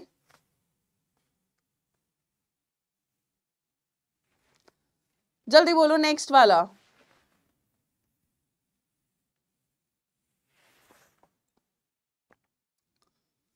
अब इन तीनों चारों का जब आप मॉलिक्यूलर मास निकालोगे ना चारों का आसपास आएगा चारों का। अब बेटा बॉइलिंग पॉइंट जो होता है मॉलिकुलर मास पर डिपेंड करता है बट यहाँ मॉलिकुलर मास सिमिलर है। ऑलमोस्ट आसपास आएगा। आप चाहो तो आप निकाल कर देख लो। ठीक है? सो so, यहाँ पर एन ब्यूटेन तो बेचारा सबसे पीछे रह जाएगा भाग दौड़ में। एन ब्यूटेन के बाद होगा बेटा इथॉक्सी इथेन तुम चाहो तो हम निकाल सकते हैं। एन ब्यूटेन हो गया सी फोर एच टेन है ना? Twelve four forty eight plus ten इसका होगा molecular mass fifty eight u ethoxy ethane हो गया C two H five O C two H five है ना? यानी C four H ten O C four H ten O fifty eight में सोलह और जोड़ दो। इसका इनसे थोड़ा ज़्यादा है। इसमें ऑक्सीजन का ऐड हो जाएगा। ठीक है? टू फिर फोर फिर पेंटेनल का तो कम होगा। पेंटेन वन का ज़्यादा होगा क्योंकि इसमें इंटरमोलिकुलर हाइड्रोजन बॉन्डिंग हो रखे होंगे। आई होप मैंने इथॉक्सी इथेन का सही निकाला है ना?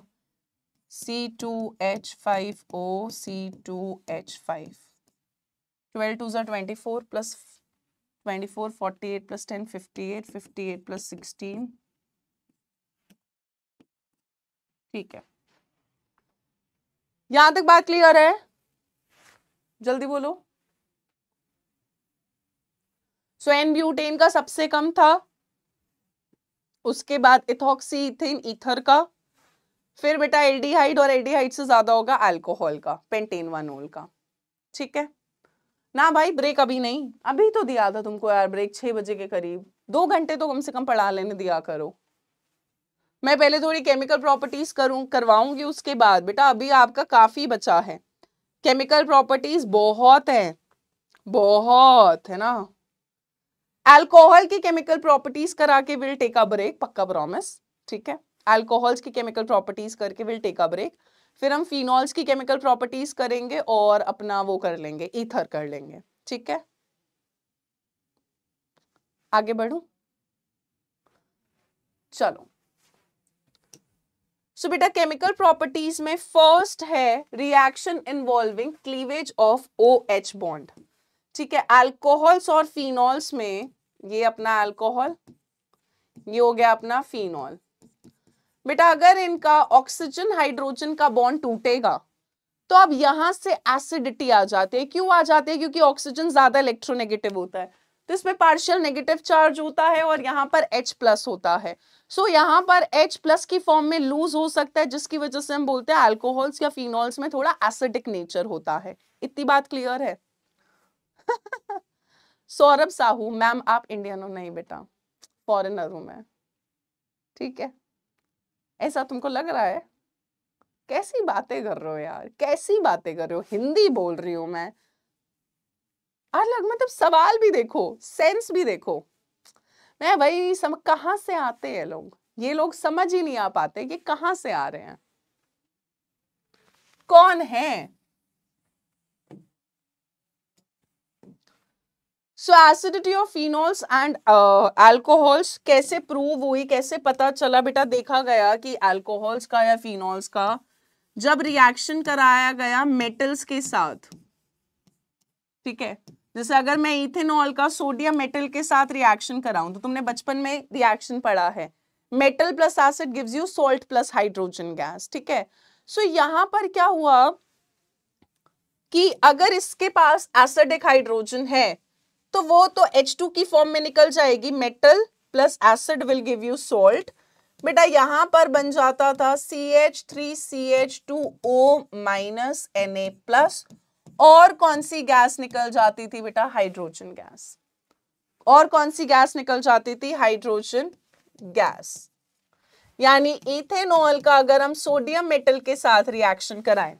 मेरे पास टेस्ट ट्यूब में इथेनॉल है, मैंने उसमें सोडियम मेटल डाला, मुझे हाइड्रोजन गैस वहाँ से इवॉल्व होती हुई मिलेगी।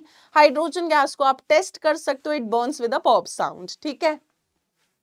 और बेटा ये क्या बन गया आपका? सोडियम इथॉक्साइड ठीक है? एल्कोक्साइड बन जाते हैं। ऐसे ही अगर हमने फिनॉल का रिएक्शन सोडियम मेटल के साथ कराया, या आप बेस के साथ भी करा सकते हो तब सॉल्ट प्लस वाटर बनेगा। जल्दी बोलो बेटा, क्या बनेगा? फटाफट से फटाफट से। प्रोडक्ट बनाएँ।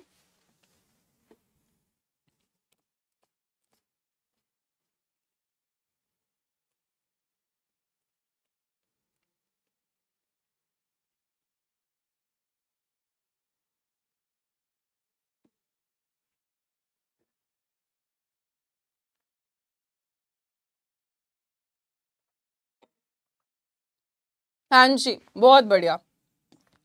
यहाँ पर बेटा जी बन जाएगा।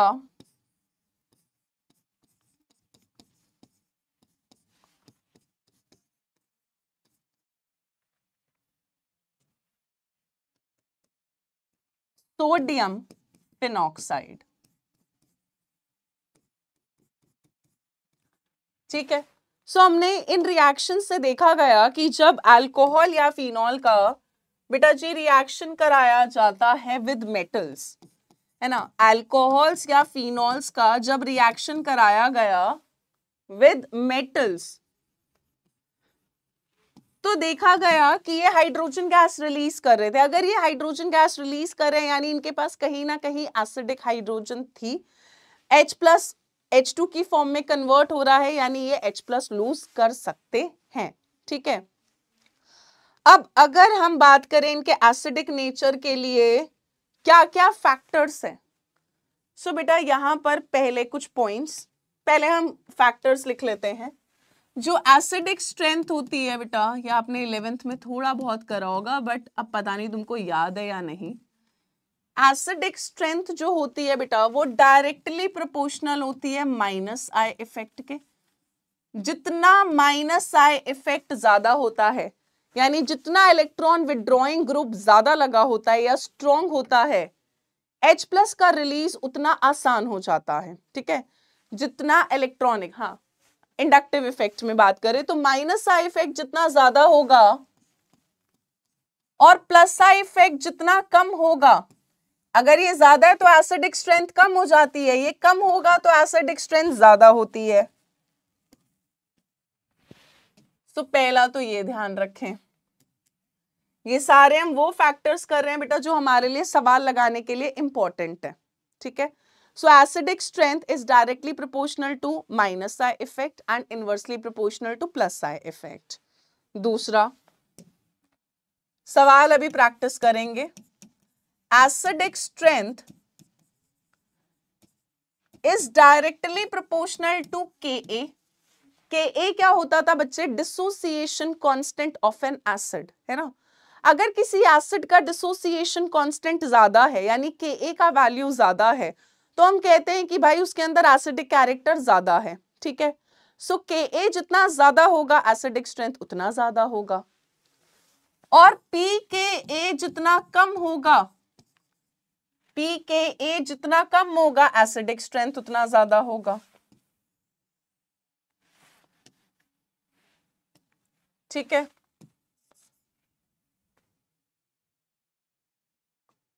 पल्लवी मैं अभी समझाऊँगी पर बेटा ये इलेवेंथ की चीज़ें थी है ना? मैं पूरा इंडक्टिव नहीं समझाऊँगी बट हाँ जितना हमारे लिए ज़रूरत है उतना मैं समझाऊँगी। अभी पहले फैक्टर्स लिख लो ठीक है?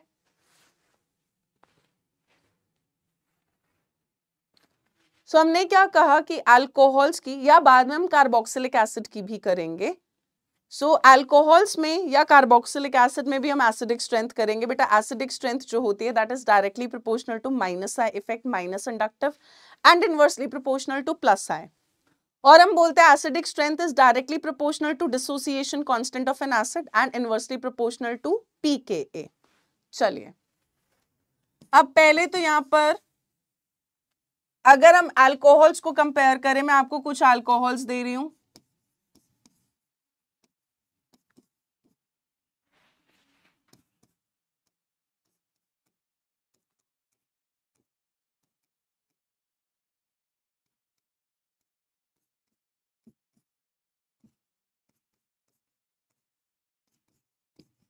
चलिए।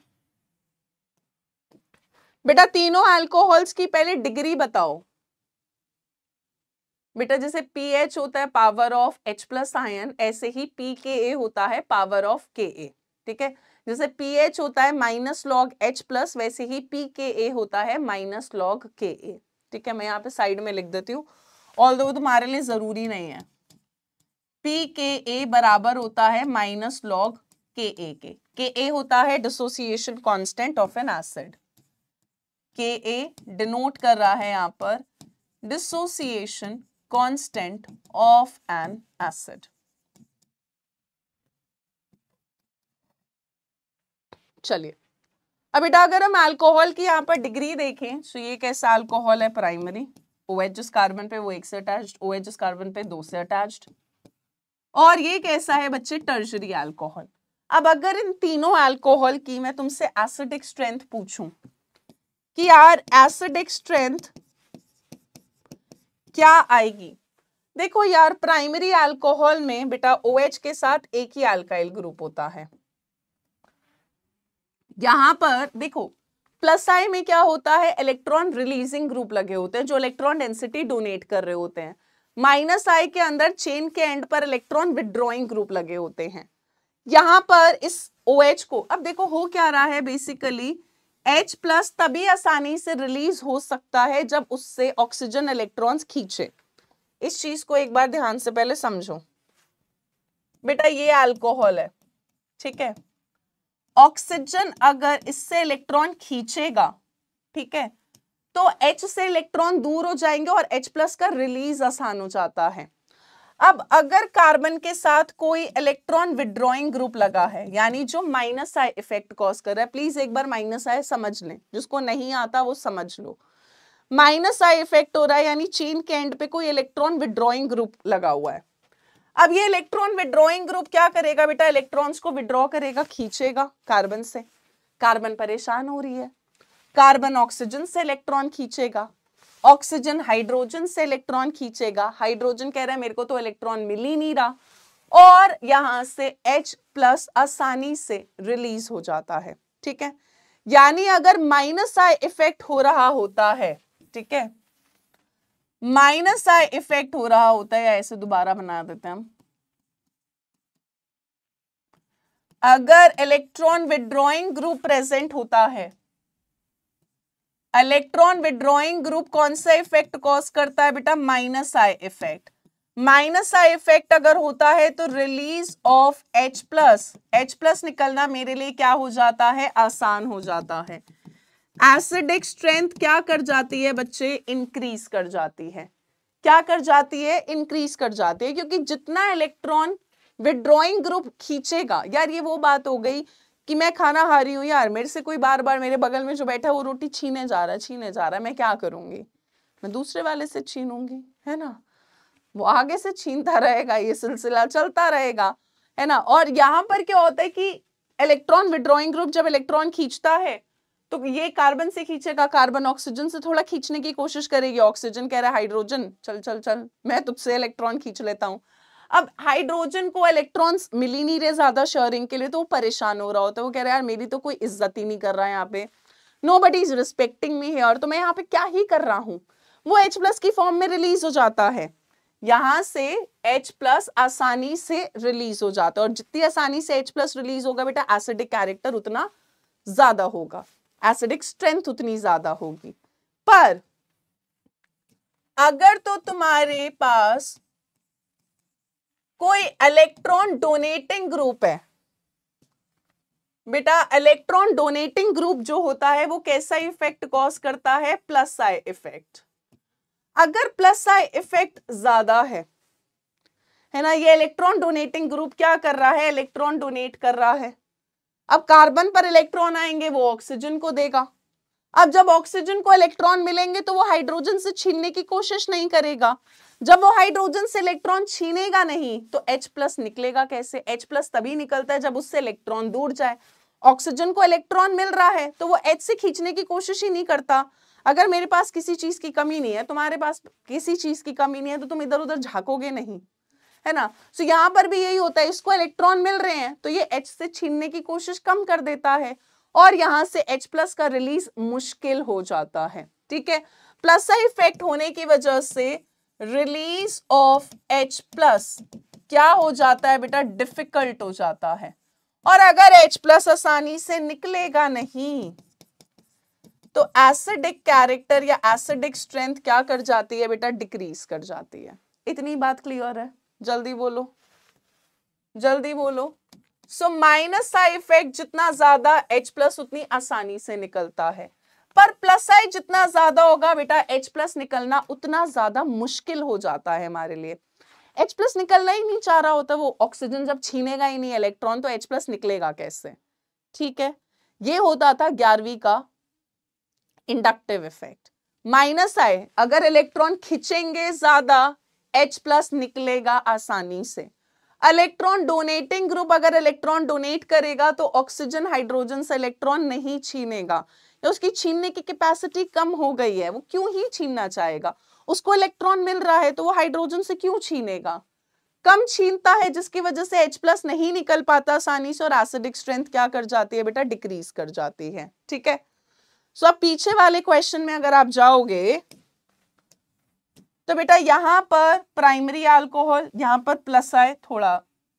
यहाँ पर जो अल्काइल ग्रुप्स होते हैं बेटा, वो इलेक्ट्रॉन डोनेटिंग ग्रुप होते हैं। यहाँ पर इलेक्ट्रॉन डेंसिटी दो जगह से मिल रही है और इधर तीन जगह से मिल रही है। जब मैं इधर की तरफ़ जा रही हूँ, भाई प्लस आई इफ़ेक्ट बहुत ज़्यादा हो रहा है। प्लस आई इफ़ेक्ट अगर इंक्रीज होता जाएगा बेटा जी, जल्दी बोलो। प्लस आई इफ़ेक्ट अगर ज़्यादा होगा तो एसिडिक स्ट्रेंथ क्या हो जाएगी बेटा जी? कम हो जाएगी। यानी प्लस आई इफ़ेक्ट जितना ज़्यादा होगा एसिडिक स्ट्रेंथ उतनी कम होगी।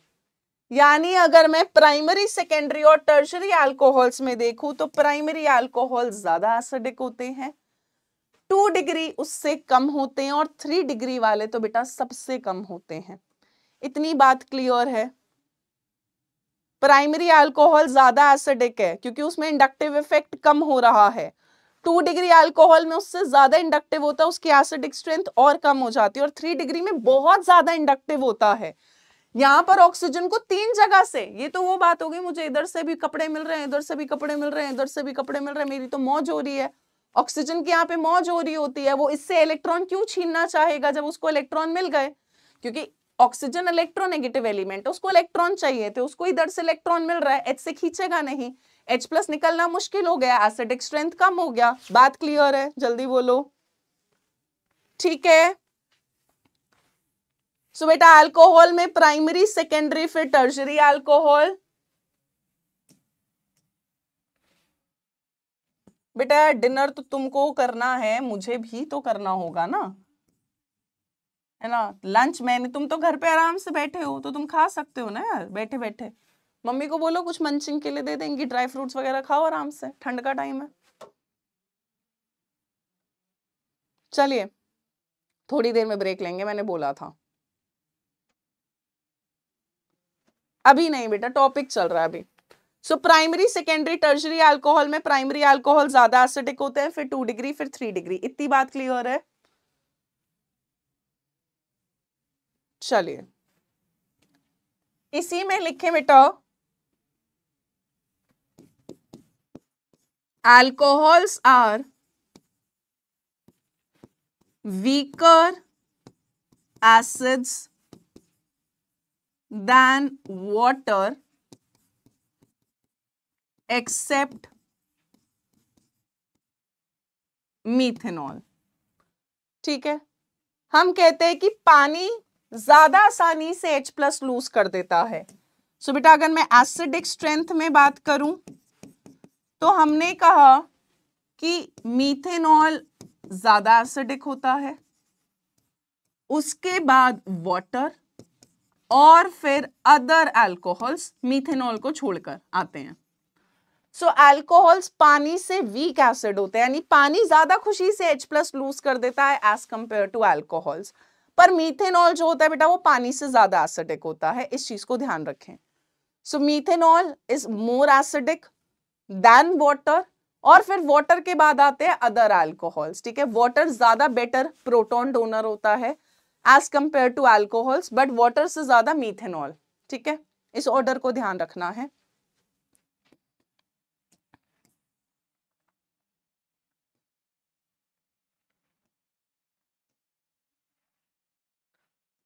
और अल्कोहल्स में हमने देख लिया बेटा प्राइमरी ज़्यादा एसिडिक फिर सेकेंडरी फिर टर्जरी ठीक है? इतनी बात क्लियर है आपको? जल्दी बोलो। हाँ जी, शौर्य प्रताप सिंह बिल्कुल ठीक है।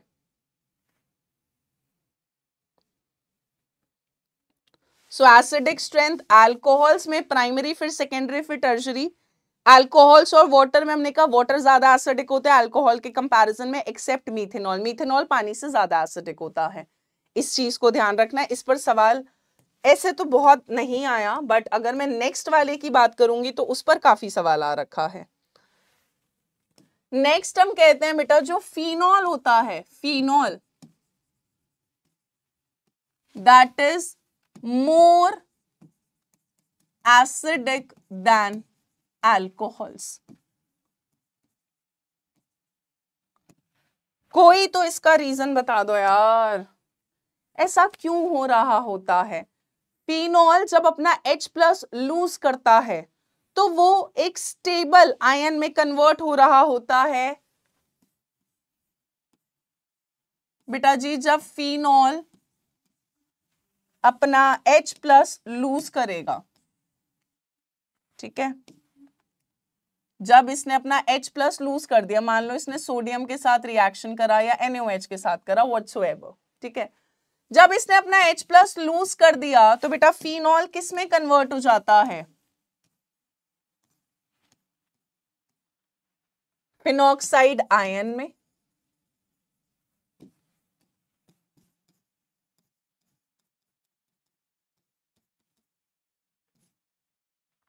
है ना?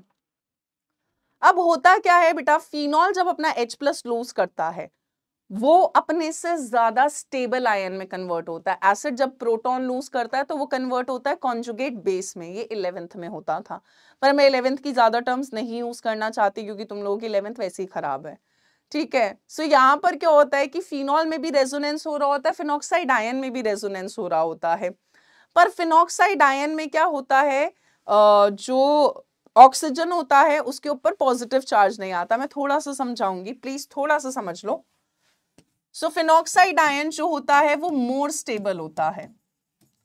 और इसीलिए फिनॉल कहता है भाई मेरे से H प्लस ले लो मेरे को कोई प्रॉब्लम नहीं है। क्योंकि वो अपने से ज़्यादा स्टेबल आयन में कन्वर्ट हो जाता है। सो so, होता है क्या बेटा? जब फिनॉल में रेजोनेंस होता है समझना। फिनॉल में जब रेजोनेंस होगा ये लोन पेयर इधर आएगा बेटा ये बॉन्ड इधर आएगा। तो ध्यान से देखना क्या होगा। कार्बन पे negative double bond O H और ऑक्सीजन पर पॉजिटिव चार्ज आता है। और ये कहानी आगे चलती रहेगी। पर अगर आप फिनॉक्साइड आयन में रेजोनेंस देखोगे, चलिए।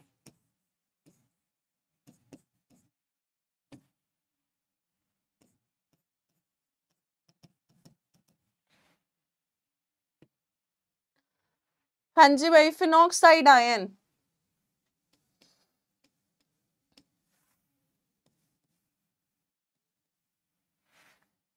या ये नेगेटिव भी मैं नहीं दिखा रही मतलब आप ऐसे समझ लो बेटा, ये नेगेटिव चार्ज की वजह से जो दो इलेक्ट्रॉन्स हैं, ये इधर आते हैं और ये बॉन्ड इधर निकलता है, ठीक है? सो यहाँ पर डबल बॉन्ड ओ आ जाता है। मतलब ऑक्सीजन जो होता है, उसके ऊपर कोई चार्ज नहीं होता। ऑक्सीजन के ऊपर कोई चार्ज नहीं होता। तो हम कहते हैं कि जो फिनॉक्साइड आयन होता है, वो ज़्यादा स्टेबल होता है क्योंकि फिनॉक्साइड आयन जब रेजोनेंस जाता है ऑक्सीजन पे एटलीस्ट वो न्यूट्रल है, उस पर कोई चार्ज नहीं आ रहा होता रेजोनेंस के दौरान। बट यहाँ पर बेटा ऑक्सीजन पर पॉजिटिव चार्ज आ रहा होता है और ऑक्सीजन अच्छा खासा electronegative element it is the second most electronegative element तो ऑक्सीजन यहाँ पर पॉजिटिव चार्ज एक्वायर चाहे कुछ देर के लिए ही कर रहा हो, चाहे रेजोनेटिंग स्ट्रक्चर में कर रहा हो पर उस पर पॉजिटिव चार्ज आ रहा होता है जिसकी वजह से हम बोलते हैं कि फिनॉक्साइड आयन ज़्यादा स्टेबलाइज होता है ज़्यादा बेटर है क्योंकि उसके अंदर रेजोनेंस होते टाइम ऑक्सीजन पे एटलीस्ट पॉजिटिव नहीं आता। इतनी बात क्लियर है? हाँ आ, ओके अभी ब्रेक लेते हैं रुक जाओ। Will take a break do not worry यहाँ तक बात क्लियर है बेटा। फिनोक्साइड आयन ज़्यादा स्टेबल होता है, जिसकी वजह से हम बोलते हैं फिनॉल जो होता है that is more acidic than alcohol phenol अपने से H ज़्यादा आसानी से रिलीज़ कर देता है, क्योंकि वो अपने से ज़्यादा स्टेबल फिनॉक्साइड आयन में कन्वर्ट होता है। इतनी बात क्लियर है यहाँ तक। जल्दी बोले।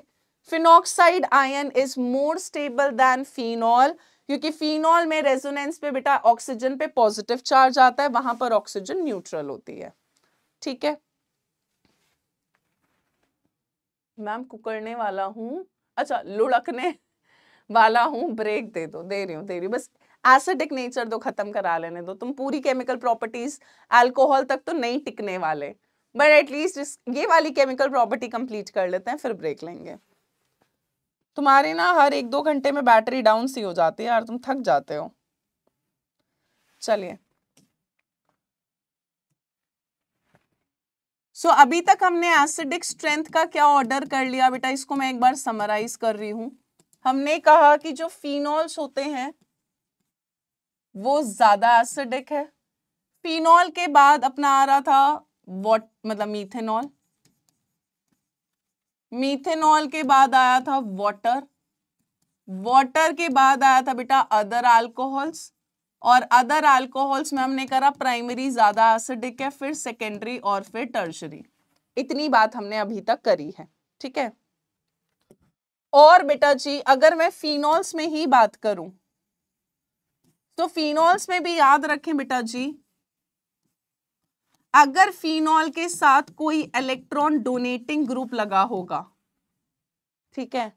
यानी अगर प्लस आई कॉज कर रहा होगा तो एसिडिक स्ट्रेंथ यहाँ पर जल्दी बोलो, कम होगी, ज़्यादा होगी? मैं दोनों बनाकर दिखा रही हूँ तुमको।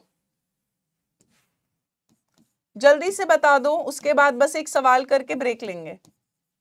और अगर कोई इलेक्ट्रॉन विड्रॉइंग ग्रुप लगा है तो क्या होगा? यानी अगर माइनस आई ज़्यादा होगा, तब एसिडिक स्ट्रेंथ में क्या होगा? जल्दी बोलो यार, जल्दी। बेटा, अगर कोई इलेक्ट्रॉन डोनेटिंग ग्रुप लगा होगा तो वो क्या कर रहा है? इलेक्ट्रॉन डेंसिटी डोनेट कर रहा है। ऑक्सीजन पर अगर इलेक्ट्रॉन डेंसिटी बढ़ेगी तो वो इस H प्लस को खींचना मतलब H प्लस से इलेक्ट्रॉन खींचना कम कर देगा। और अगर H प्लस इलेक्ट्रॉन खींचेगा नहीं तो एसिडिक स्ट्रेंथ कम ही होगा। सो एसिडिक स्ट्रेंथ क्या कर जाएगा? डिक्रीज वही है रिलेशन माइनस है जितना ज़्यादा एसिडिक स्ट्रेंथ उतना ज़्यादा.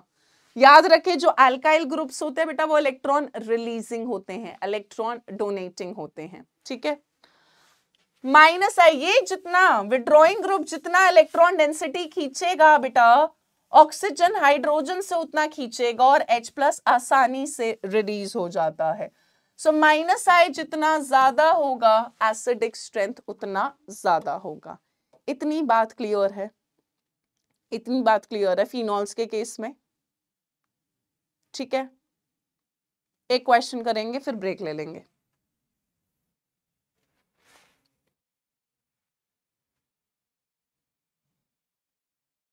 चलो। एस्टेरिफिकेशन बच रहा है dehydration oxidation okay okay okay will take a break तुम नहीं टिक पाओगे तब तक तो। सो एस्टेरिफिकेशन ब्रेक के बाद शुरू करेंगे।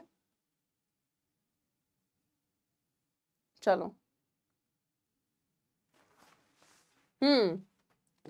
फटाफट से बेटा कह रहा है सवाल। Arrange the following compounds in increasing order of their acidic strength ठीक है।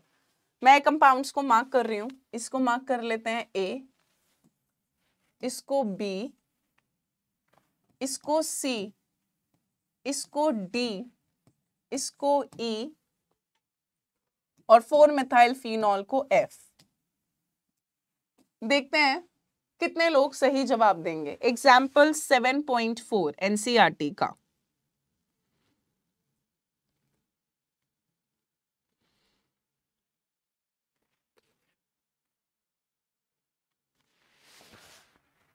हाँ जी भाई, बेटा देखो ये अल्कोहल है, ये फिनॉल है फिनॉल है फिनॉल है फिनॉल है फिनॉल है। हमने पढ़ लिया है कि अल्कोहल्स जो होते हैं, वो कम एसिडिक होते हैं फिनॉल ज़्यादा एसिडिक होता है।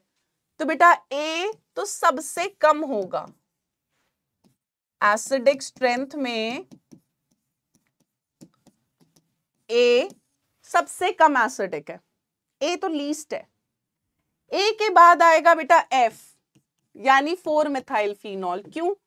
क्योंकि बेटा फोर मिथाइल फिनॉल हो गया ये, समझो जरा। बेटा मिथाइल कैसा ग्रुप होता है? इलेक्ट्रॉन डोनेटिंग ग्रुप होता है। अगर ये इलेक्ट्रॉन डोनेटिंग ग्रुप है तो यानी कि इसमें कौन सा इफ़ेक्ट लग रहा है बेटा जी? फोर मिथाइल फिनॉल में प्लस आई हो रहा है। मैं सिर्फ़ प्लस आई लिख देती हूँ। यहाँ पर प्लस आई इफ़ेक्ट हो रहा होता है, जिसकी वजह से इसका एसिडिक स्ट्रेंथ फिनॉल्स में कम होता है एफ़ के बाद आ जाते हैं ई e. फिर आ जाएगा फिनॉल नॉर्मल फिनॉल फिनॉल के बाद बेटा ज़्यादा एसिडिक होगा थ्री नाइट्रोफिनॉल फिर three comma five die nitrophenol क्योंकि यहाँ दो नाइट्रो हो गए, दो बार विड्रॉइंग होगा और सबसे ज़्यादा एसिडिक होगा बेटा बी क्योंकि वहाँ पर ज़्यादा माइनस आय हो रहा है। ठीक है? सो जब आप इधर की तरफ़ जा रहे हो, इन तीनों में सो यहाँ पर माइनस आय बढ़ रहा है, जिसकी वजह से हमने कहा एसिडिक स्ट्रेंथ क्या कर रहा है बेटा? इंक्रीज कर रहा है।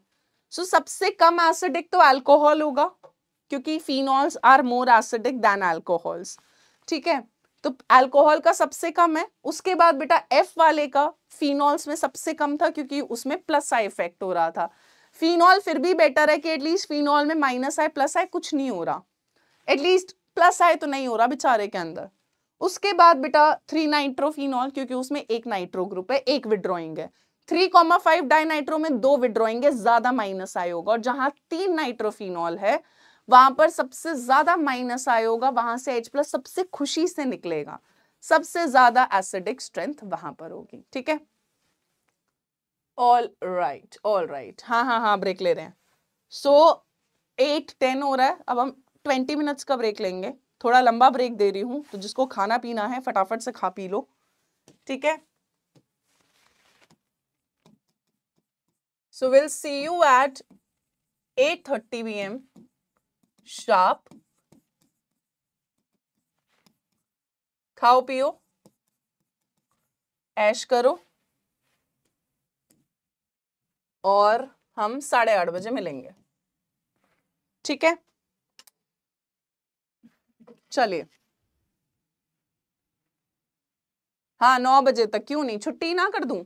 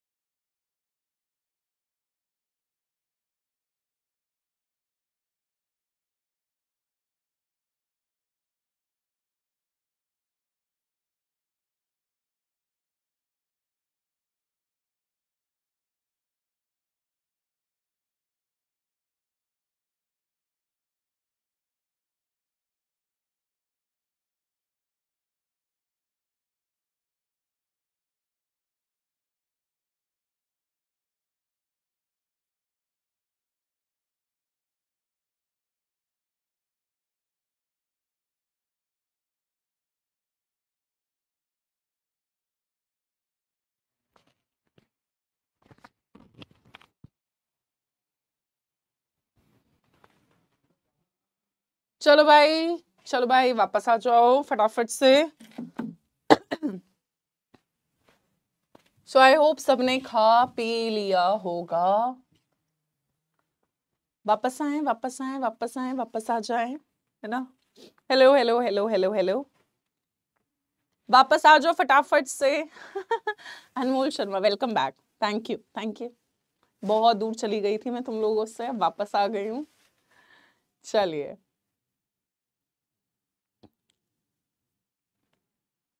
स्टार्ट करें वापस से टॉपिक।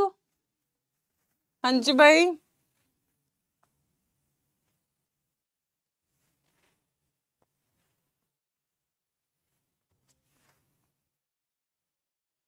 चलो। सो so, हमने यार अभी एसिडिक नेचर करा था उसमें अगर मैं एक छोटा सा सवाल कवर करना चाहती हूँ सो एम थिंकिंग कि उसको हम बैक स्लाइड पर कवर कर लें।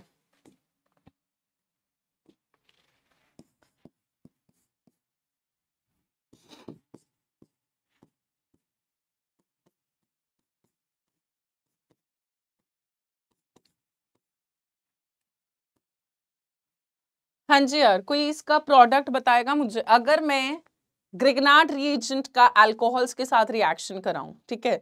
आप ग्रिगनाट रिएजेंट का अगर वाटर के साथ अल्कोहल्स के साथ, है ना या फिर अमीन्स के साथ रिएक्शन कराते हो, जहाँ पर एसिडिक हाइड्रोजन इसको मिल सकती है। अब हमने पीछे यही पढ़ा था बेटा कि यहाँ पर एसिडिक हाइड्रोजन प्रेजेंट थी।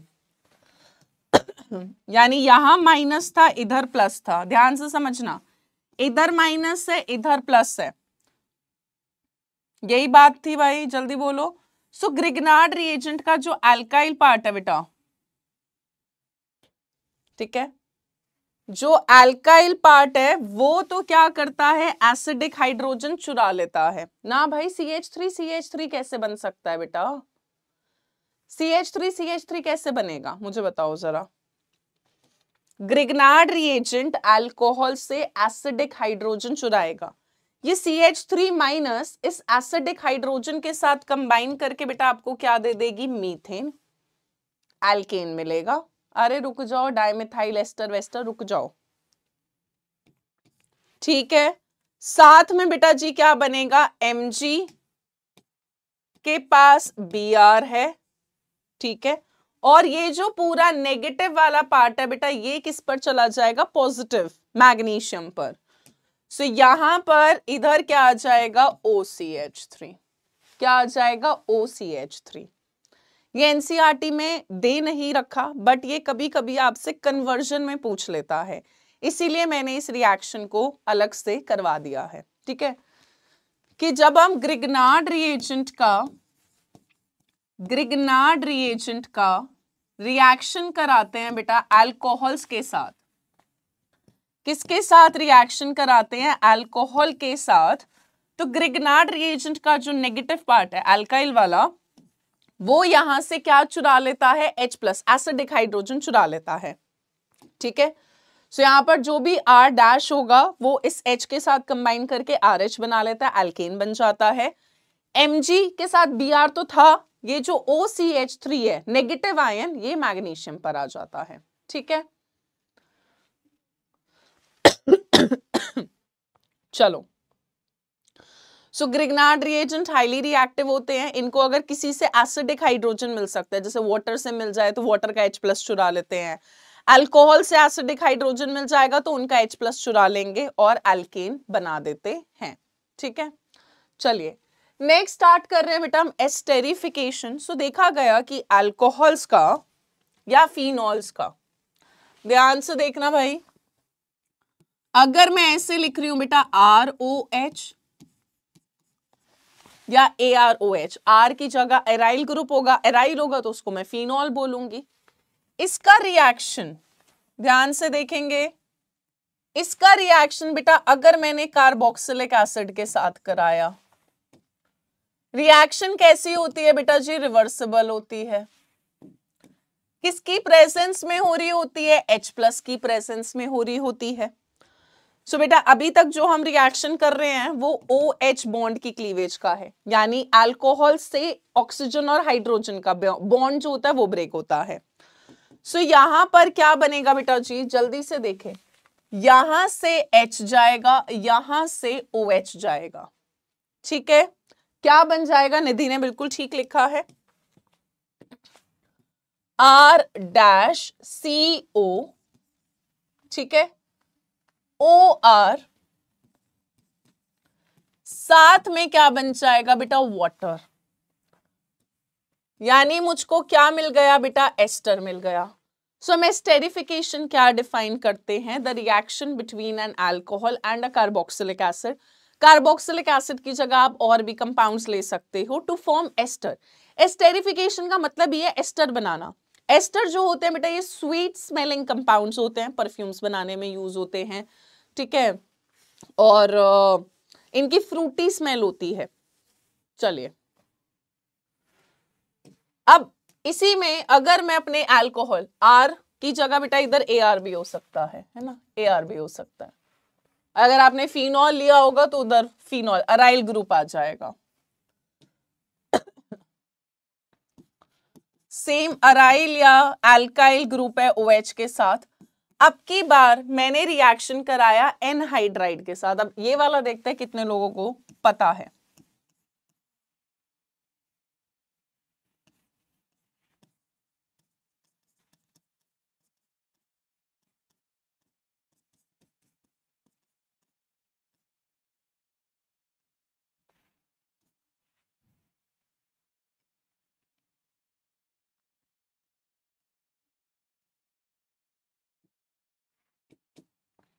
चलिए फटाफट से बनाएँ क्या प्रोडक्ट बनेगा?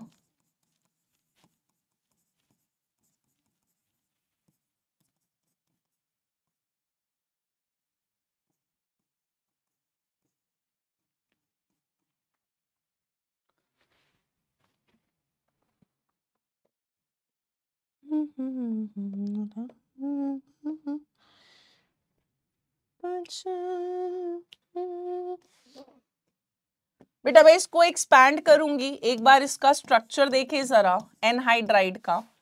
R dash C O R dash C O ये दो बार आ रहा है, और ऑक्सीजन एक बार आ रहा है, जो बाहर लिखी है मैंने। अब जरा एक बार ध्यान से देखो। आप जहाँ से भी बॉन्ड तोड़ रहे हो, मैं यहाँ से बॉन्ड तोड़ रही हूँ तो बेटा यहाँ नेगेटिव आएगा, यहाँ पॉजिटिव आएगा, ठीक है?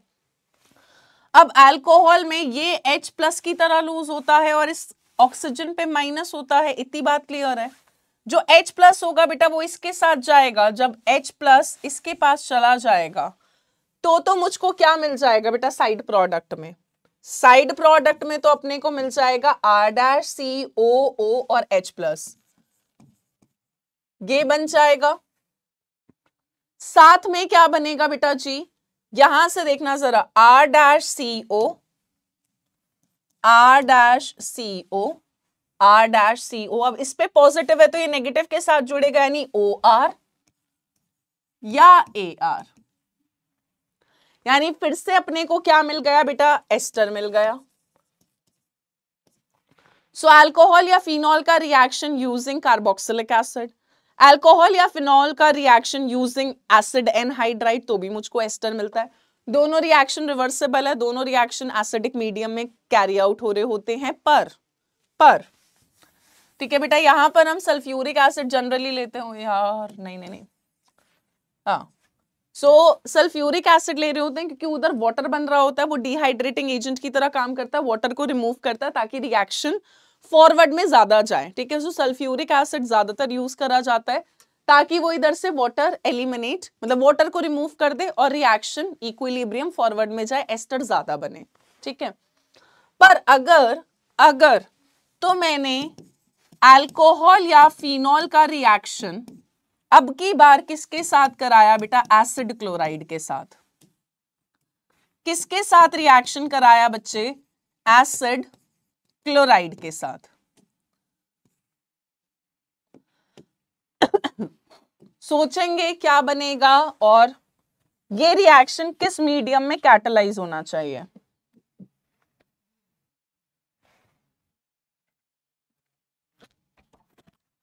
क्या हम्म।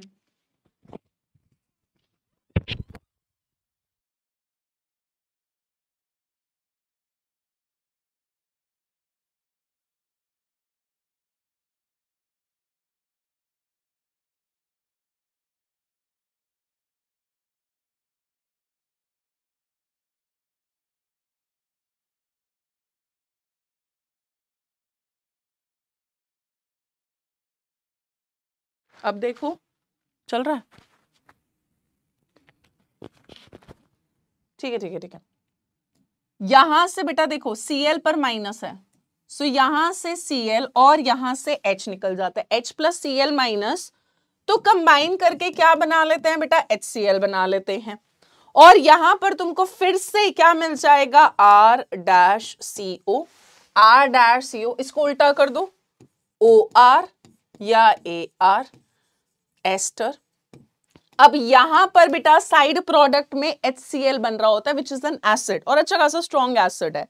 सो so, बेटा ये वाली रिएक्शन किसकी प्रेजेंस में कराई जाती है? पेरिडीन की प्रेजेंस में विच इज़ अ बेस और ये जो बेस हम ले रहे हैं वो इसीलिए ले रहे हैं ताकि जो एचसीएल बन रहा है उसको न्यूट्रलाइज कर सके।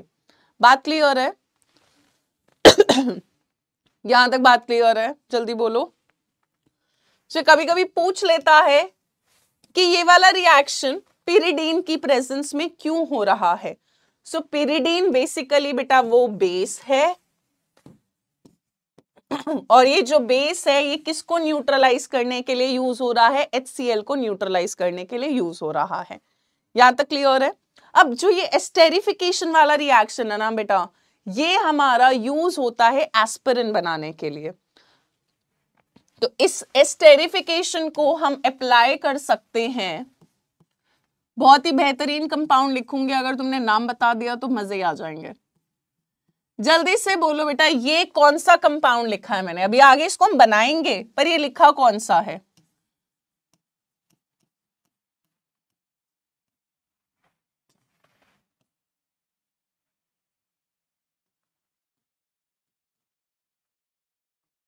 हाँ जी, रिया ने आंसर ठीक दिया। सेलिसाइलिक एसिड का जब हम रिएक्शन कराते हैं बेटा, एसिटिक एनहाइड्राइड के साथ।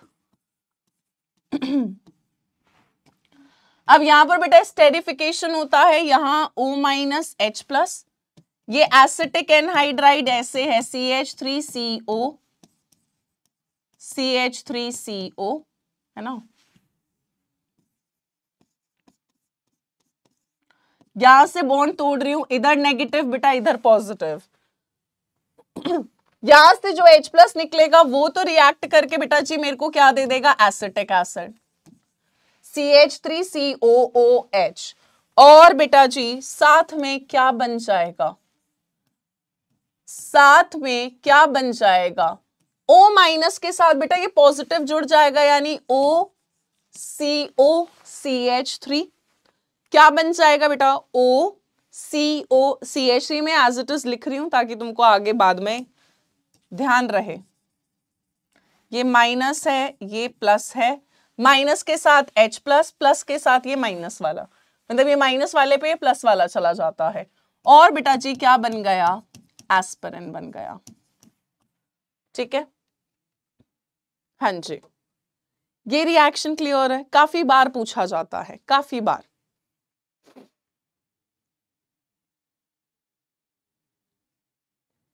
नोमैड अगर तुम्हारे गाने लिखने के सिलसिले खत्म हो जाएँ तो पढ़ाई पर ध्यान दे लो, है ना?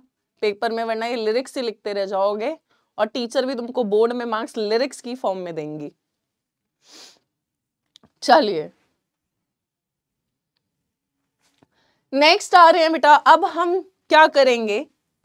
अल्कोहल में अब हम जो बॉन्ड की क्लीवेज कर रहे हैं, वो कार्बन और ऑक्सीजन की है। अभी तक जो हमने करा, वो ऑक्सीजन और हाइड्रोजन का बॉन्ड तोड़ा था, जहाँ से हमने H प्लस एल्कोहल का उड़ाया था। अब हम क्या करेंगे भाई? पूरा ओ OH ग्रुप उड़ा देंगे।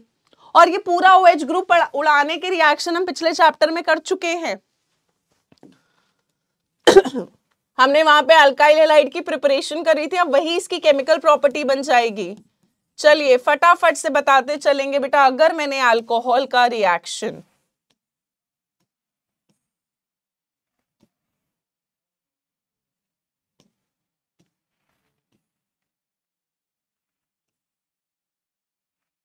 इसे थोड़ा नीचे रखेंगे।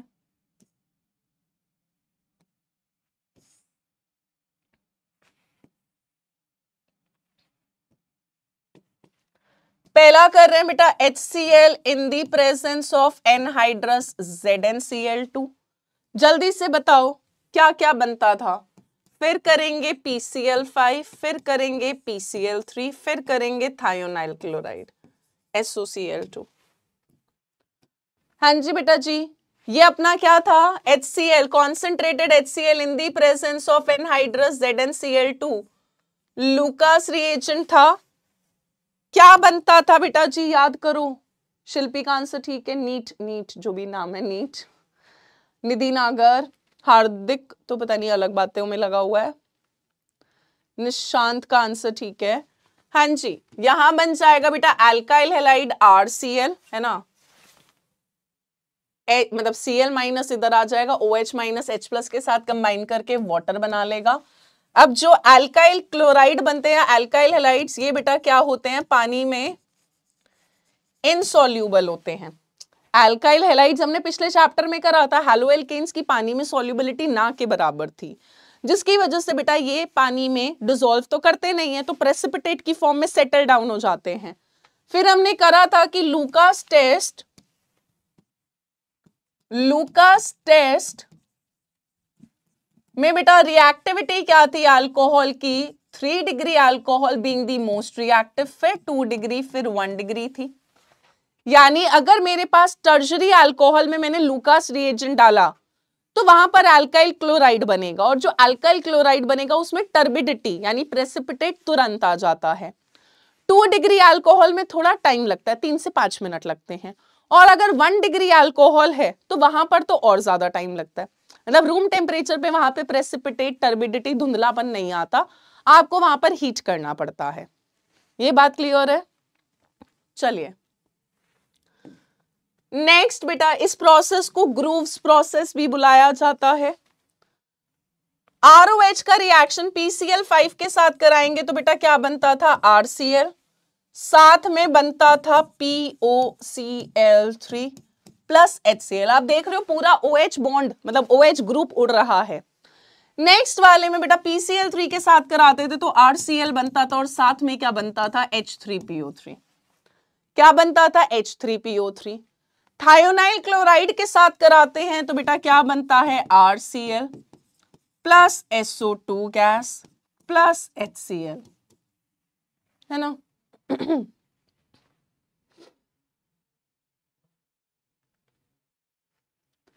ये बातें क्लियर हैं। बेटा अगर थायोनाइल क्लोराइड के साथ रिएक्शन पेरिडीन की प्रेजेंस में होता है तो उसको डार्जन प्रोसेस बुलाते हैं और वहाँ पर आपको इन्वर्टेड प्रोडक्ट मिलता है। इन्वर्जन हो जाता है। ठीक है?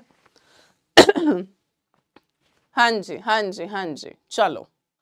सो so, यहाँ पर पूरा ओ OH उड़ेगा और हम हेलोजन लगा रहे हैं। Reaction with H X reaction with PCl5, PCl3, thionyl chloride.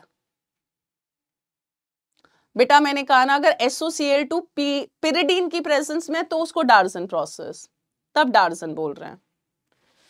यहाँ तक लिखो फटाफट से फिर आगे बढ़ेंगे।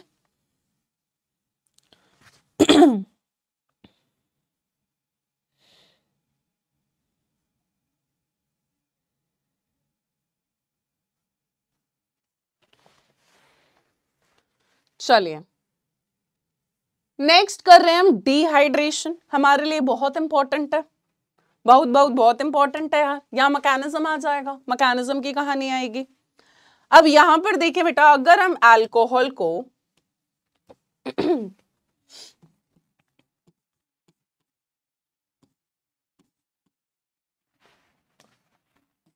एसिड की प्रेजेंस में हीट करते हैं। यहाँ पर हीट करते हैं बेटा 443 केल्विन ध्यान से समझना, ये वैसा है जैसे हमने पिछले चैप्टर में डीहाइड्रो हेलोजनेशन करा था। डिहाइड्रेशन का मतलब है रिमूवल ऑफ़ वाटर डिहाइड्रेशन का मतलब क्या है बेटा? पानी का रिमूवल होना। यार देखो, ये ना सारी कहानी इंटरकनेक्टेड है। इंटरकनेक्टेड कैसे कि यार मैं एल्कीन में पानी डाल रही थी एसिड की प्रेजेंस में तो मुझे अल्कोहल मिल रहा था। अल्कोहल को एसिड के साथ हीट कर रही हूँ तो मुझे वापस एल्कीन मिल जाता है। ये आपस में इंटरकनेक्टेड है, ठीक है?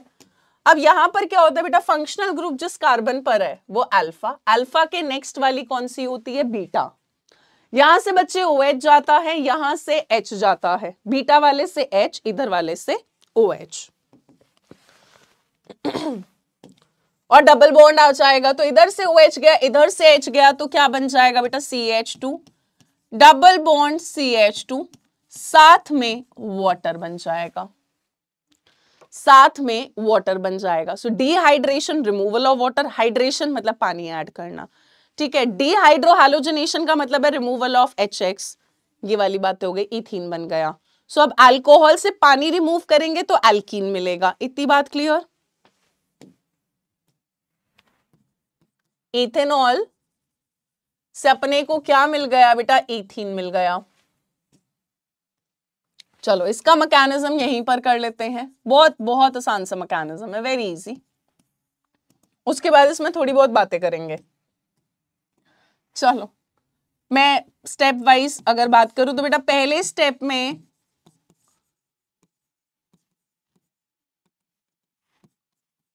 ये जो H प्लस है एसिड से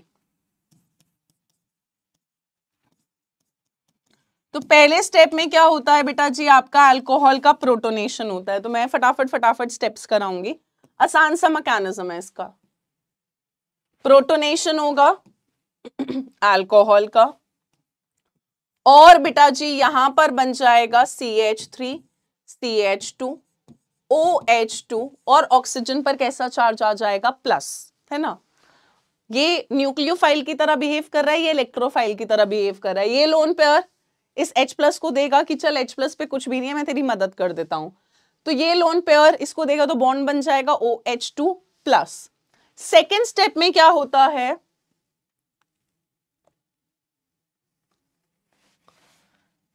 बेटा ऑक्सीजन पॉजिटिव चार्ज ज़्यादा बर्दाश्त नहीं करती है तो वो इस बॉन्ड के इलेक्ट्रॉन्स चुराकर भाग जाती है। और यहाँ से वाटर का रिमूवल हो जाता है। और बेटा जी, यहाँ पर क्या बन जाता है? मैं इसको थोड़ा एक्सपैंड करके लिखूँगी अब। C H three C H two end carbon पर कैसा चार्ज आ जाता है बेटा? पॉजिटिव यानी किसकी फॉर्मेशन हो जाती है बच्चे यहाँ पर? कार्बो के टाइन की। तो सेकेंड स्टेप में क्या होता है बेटा? वाटर का रिमूवल होता है डिहाइड्रेशन हो रहा है बेसिकली और किसकी फॉर्मेशन हो जाती है? कार्बोकेटायन की। और अब आखिरी स्टेप है कार्बोकेटायन को स्टेबलाइज होने के लिए, करने के लिए, बगल वाला कार्बन कहता है, यार, मैं तेरी मदद करता हूँ, रुक जा। वो क्या करता है? इस बॉन्ड के इलेक्ट्रॉन्स यहाँ ट्रांसफ़र कर देता है। और बेटा जी, H प्लस यहाँ से रिमूव हो जाता है, यानी प्रोटॉन का तो रिमूवल हो जाता है। और आपको क्या मिल जाता है? C H two double bond C H two alkene मिल जाता है। हाँ जी। सो स्टेप थ्री के अंदर प्रोटॉन का रिमूवल होता है H प्लस रिमूव हो जाता है। अब बेटा जो मैंने H प्लस एसिड से लिया था वो हमने वापस भी कर दिया। सो so, यहाँ पर H प्लस अगेन आपका बस रिएक्शन कराने में मदद कर रहा होता है। ठीक है? एलिमिनेशन रिएक्शन है। कौन सी एलिमिनेशन हो रही होती है बेटा यहाँ पर? बीटा एलिमिनेशन मैकेनिज्म क्लियर है सबको।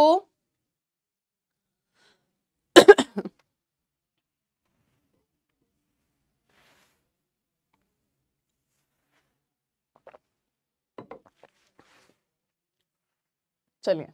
सो so, पहले स्टेप में प्रोटोनेशन होगा। एसिड से जो H प्लस मिल रहा है उसके बाद यहाँ से वाटर का रिमूवल होगा कार्बोकेटाइन की फॉर्मेशन होगी। फिर कार्बन के पॉजिटिव चार्ज को स्टेबलाइज करने के लिए बगल वाला कार्बन से हाइड्रोजन अपने इलेक्ट्रॉन इसको दे देता है और यहाँ से H प्लस निकल जाता है और डबल बॉन्ड बन जाता है। यहाँ तक क्लियर है बेटा? चलिए अब इसका मैकेनिज्म आपके लिए बहुत इंपॉर्टेंट है। बहुत बार सवाल आ रखा है पीवाई क्यूज में, काफ़ी मतलब काफ़ी बार। चलिए, इसी में इस चीज़ से भी बहुत बार सवाल आया हुआ है।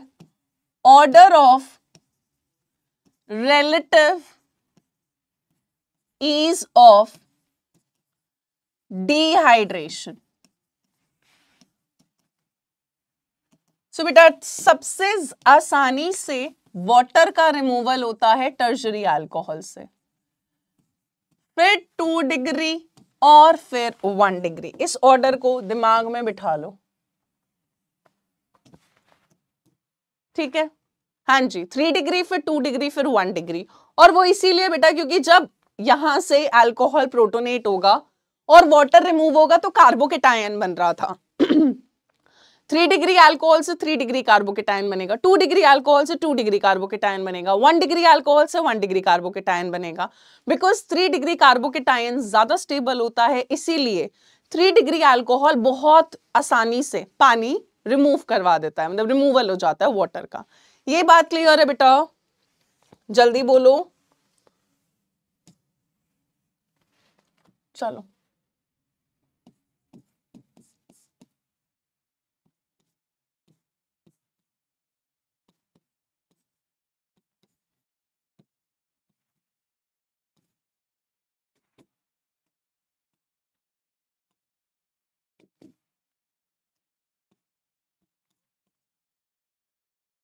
चलिए प्रोडक्ट बनाना है, फटाफट से बनाओ भाई। जल्दी से। अल्कोहल है एसिड की प्रेजेंस में हीट कर दिया गया है सल्फ्यूरिक ले सकती हूँ फॉस्फोरिक भी ले सकती हूँ। जल्दी से बनाओ प्रोडक्ट एक कह रही है Arga Bhagat ma'am please tell your skin care routine जी जी बेटा। ये चैनल इसीलिए तो बनाया गया है है ना? कि मैं अपना स्किन केयर रूटीन तुम्हारे साथ शेयर कर सकूँ।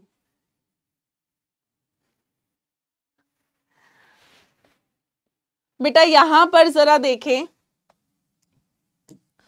ओ OH जिस कार्बन पे है, वो है अल्फ़ा। अल्फ़ा के बगल में ये भी बीटा है, अल्फ़ा के बगल में ये भी बीटा है। दोनों जगह से हाइड्रोजन एलिमिनेट हो सकता था।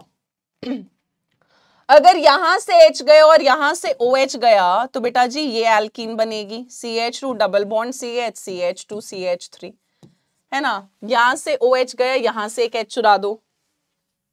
और अगर तो बेटा जी यहाँ से ओ OH और यहाँ से एच गया तो इन दोनों के बीच में डबल बॉन्ड आएगा।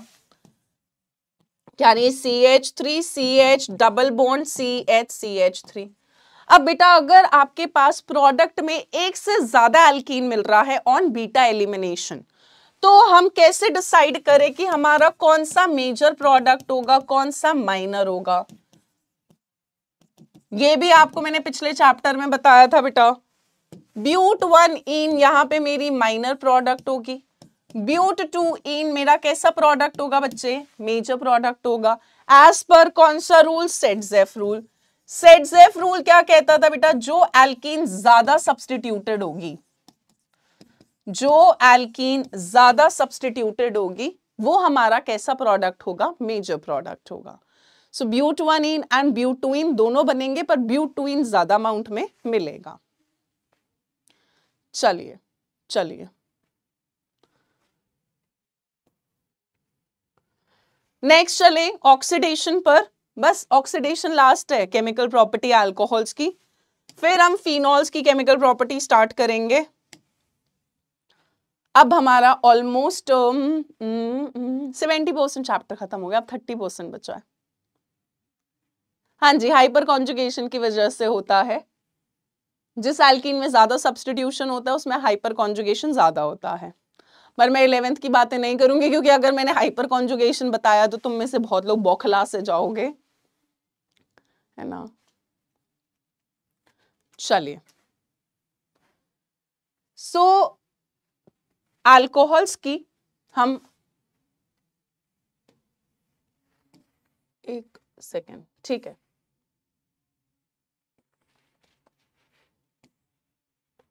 लास्ट केमिकल प्रॉपर्टी पर आ रहा है ऑक्सीडेशन बहुत आसान बहुत आसान, बहुत ही आसान है। ठीक है? अब जरा ध्यान से समझेंगे। अगर तो आपके पास बेटा वन डिग्री अल्कोहल है है ना? मैं ऐसे रिप्रेजेंट कर रही हूँ। अगर आपके पास वन डिग्री अल्कोहल है, और आपने बच्चे कोई माइल्ड ऑक्सीडाइजिंग एजेंट यूज़ करा ठीक है? You are using some mild oxidising agent to oxidise this देखते हैं, कितने लोग सही जवाब देंगे। क्या बनता है वन डिग्री अल्कोहल से? और अगर तो मैंने टू डिग्री अल्कोहल लिया तो क्या बनता है ऑक्सीडेशन से? और क्या थ्री डिग्री अल्कोहल ऑक्सीडेशन जा पाता है हम्म,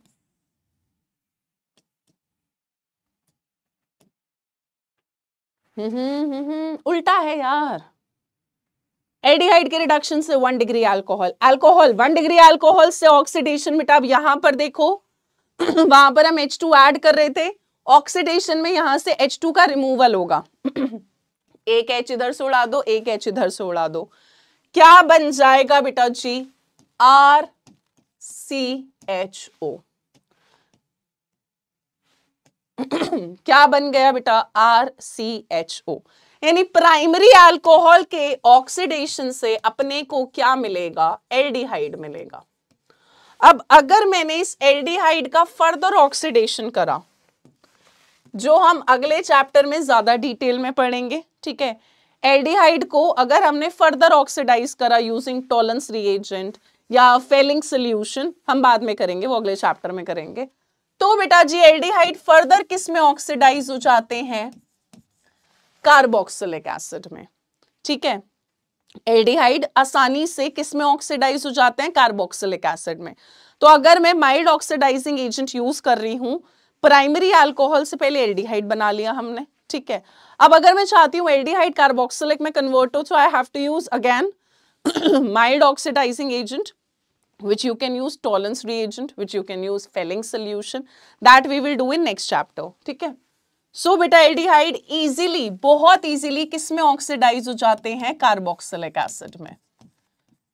ठीक है? एल्डिहाइड बनाने के लिए प्राइमरी अल्कोहल से। हम माइल्ड ऑक्सीडाइजिंग एजेंट में क्या क्या यूज़ कर सकते हैं बेटा? पीसीसी ठीक है? पीडीसी कॉलेंस रिएजेंट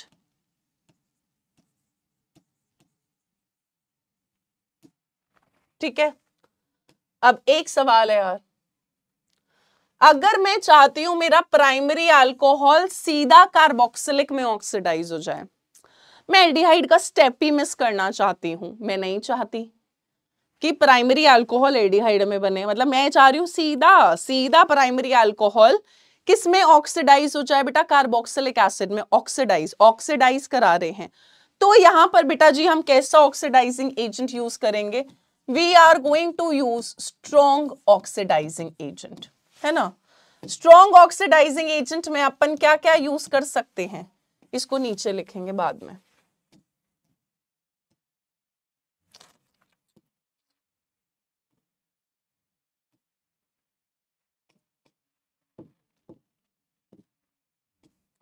स्ट्रॉन्ग ऑक्सीडाइजिंग में आप यूज़ कर सकते हो बेटा K M N O four H plus acidified K M N O four ठीक है acidified K two C R two O seven ठीक है?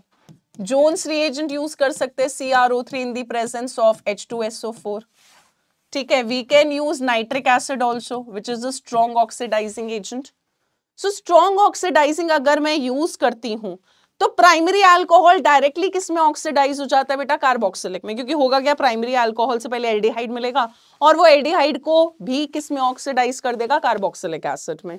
सो so, अगर आप सिर्फ़ एल्डिहाइड तक बनाना चाहते हो क्योंकि हम ये अगले चैप्टर में दोबारा पढ़ेंगे जब मैं एल्डिहाइड की प्रिपरेशन कराऊँगी। अगर तुम चाहते हो कि प्राइमरी अल्कोहल यहीं तक ऑक्सीडाइज हो तो तो माइल्ड ऑक्सीडाइजिंग एजेंट इस्तेमाल करो। पर अगर तुम चाहते हो प्राइमरी अल्कोहल सीधा कार्बोक्सिलिक बनाए तो स्ट्रॉन्ग ऑक्सीडाइजिंग एजेंट यूज़ कर लो। ठीक है? चलिए। पर यार कीटोन्स के साथ ना कहानी इतनी आसान नहीं होगी। मतलब अगर मैंने टू डिग्री अल्कोहल लिया है ना? I am taking now two degree alcohol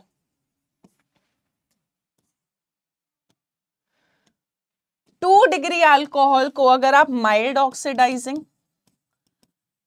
या स्ट्रॉन्ग से भी कर दो भाई, इधर फ़र्क नहीं पड़ता, फ़र्क ही नहीं पड़ता। यहाँ से एच यहाँ से एच का रिमूवल होगा, क्या बनेगा बेटा जी? क्या बन जाएगा अपने को? क्या मिल जाएगा? R C double bond O R dash. Ketone मिल जाएगा। सो टू डिग्री अल्कोहल के ऑक्सीडेशन से आपको कीटोन मिलता है। पर यार, ये कीटोन बहुत जिद्दी होते हैं तुम लोगों की तरह। जो तुम पूरे साल नहीं पढ़ते, अपनी जिद पर अड़े रहते और आखिरी में होश आता है। कीटोन भी बहुत जिद्दी होते हैं तुम लोगों की तरह, बिल्कुल। कीटोन्स आसानी से ऑक्सीडाइज नहीं होते। इवन अगर मैंने स्ट्रॉन्ग ऑक्सीडाइजिंग एजेंट भी लिया ना तो भी ऑक्सीडाइज नहीं होगा। कीटोन्स बेटा पीसीसी पिरिडीनियम क्लोरोक्रोमेट होता है। ठीक है ये माइल्ड ऑक्सीडाइजिंग एजेंट है बेटा। पीसीसी पीडीसी इनका स्ट्रक्चर आपसे कोई नहीं पूछेगा।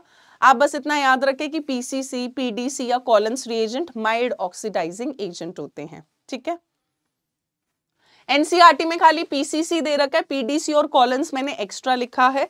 हम्म, तुम चाहो तो मैं मिटा देती हूँ अगर तुम्हें एक्स्ट्रा नहीं चाहिए तो I can remove that so so, बेटा कीटोन्स जो होते हैं they are tough to oxidize further ठीक है इनको कार्बोक्सिलिक में ऑक्सीडाइज करने के लिए बहुत मेहनत लगती है। यानी अगर मैं स्ट्रॉन्ग ऑक्सीडाइजिंग दूँगी भी ना तो नॉर्मल कंडीशन में नहीं ऑक्सीडाइज होगा। आपको स्ट्रॉन्ग ऑक्सीडाइजिंग एजेंट देना पड़ेगा हाई टेम्परेचर देना पड़ेगा तब जाके ये कार्बोक्सिलिक बनाएँगे और वो भी मिक्सचर देंगे। अलग अलग बॉन्ड की ब्रेकिंग होती है यहाँ पर। इसको हम अगले चैप्टर में ज़्यादा पढ़ेंगे। ठीक है? ठीक है, चलो। दीपेश प्रजापति, मैम आप पढ़ते थे अपने टाइम पर? नहीं दीपेश यार। बिल्कुल नहीं पढ़ी। तभी तो आज यहाँ खड़ी हूँ। बिल्कुल यार, बिल्कुल नहीं। पागल हो। पढ़ाई लिखाई में क्या लिखा, क्या रखा है? कुछ भी नहीं रखा। मतलब मैंने ट्वेल्थ ऐसे ही कर ली। है ना, उसके बाद मैं कॉलेज में भी ऐसे ही पहुँच गई मास्टर्स भी मैंने ऐसे ही कर ली, मज़े मज़े में बिना पढ़े, है ना। ऐसे बिना पढ़े मुझे डीयू मिल गया था बेटा। मतलब सवाल तो देखो यार। चलो, ऐसे सवाल कहाँ से मतलब मेरे को समझ ही नहीं आता कहाँ से लेकर आते हो तुम लोग ये सवाल। चलिए। अरे मैं सरकाजम में बोल रही हूँ ऑफकोर्स पढ़ती थी, तभी तो। मतलब अगर पढ़ाई में इंटरेस्ट होगा, तभी तो यार प्रोफेशन टीचिंग का चुना हुआ है कि पढ़ाई से कनेक्टेड रहे। अगर पढ़ाई में इंटरेस्ट ही नहीं होता तो फिर मैं ये करियर क्यों चुनती अपना? चलिए। और बेटा three degree alcohols three degree alcohols they do not oxidize बेटा टर्जरी एल्कोहल्स का ऑक्सीडेशन पॉसिबल नहीं होता। क्यों? इसको समझो। टर्जरी अल्कोहल में बेटा कार्बन के पास एच नहीं होता। अब अगर H नहीं है, यहाँ से तो H चलो जा रहा है, पर इस कार्बन पे हाइड्रोजन ही नहीं है तो H का रिमूवल दूसरे H का रिमूवल कहाँ से करूँ? पॉसिबल ही नहीं है। यहाँ पे डबल बॉन्ड आ नहीं सकता, क्योंकि अदरवाइज़ पाँच बॉन्ड बन जाएँगे तो ये नहीं होता। ठीक है? चलिए। अब ये वाला रिएक्शन बहुत बहुत बार आता है। तो लेट्स सी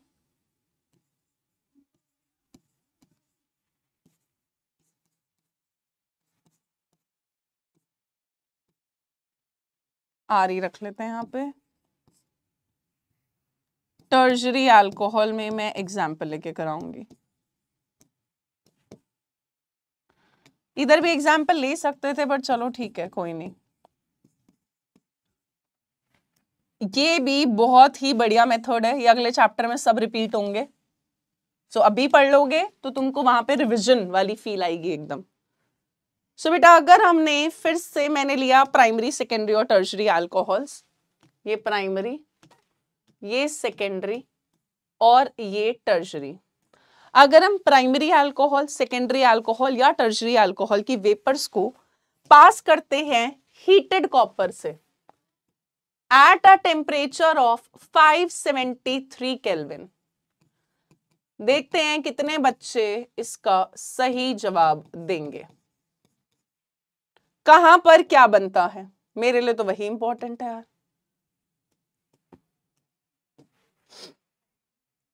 जल्दी से बताए बेटा, पहले में क्या बनेगा?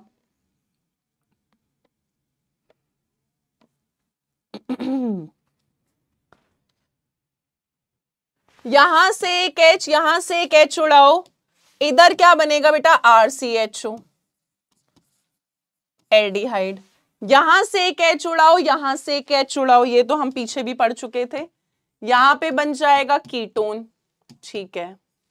यहाँ तक सारी कहानी क्लियर सी है मैम कि जब हमने प्राइमरी अल्कोहल की वेपर्स को हीटेड कॉपर से पास करा H2 का रिमूवल हुआ इधर भी सेकेंडरी अल्कोहल की वेपर्स को हीटेड कॉपर से पास करा H2 का रिमूवल हुआ कीटोन मिला। इन दोनों रिएक्शन में बच्चे क्या हो रहा है? डी हाइड्रोजनेशन डीहाइड्रोजनेशन माने किसका रिमूवल हुआ बेटा जी? H2 का। किसका रिमूवल हुआ? H2 का। पर टर्जरी अल्कोहल्स ऑक्सीडाइज तो देखो कर नहीं सकते हैं पॉसिबिलिटी ही नहीं होती है। टर्जरी अल्कोहल्स में क्या होता है बेटा, जब हम हीटेड कॉपर से पास करते हैं फंक्शनल ग्रुप जिस कार्बन पे अल्फ़ा ये सारी बीटा हैं। तुम किसी से भी एच उड़ा दो, फ़र्क नहीं पड़ेगा, सब एक बराबर है। यहाँ से ओ एच में यहाँ से एच उड़ा रही हूँ। यहाँ पर बेटा जी बन जाएगा C H three C C H three double bond C H two plus water बन जाता है। यानी यहाँ पर एल्कीन बनती है। ये रिएक्शन बहुत इंपॉर्टेंट है। यहाँ पर क्या हो रहा होता है बेटा? डिहाइड्रेशन यानी इसमें किसका रिमूवल होता है? वाटर का। किसका रिमूवल होता है बेटा? वाटर का। बात क्लियर है? यहाँ से ओ OH, यहाँ से एच वाटर का रिमूवल हो जाता है। वन टू थ्री कौन सी एल्कीन बन जाएगी बेटा? Two methyl propene. ये बात क्लियर है। जल्दी बोलें। सो so, बेटा टर्जरी अल्कोहल ऑक्सीडाइजिंग एजेंट अगर दे रहे हो तो वहाँ तो ऑक्सीडाइज नहीं होगा। हाँ हीटेड कॉपर से अगर पास करते हो क्योंकि हीट मिल रही होती है हैवी uh, मेटल से अगर हम पास करते हैं तो यहाँ पर रिमूवल ऑफ़ वाटर हो जाता है डिहाइड्रेशन हो जाता है और एल्कीन मिल जाती है। This is a very very very important reaction ठीक है? बेटा 573 को डिग्री सेल्सियस में करोगे तो 300 डिग्री सेल्सियस ही आएगा ना यार। 273 माइनस करोगे तो 300 डिग्री सेल्सियस हो गया। मैं केल्विन में लिख रही हूँ, तुम डिग्री सेल्सियस में लिख लो, क्या फ़र्क पड़ता है? है माउंटेन बताओ जरा। केल्विन से डिग्री सेल्सियस नहीं कन्वर्ट कर सकते आप। यहाँ तक बात क्लियर है सबको। एक बार नोट सेव कर लेते हैं, ताकि हमारे नोट्स का कहीं भी लॉस ना हो। So with this we are done with alcohols का केमिकल प्रॉपर्टीज़ ठीक है? अब हम स्टार्ट कर रहे हैं बेटा फिनॉल्स की केमिकल प्रॉपर्टीज़ सो फिनॉल्स की केमिकल प्रॉपर्टी स्टार्ट करेंगे। चलो चलो चलो चलो चलो चलो। ब्रेक नहीं दे रही हूँ मैं। मैम थी, पूछ रही थी कुछ खाना पीना है तो थे तू भेज दूँ आपको? चलो। एक लिख रहा है सारी अच्छी लड़कियाँ डी से होती हैं। I take it as a compliment thank you चलिए। सो so, अब हम फिनॉल्स की केमिकल प्रॉपर्टीज़ पर आ चुके हैं। चलो। सो so, हम बात करेंगे बेटा फिनॉल्स की। फिनॉल्स जो होते हैं इनमें रेजोनेंस तो हो ही रहा होता है। सो so, फिनॉल जो होता है बेटा क्योंकि यहाँ पर रेजोनेंस तो जा ही रहा होता है तो ये रिंग के अंदर इलेक्ट्रॉन डेंसिटी तो डोनेट करता है। तो हम कहते हैं कि बेटा फिनॉल जो होता है पहला पॉइंट हाईली एक्टिवेटिंग होता है। कैसा होता है बेटा highly activating in ESR reaction यानी यहाँ पर इलेक्ट्रोफाइल आकर इतना खुश होता है इतना खुश होता है कि उसकी खुशी का कोई ठिकाना नहीं होता। क्यों? क्योंकि रिंग के अंदर इलेक्ट्रॉन डेंसिटी इंक्रीज हो रही होती है इलेक्ट्रोफाइल होता है इलेक्ट्रॉन लविंग वो और ज़्यादा खुश हो जाता है क्योंकि उसको नेगेटिव चार्ज की डेंसिटी भर भर के मिल रही होती है।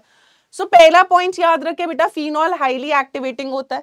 बेंजीन रिंग को बहुत ज़्यादा एक्टिवेट कर देता है इन इलेक्ट्रोफिलिक सब्सटीट्यूशन रिएक्शन दूसरा याद रखे बेटा फिनॉल में जब इलेक्ट्रोफाइल आएगा तो वो कौन सी पोजीशन पर आता है बेटा जी? फिनॉल कैसा होता है? ओ no no no it is वो वाला हो जाता scene oh no oh no oh no no no no no ortho para directing होता है. यानी यहाँ पर इलेक्ट्रोफाइल अगर आएगा तो वो कौन सी पोजीशन पर आएगा? ऑर्थो या पैरा पर.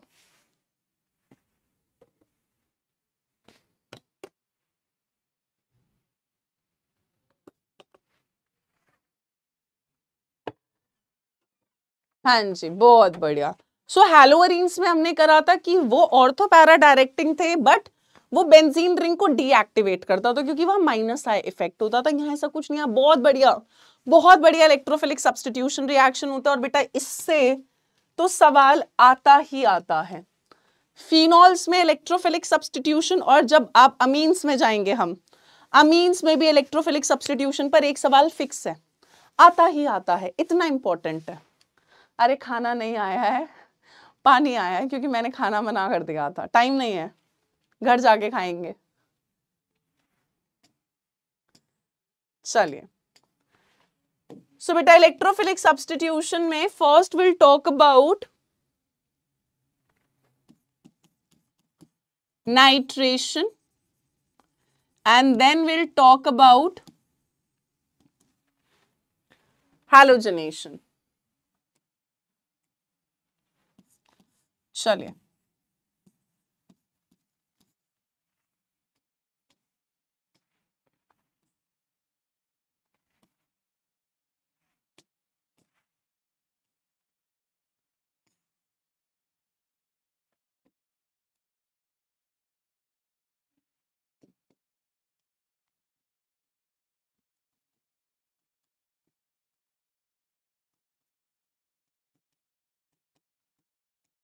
चलो भाई, फटाफट से प्रोडक्ट बना दो। क्या बनेगा? जल्दी से।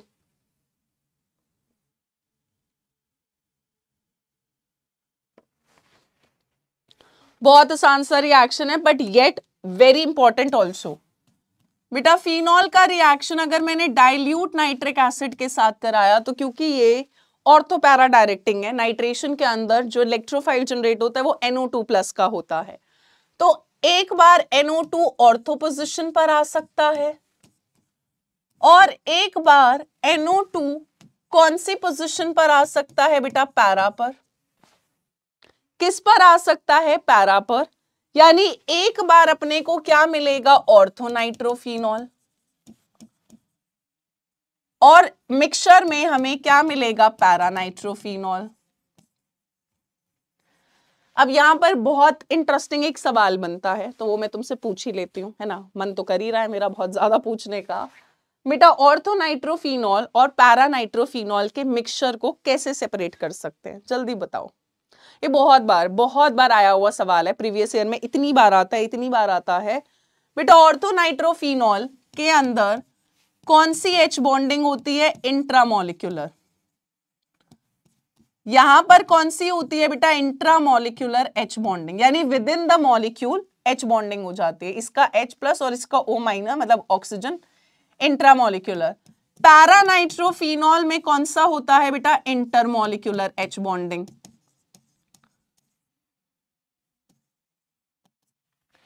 intermolecular H bonding होने की वजह से यहाँ पर मॉलिक्यूल एक दूसरे से जुड़ते जाते हैं, क्योंकि इंटर का मतलब है बिटवीन द मॉलिक्यूल्स एक पैरानाइट्रोफिनॉल दूसरा पैरानाइट्रोफिनॉल तीसरा, चौथा एक दूसरे के साथ जुड़ते जाएँगे। मॉलिक्यूल एसोसिएट होते जाएँगे बेटा तो इसका बॉइलिंग पॉइंट तो बढ़ जाता है। इसका बॉइलिंग पॉइंट बढ़ जाता है, पर इस बेचारे के बॉइलिंग पॉइंट में आज सच कोई फ़र्क नहीं आता। तो हम बोलते हैं कि ऑर्थोनाइट्रोफिनॉल कैसा होता है बेटा जी? स्टीम वॉलेटाइल होता है। स्टीम वॉलेटाइल माने ये आसानी से किसमें कन्वर्ट हो जाता है? वेपर्स में कन्वर्ट हो जाता है। यानी अगर मैं डिस्टिलेशन करूँगी इन दोनों का, ठीक है? तो ऑर्थोनाइट्रोफिनॉल की वेपर्स पहले बनेंगे क्योंकि उसका बॉइलिंग पॉइंट कम होता है, ठीक है? पैरानाइट्रोफिनॉल का बॉइलिंग पॉइंट ज़्यादा आता है तो डिस्टिलेशन में वो बाद में आएगा, ये पहले आ जाता है। इतनी बात क्लियर है? जल्दी बोलो। सो so, जब हम डिस्टिलेशन करेंगे ऑर्थोनाइट्रोफिनॉल स्टीम वॉलेटाइल होता है इसका बॉइलिंग पॉइंट कम होता है जल्दी से वेपराइज हो जाता है और डिस्टिल हो जाता है। पर अगर आपने बेटा नाइट्रेशन करी यूजिंग कॉन्सेंट्रेटेड नाइट्रिक एसिड क्या बोलती है पब्लिक क्या बनेगा? बेटा यहाँ पर ट्राई सब्सटीट्यूटेड प्रोडक्ट मिलता है। क्या मिलता है?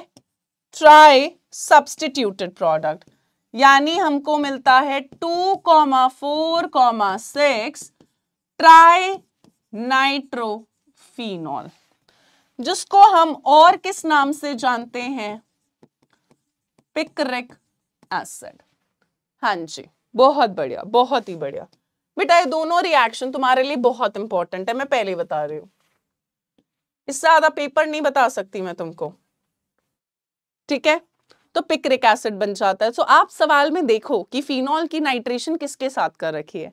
डाइल्यूट नाइट्रिक एसिड है तो मोनो सब्सटीट्यूटेड प्रोडक्ट बनेगा। नाइट्रो या तो ऑर्थो पर आएगा या पैरा पर आएगा, ठीक है? ऑर्थो वाले में इंटरमोलिकुलर एच बॉन्डिंग पैरा वाले में इंटरमोलिकुलर एच बॉन्डिंग पर अगर मेरे पास कॉन्सेंट्रेटेड नाइट्रिक एसिड है तो यहाँ पर ट्राई सब्सटीट्यूटेड बनता है। चलिए। सेकेंड बात करते हैं इलेक्ट्रोफिलिक सब्सटीट्यूशन में ही नाइट्रेशन हो गया। सेकेंड आ जाता है आपका बेटा हेलोजनेशन।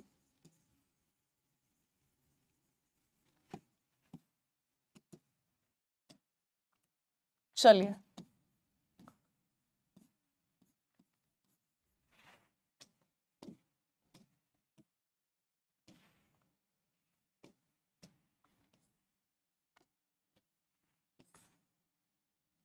अगर तो बेटा हमने बी आर टू लिया in the presence of C S two at low temperature 273 kelvin और एक बार मैं ले रही हूँ ब्रोमीन वाटर चलिए। कहाँ पर क्या बनता है?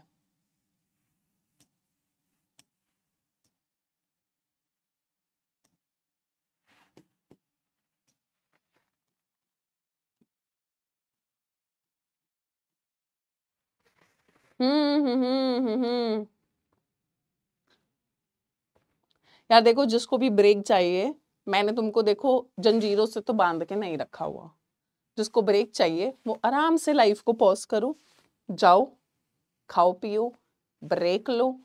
जब तुम्हें लगे कि हाँ तुम्हें पढ़ लेना चाहिए तो तुम क्लास रिज्यूम कर लेना। जो पढ़ने वाले उनको तो पढ़ लेने दो यार।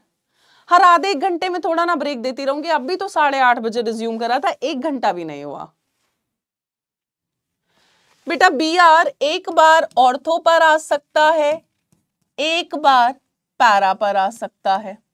यानी अपने को मिलेगा ऑर्थोब्रोमोफिनॉल एंड पैराब्रोमोफिनॉल। बेटा, पैरा वाला मेजर प्रोडक्ट होता है, ठीक है? पर जब हम ब्रोमीन हाई पोलैरिटी सॉल्वेंट में लेते हैं तो बेटा जी, यहाँ पर आपको मिलता है अगेन ट्राई सब्सटीट्यूटेड प्रोडक्ट यानी एक बार बी आर ऑर्थो पर पैरा पर और फिर ऑर्थो पर। और ये बेटा कैसा होता है? वाइट प्रेसिपिटेट की फॉर्म में। वाइट प्रेसिपिटेट की फॉर्म में मिलता है। और इस कंपाउंड का नाम क्या हो जाएगा? Two comma four comma six tri bromophenol ठीक है? अब मैं जो लास्ट ब्रेक दूँगी, वो ईथर स्टार्ट करने से पहले दूँगी। So please it's a humble request कि kindly cooperate kindly have patience ठीक है? बेटा, इनमें समझने का क्या है बताओ जरा? है? ब्रोमीन से इलेक्ट्रोफाइल जनरेट होता है बी आर प्लस का ऑर्थो पैरा डायरेक्टिंग होता है फिनॉल एक बार बी आर ऑर्थो पर आ जाता है, एक बार पैरा पर आ जाता है। अगर हाई पोलैरिटी का सॉल्वेंट है तो यहाँ पर तीनों जगह पर आ जाता है। चलिए। सो so, बेटा ये सारे रिएक्शन आपके लिए बहुत इंपॉर्टेंट है। मतलब फिनॉल्स की केमिकल प्रॉपर्टीज़ तो बहुत ज़्यादा इंपॉर्टेंट है हमारे लिए। क्योंकि इसके बाद अब आपके पास बहुत ही बेहतरीन नेम्ड रिएक्शन आने वाला है। क्या आप सब रेडी हैं नेम्ड रिएक्शन के लिए? जल्दी बोलो भाई। सो so, बेटा पहला मतलब पहला तो नहीं है बट हाँ फिनॉल्स में तो हम नेम्ड रिएक्शन पहला कर रहे हैं। Kolbe's reaction very very very important मतलब पिछले साल के बोर्ड एग्ज़ाम में आ रखा था कोल्ब्स रिएक्शन रीमर टीमन इतनी बार सवाल आता है, इतनी बार सवाल आता है कि क्या ही कहें। सो बेटा कोल्ब्स रिएक्शन में क्या होता है? हम फिनॉल की रिएक्शन कराते हैं सबसे पहले NaOH के साथ। और किसमें कन्वर्ट कर देते हैं बेटा जी इसको? सोडियम फिनॉक्साइड में। क्यों करते हैं? क्योंकि सोडियम फिनॉक्साइड ज़्यादा स्टेबल होता है इससे और रिएक्टिव भी होता है, ठीक है? So we converted into sodium phenoxide because it's better than phenol so हमने इसको फिनॉक्साइड आयन में कन्वर्ट कर दिया। फिर जब हम इसका फर्दर रिएक्शन कराते हैं with carbon dioxide followed by H plus तो बेटा जी, हमें यहाँ पर मेजर प्रोडक्ट मिल जाता है। पहले मैं आईयूपीएसी नेम लिखूँगी। One and two two hydroxy benzoic acid. Or I can write it as orthohydroxy benzoic acid. चलिए। कॉमन नेम में ये किस नाम से जानी जाती है? बेटा कार्बोक्सिलिक एसिड की प्रायोरिटी ज़्यादा होती है अल्कोहल के कंपैरिजन में तो वो जिस कार्बन पे था उसको मैंने वन दिया। ओ OH जिस कार्बन पे था उसको मैंने टू दिया। टू पर ओ OH है तो उसको हम हाइड्रोक्सी लिखेंगे सब्सटीट्यूएंट की तरह हो गया। और बेंजीन पर जब सी ओ OH लगा होता है तो उसको बेंजोइक एसिड बुलाते हैं। कॉमन नेम में this is called as your salicylic acid जिसको अभी हमने एस्पिरिन बनाने के लिए इस्तेमाल भी करा था। बात क्लियर है? जल्दी बोलो बेटा। पैरा पर भी आता है सी ओ एच पर वो प्रोडक्ट माइनर होता है, ये मेजर होता है। तो हम मेजर की ही बात करेंगे कि यही ज़्यादा अमाउंट में बनता है। बात क्लियर है? आगे बढ़े। जल्दी बोलो बेटा। नेक्स्ट चलेंगे नेक्स्ट रीमर टीमन पे रीमर टीमन पे।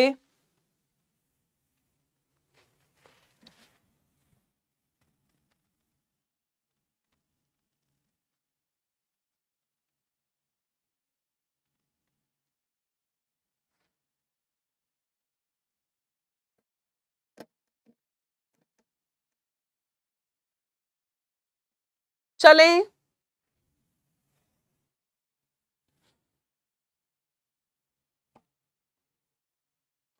चलो, इसमें एक छोटी सी लाइन लिख लो कि यहाँ पर जो CO2 होता है, वो किसकी तरह बिहेव करता है बेटा? इलेक्ट्रोफाइल की तरह।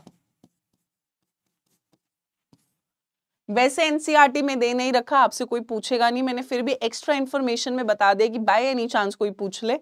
तो याद रखना कि जो आपका कोल्ब्स रिएक्शन होता है, उसके अंदर इलेक्ट्रोफाइल CO2 होता है, ठीक है? चलिए। इसी के साथ another very very very important named reaction is Reimer Tiemann reaction अब बहुत बार बच्चे ना कंफ्यूज हो जाते हैं दोनों रिएक्शन में सो प्लीज़ थोड़ा सा ध्यान दें। सबसे पहले बेटा हम फिनॉल का रिएक्शन किसके साथ कराते हैं? Chloroform chloroform in the presence of aqueous NaOH ठीक है?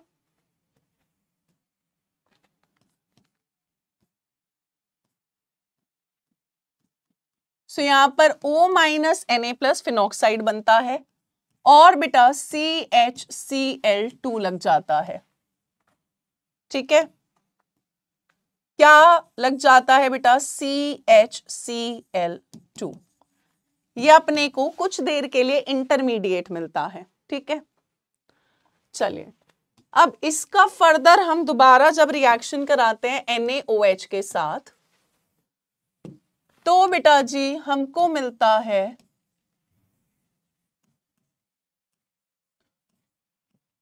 O माइनस ए प्लस इधर आ जाता है ओ और जब मैं एसिड की प्रेजेंस में इसकी हाइड्रोलिसिस कर दूँगी सो so फाइनली अपने को मिल जाएगा अभी एक बार इसको समझाऊँगी मैं यहाँ रुकना जरा। ठीक है? आईयूपीएसी नेम में हो जाएगा बेटा one two two hydroxy benzaldehyde और कॉमन नेम में जाना जाता है सेलिसाइल एल्डिहाइड किस नाम से जाना जाता है? सेलिसाइल बेटा सेलिसाइल अलग है। फिर एल्डिहाइड लगा दो। बहुत लोग स्पेलिंग ही गलत लिख देते हैं, ठीक है? अब जरा एक बार देखें, इस रिएक्शन में हुआ क्या? सो बेटा मेन जो यहाँ पर याद रखना है रीमर टीमन के अंदर जो इलेक्ट्रोफाइल जनरेट होता है, वो क्लोरोफॉर्म में से जनरेट होता है। क्लोरोफॉर्म और एनओएच की मदद से जनरेट होता है। वो इलेक्ट्रोफाइल यहाँ पर जनरेट होता है, बेटा जी। डाई क्लोरोकार्बीन का। ठीक है? यहाँ पर इलेक्ट्रोफाइल क्या जनरेट होता है बेटा? डाई नहीं बेटा लिमिटलेस साइंस आपसे कोल्स रिएक्शन का मैकेनिज्म कोई नहीं पूछेगा। रीमर टीमन का भी नहीं पूछेगा। रीमर टीमन में जितना मैंने बोर्ड पे लिखा उतना एज इट इज़ एग्ज़ाम में लिखाना अगर सवाल आता है तो। ठीक है? सो so, यहाँ पर सबसे पहले फिनॉल से फिनॉक्साइड आयन बनता है। फिर जो क्लोरोफॉर्म होता है उससे इलेक्ट्रोफाइल जनरेट होता है बेटा डाइक्लोरोकार्बीन का। सो so, यहाँ पे C H C L two लगता है और एक इंटरमीडिएट बनता है। फिर जब हम एनओएच के साथ रिएक्शन कराते हैं एक बार ध्यान से देखना।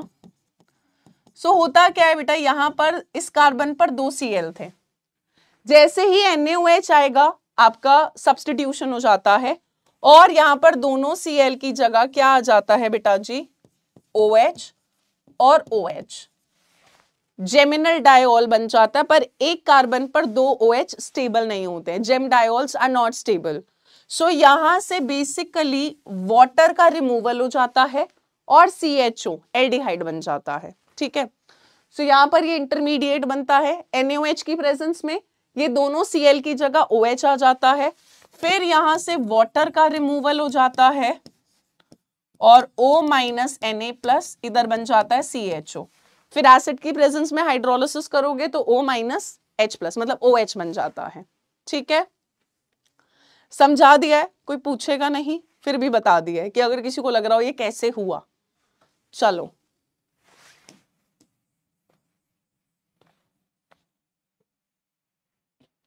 आगे बढ़े। नेक्स्ट केमिकल प्रॉपर्टी पर फिनॉल की। जल्दी जल्दी जल्दी जल्दी बताओ जल्दी बताओ जल्दी बताओ।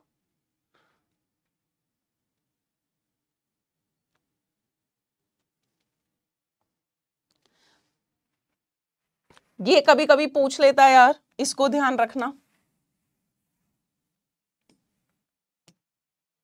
चलिए।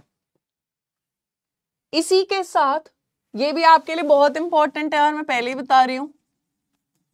प्रीवियस ईयर आप जब भी देखोगे इस चैप्टर के, आपको रीमर टीमन या कोल्ब्स कहीं ना कहीं रिपीटेडली दिख जाएगा, पूछा हुआ सवाल।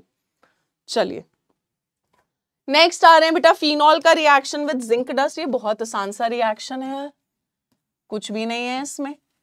फिनॉल का अगर हमने जिंक डस्ट यानी जिंक पाउडर के साथ में, जिंक डस्ट का मतलब जिंक मिट्टी के साथ नहीं है बेटा, जिंक पाउडर फॉर्म में होता है। ये क्या करता है? फिनॉल को रिड्यूस कर देता है ऑक्सीजन का रिमूवल हो जाता है और अपने को क्या मिल जाता है बेटा? बेंजीन मिल जाता है। खुद ऑक्सीडाइज हो जाता है जेडेनओ में और फिनॉल को किसमें रिड्यूस कर देता है? बेंजीन में। यहाँ तक बात क्लियर है? बहुत इंपॉर्टेंट है कन्वर्जन में काम आ जाता है। और लास्ट केमिकल प्रॉपर्टी है फिनॉल की बेटा, इसका ऑक्सीडेशन अगर हमने फिनॉल का डबल बॉन्ड के साथ दिखाते हैं। ऑक्सीडेशन कराया using Na2Cr2O7 plus H2SO4 sodium dichromate in the presence of H2SO4 जो रिएक्ट करके एक्चुअली में क्रोमिक एसिड बनाती है। सो so, बेटा जी ये किसमें ऑक्सीडाइज हो जाता है?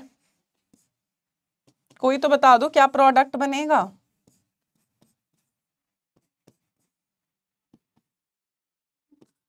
बेंजो क्विनॉन क्या बन जाता है बेटा? Benzoquinone it's a diketone दिख रहा होगा आपको डाई कीटोन है बेटा दो बार कीटोन आ रहा होता है। ठीक है? बेंजोक्विनोन है। दो बार कीटोन फंक्शनल ग्रुप आता है।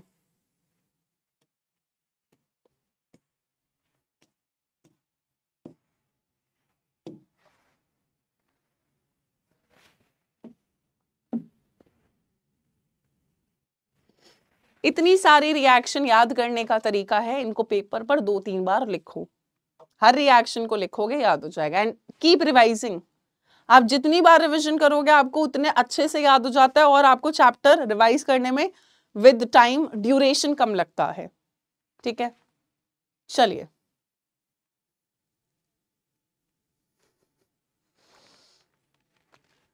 सो so, अब लास्ट मतलब ईथर इस अब इसके बाद एक बार और ब्रेक दूँगी छोटा सा ब्रेक लेंगे तब फिर ईथर स्टार्ट करेंगे क्योंकि अब हमारा चैप्टर खत्म होने वाला है।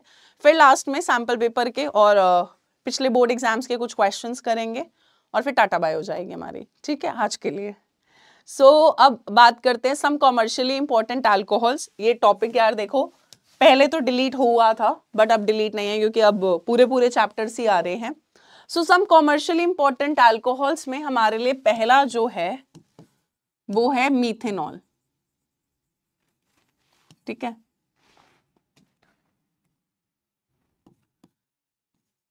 केमिकल फॉर्मूला हो गया बेटा C H three O H ठीक है? Also known as methyl alcohol या फिर इसको एक और नाम से बुलाया जाता है वुड स्पिरिट किस नाम से बुलाया जाता है वुड स्पिरिट और वुड स्पिरिट इसीलिए क्योंकि ये पहले के टाइम पर वुड के डिस्ट्रक्टिव डिस्टिलेशन से ऑप्टेन होता था। पर अगर हमें इसको लैब के अंदर बनाना है लैब के अंदर हम कैसे बनाते हैं बेटा? कार्बन मोनोऑक्साइड एंड हाइड्रोजन यानी सिन गैस के मिक्सचर को। जल्दी बोले बेटा, कैसे बनाते हैं? फटाफट से बताएँ।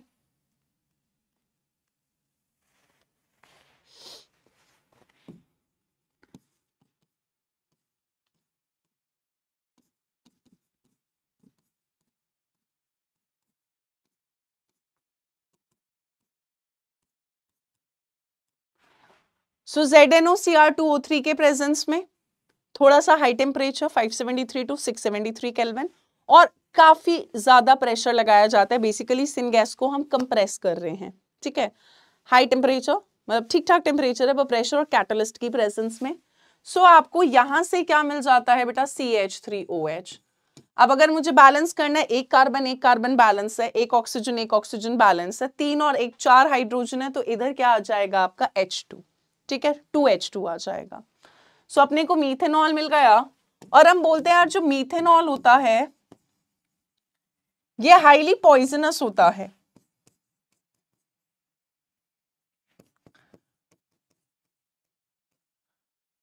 ठीक है? दिस कैन कॉज ब्लाइंडनेस और death of a person also कोई बताएगा ऐसा क्यों होता है? जल्दी से बताओ यार। मीथेनॉल अगर किसी ने एक्सीडेंटली कंज्यूम कर लिया, है ना? मतलब मान लो लैब में किसी बच्चे ने गलती से पी लिया, उसे नहीं पता था कि ये मीथेनॉल था, या उसको पता था पर उसको साइड इफेक्ट्स नहीं पता थे।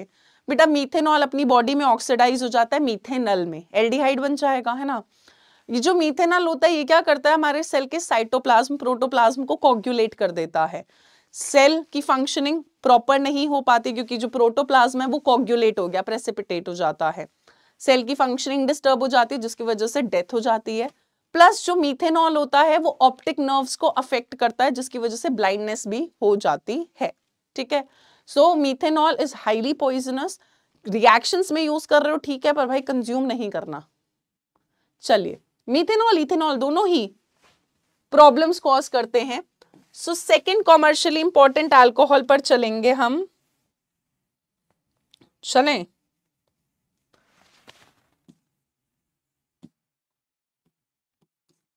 Ethanol.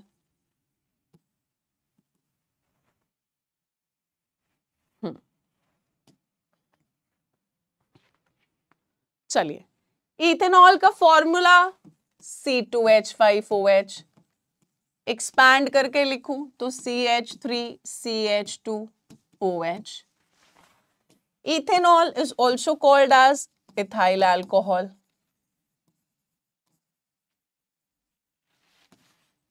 main constituent of alcoholic drinks. चलिए। अब बेटा लैब के अंदर अपने को अगर इथेनॉल बनाना है तो इथिन की हाइड्रेशन कर दो H प्लस की प्रेजेंस में तुमको इथेनॉल मिल जाएगा ठीक है? पर जब हमें बल्क में बनाना होता है तो मैं वाइन प्रिपरेशन बता रही हूँ कि वाइन जब प्रोडक्शन होती है वाइन बनती है आई होप सबने डिस्कवरी का कहीं देखा होगा। सो so, वाइन बनाते टाइम पे पहले क्या करा जाता है? ग्रेप्स को क्रश करा जाता है फिर फर्मेंटेशन का प्रोसेस होता है। सो so, ग्रेप्स के अंदर बहुत ज़्यादा शुगर का अमाउंट होता है। सो so, यहाँ पर पहले स्टेप में क्या होता है बेटा? जो शुगर मोलासिस होते हैं C twelve H twenty two O eleven which is basically अपना सुक्रोज या जिसको हम केन शुगर के नाम से भी जानते हैं। शुगर केन से ऑप्टेन होती है। ठीक है? चलिए।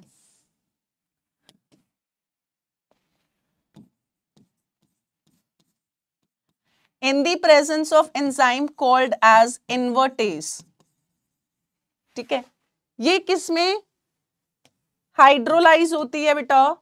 हमें मिलता है C6H12O6 ये बायोमोलिक्यूल्स में दोबारा आएगा।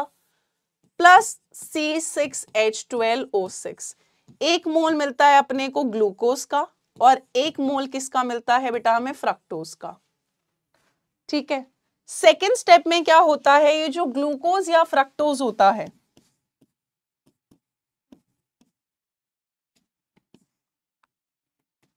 in the presence of enzyme called as zymase. हमें देता है C2H5OH और कौन सी गैस रिलीज़ हो जाती है बेटा CO2 पहली वाली तो बैलेंस है C12 6 और 6 12 22 है इधर और दो इधर थी, पानी से। 24 12 और 12 24 6 और 6 12 ऑक्सीजन 11 और एक पानी से मिल रही है 12 ऑक्सीजन हो गई।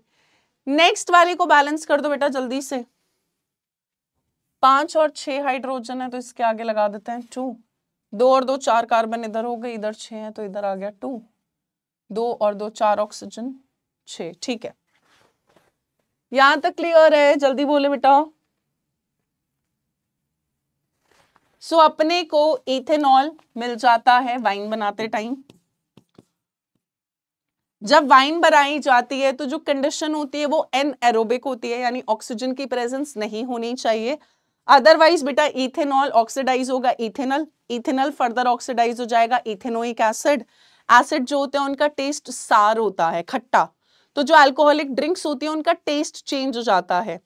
तो एन एरोबिक होता है फर्मेंट कराया जाता है, और हम बोलते हैं, जब वाइन बनाया जाता है फोर्टीन परसेंट तक जब अल्कोहल का अमाउंट रीच कर जाता है जाइमेस की एक्टिविटी को रोक देते हैं कि भाई, बस कर दे। अब ग्लूकोज या फ्रक्टोज से फर्दर हमें अल्कोहल नहीं चाहिए। ठीक है जी? चलिए। अब बेटा कुछ कॉमर्शियल फॉर्म्स हैं मतलब जो इथेनॉल होता है वो अलग अलग फॉर्म्स में हमें यूज़ होता है या पहला है आपका डीनेचर्ड अल्कोहल जल्दी जल्दी बताते जाओ यार।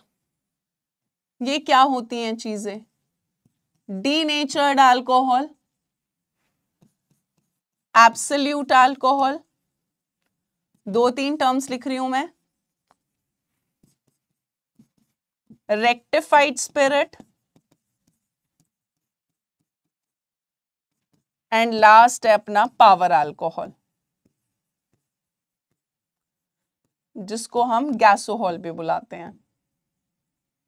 चलिए डीनेचर्ड अल्कोहल शिल्पी का आंसर बिल्कुल ठीक है। पर बाकी भाई, बाकी शिल्पी ही पढ़ रही है क्या यहाँ पर?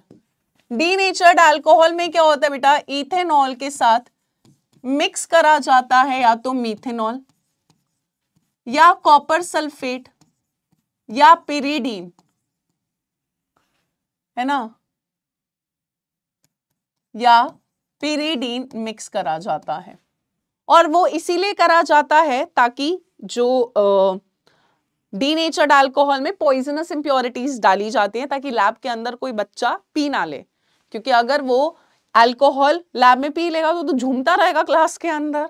और बहुत बच्चे करते हैं भाई लैब के अंदर अल्कोहल भी है इथेनॉल भी है लैब के अंदर पानी भी है लैब के अंदर आपको बर्फ़ भी मिल जाती है एक्सपेरिमेंट में। तो लैब के अंदर तो बच्चे एक्सपेरिमेंट कम करेंगे इथेनॉल कंज्यूम करके बैठे होंगे आराम से मस्त। सो so, लैब के अंदर अल्कोहल को ड्रिंकिंग पर्पस के लिए अनफिट बनाया जाता है जान के कि लैब के अंदर बच्चे अल्कोहल ना पिए। क्योंकि कॉलेज में जब बच्चे आते हैं तो तब तक उनको इतनी अकल आ चुकी होती है। सो so, यहाँ पर जान पूछकर अल्कोहल के अंदर बेटा क्या मिक्स करी जाती है? पॉइजनस impurities ताकि बच्चे को डर लगे वो गलती से पी ना ले लैब के अंदर। पिएगा तो फिर हॉस्पिटल ही लेकर जाना पड़ेगा वहाँ पे इसको। ठीक है? चलिए। नेक्स्ट बेटा एब्सोल्यूट अल्कोहल क्या होता है? Hundred percent pure alcohol pure alcohol मतलब मैं इथेनॉल की बात कर रही हूँ, ठीक है? चलो. रेक्टिफाइड स्पिरिट में 95 परसेंट इथेनॉल होता है बाय वॉल्यूम बाकी पानी, पाँच परसेंट पानी होता है diluted but 95 percent ethanol by volume और पावर अल्कोहल या गैसोहॉल में क्या होता है बेटा? पेट्रोल जिसको एक और नाम से जाना जाता है गैसोलीन को मिक्स करा जाता है इथेनॉल यानी अल्कोहल के साथ। और वो इसीलिए कर रहे हैं ताकि पेट्रोल थोड़ा सेव हो सके। इथेनॉल जो होता है वो एक अच्छा खासा फ्यूल होता है, यानी उसकी कंबशन पे अच्छी एनर्जी रिलीज़ होती है। क्लीनर फ्यूल होता है। तो यहाँ पर हम क्या करते हैं? 70 टू 75 परसेंट पेट्रोल होता है। ठीक है, और 25 से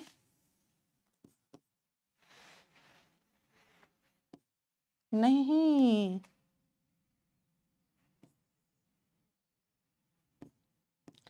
पच्चीस से तीस परसेंट अल्कोहल इसके साथ मिक्स कर देते हैं, ताकि पेट्रोल थोड़ा सेव हो सके। और आजकल ये बहुत ज़्यादा टेक्निक यूज़ होने लग गई है। अब आजकल आप देख रहे होगे कार्स भी अलग अलग कॉन्सेप्ट के आने लग गए हैं ना। अब इलेक्ट्रिक व्हीकल काफ़ी फ़ेमस हो गया ईवी सीएनजी तो चलो पहले से था ही। डीजल अब धीरे धीरे बंद होता जा रहा है, डीजल कार्स जो हो गई। अब आपका हाइब्रिड कॉन्सेप्ट आने लग गया है, जिसमें बैटरी प्लस पेट्रोल दोनों यूज़ हो रहा है। सो ये सारी चीज़ें इसीलिए करी जा रही है ताकि पेट्रोल बच सके, आने वाली जनरेशन के लिए बिल्कुल खत्म ही ना हो जाए। ठीक है जी? Okay okay okay. Okay report है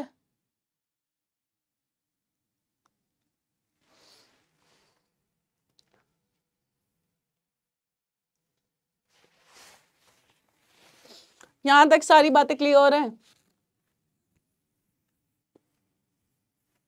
ओके रिपोर्ट है। ठीक है। बेटा एनसीईआरटी का सोल्यूशन आपको वीडियो सोल्यूशन बाद में मिलेगा चैप्टर्स जब खत्म हो जाएँगे। अब लास्ट टॉपिक बचा है बेटा ईथर्स ईथर्स का क्लासिफिकेशन हमने कर लिया सिमेट्रिकल अनसिमेट्रिकल दो तरह के ईथर्स को क्लासिफाई करते हैं। नॉर्मन हमने कर लिया था एल्कोक्सी एल्केन और दूसरा हमने कर लिया था कॉमन नेम में एल्काइल ईथर सो so, मैं अल्काइल ईथर अच्छा स्क्रीनशॉट लेना है। ये लो भाई ले लो। वैसे तो तुमको नोट्स मिल ही जाएँगे बट ठीक है इफ़ यू वांट टू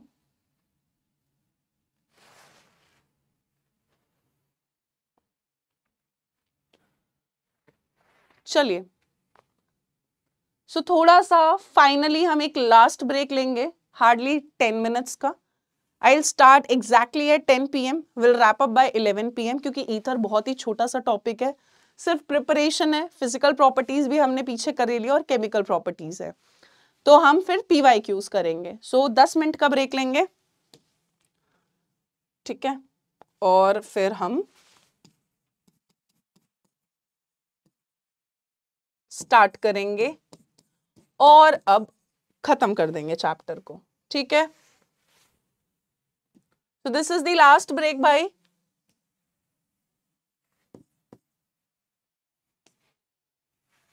चलिए।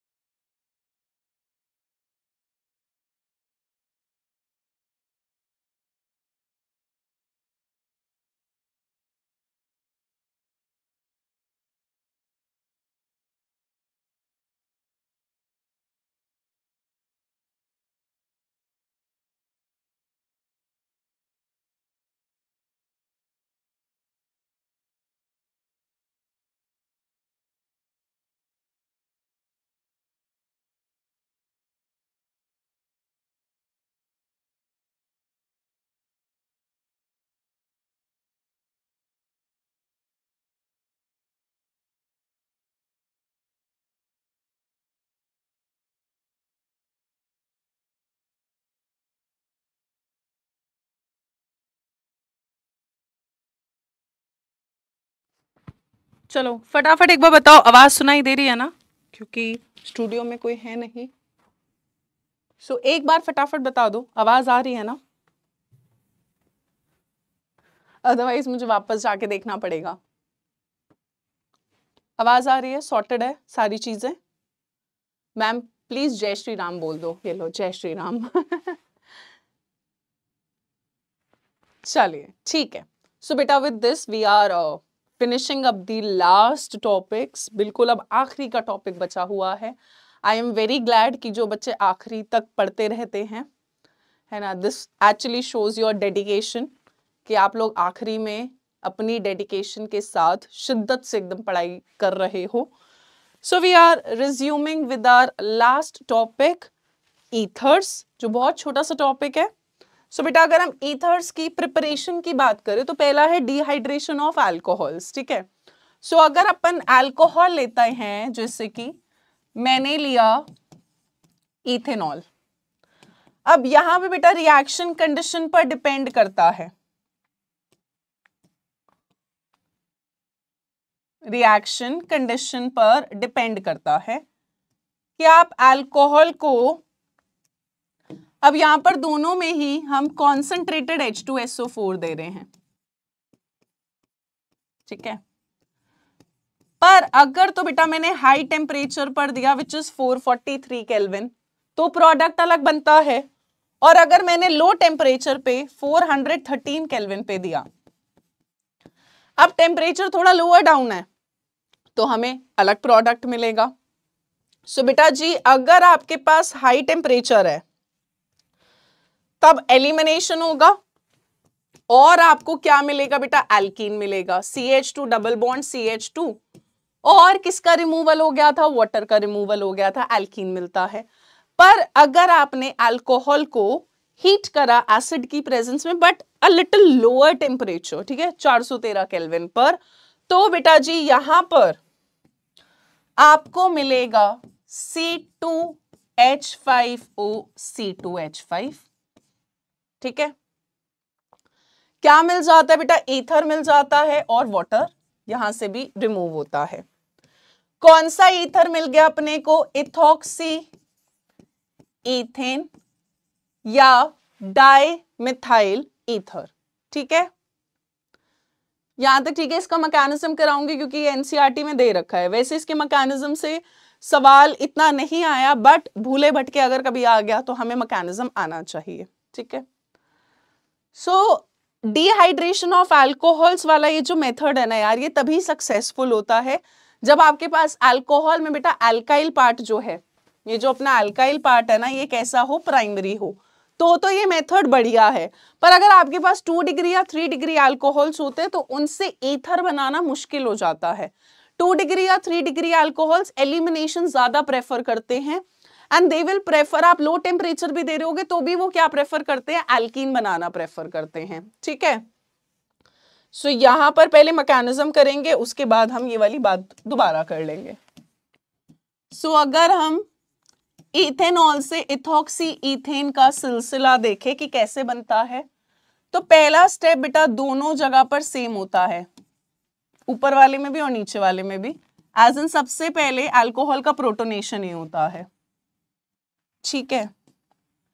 यहाँ पर आपको क्या मिल जाएगा बेटा? C two H five O H two plus तो पहला स्टेप तो सेम ही होता है वहाँ पे भी। जब एलिमिनेशन हमने करा था बीटा एलिमिनेशन वहाँ पे भी पहले स्टेप के अंदर बेटा अल्कोहल का क्या होता है? प्रोटोनेशन यहाँ पे भी अल्कोहल का क्या हो रहा होता है? प्रोटोनेशन सेकेंड स्टेप ध्यान से देखिएगा। सेकेंड स्टेप अपने लिए इंपॉर्टेंट है। अब जो ये प्रोटोनेटेड अल्कोहल है बेटा C H three C H two O H two plus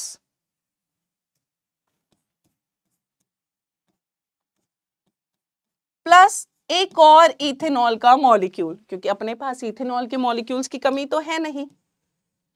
चलिए। फटाफट से सोचे बेटा, कौन इलेक्ट्रोफाइल कौन न्यूक्लियोफाइल की तरह बिहेव करेगा? जल्दी सोचो भाई।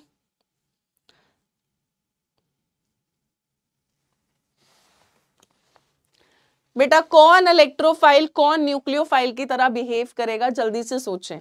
अब यहाँ पर क्या हो रहा होता है बेटा? ये न्यूक्लियोफाइल की तरह बिहेव करता है। और ये इस कार्बन पर अटैक करता है और यहाँ से किसका रिमूवल हो जाता है? वाटर का। ठीक है? तो सबसे पहले अगेन वही है। पहले स्टेप में अल्कोहल का प्रोटोनेशन होता है प्रोटोनेटेड अल्कोहल मिलता है। सेकेंड स्टेप में क्या होता है, ये प्रोटोनेटेड अल्कोहल पे another molecule of alcohol attack करता है। यहाँ से पानी निकल जाता है कार्बोकेटायन बनेगा, ठीक है? इस कार्बोकेटायन पर ये ऑक्सीजन फटाफट से आकर अटैक कर लेता है, क्योंकि ये इलेक्ट्रोफाइल हो जाता है, वो न्यूक्लियोफाइल हो जाता है। सो so, यहाँ पर आपको मिलेगा सी एच थ्री ध्यान से देखना सी एच टू ये ऑक्सीजन इस कार्बन पर गया तो इन दोनों में बॉन्ड बन गया और ये C2H5 चला गया यानी CH2 CH3 और इस ऑक्सीजन पर बेटा कैसा चार्ज आ जाता है? पॉजिटिव क्योंकि इसने अपना एक लोन पेयर दे दिया होता है। और यहाँ से बेटा जी वाटर एलिमिनेट हो चुका है। डिहाइड्रेशन तो हो गया वाटर का रिमूवल तो हो चुका है। अब लास्ट स्टेप में जो एसिड से प्रोटॉन चुराया था लास्ट स्टेप में थर्ड स्टेप में बेटा ये हाइड्रोजन इसको इलेक्ट्रॉन दे देता है और प्रोटॉन का रिमूवल हो जाता है और फाइनली आपको C2H5 या CH3 CH2O C2H5 का ईथर मिल जाता है ठीक है? सो so, पहले स्टेप में अल्कोहल का प्रोटोनेशन होता है। सेकेंड स्टेप के अंदर बेसिकली क्या हो रहा होता है बेटा? ये जो अल्कोहल होता है ये न्यूक्लियोफाइल की तरह बिहेव करता है। अब यहाँ पर कार्बोकेटाइन की फॉर्मेशन होती है क्योंकि जैसे ही पानी निकलेगा इस कार्बन पे पॉजिटिव आएगा। ये इलेक्ट्रोफाइल ये न्यूक्लियोफाइल ये तुरंत इस कार्बन पर आकर अटैक करता है। तो C H three C H two O H plus C two H five लग जाता है। और फाइनली प्रोटॉन का रिमूवल होता है, जो H प्लस से हमें प्रोटॉन मिला था, वो वापस मिल जाता है। ठीक है? सो ये एसिड से चुराया था। हमने उसको वापस दे दिया। ठीक है? चलिए। H माइनस का माइनस एच माइनस मतलब कहाँ गया तब बेटा, यहाँ से H प्लस निकल गया ना? तो H प्लस का लॉस हुआ है प्रोटॉन का रिमूवल हुआ है। चलिए। सो यहाँ पर लिख लें बेटर रिजल्ट्स तब मिलते हैं जब प्राइमरी अल्कोहल हो, यानी वन डिग्री अल्काइल ग्रुप होता है। तो आपको, या वन डिग्री अल्कोहल लिख लो ना। वन डिग्री अल्कोहल अगर है तो ईथर बनने के ज़्यादा चांस होते हैं लो टेम्परेचर पर। ठीक है? पर टू डिग्री या थ्री डिग्री अल्कोहल अगर है और आप सोच रहे हो कि डिहाइड्रेशन करके आप ईथर बना लोगे तो बेटा टू डिग्री या थ्री डिग्री अल्कोहल प्रेफर करते हैं एल्कीन देना। ठीक है? सो so, जो डिहाइड्रेशन ऑफ़ अल्कोहल्स वाला मेथड है ये आप तभी लगा पाते हो ईथर बनाने के लिए जब प्राइमरी अल्कोहल हो। जब अल्कोहल के अंदर अल्काइल पार्ट प्राइमरी हो ठीक है? प्राइमरी अल्काइल पार्ट हो। अगर स्टेरिक हिंड्रेंस होगी तो इस न्यूक्लियोफाइल को अटैक करने में प्रॉब्लम होती है। सो so, इसी वजह से हम कहते हैं कि प्राइमरी अल्काइल ग्रुप है तो तो ठीक है। टू डिग्री या थ्री डिग्री अल्कोहल अगर होता है तो वो प्रेफर करता है एलिमिनेशन ही जाए और एलिमिनेशन जाए तो एल्कीन ही बनाए।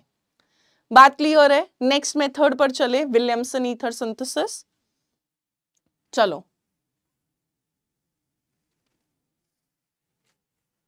चलो।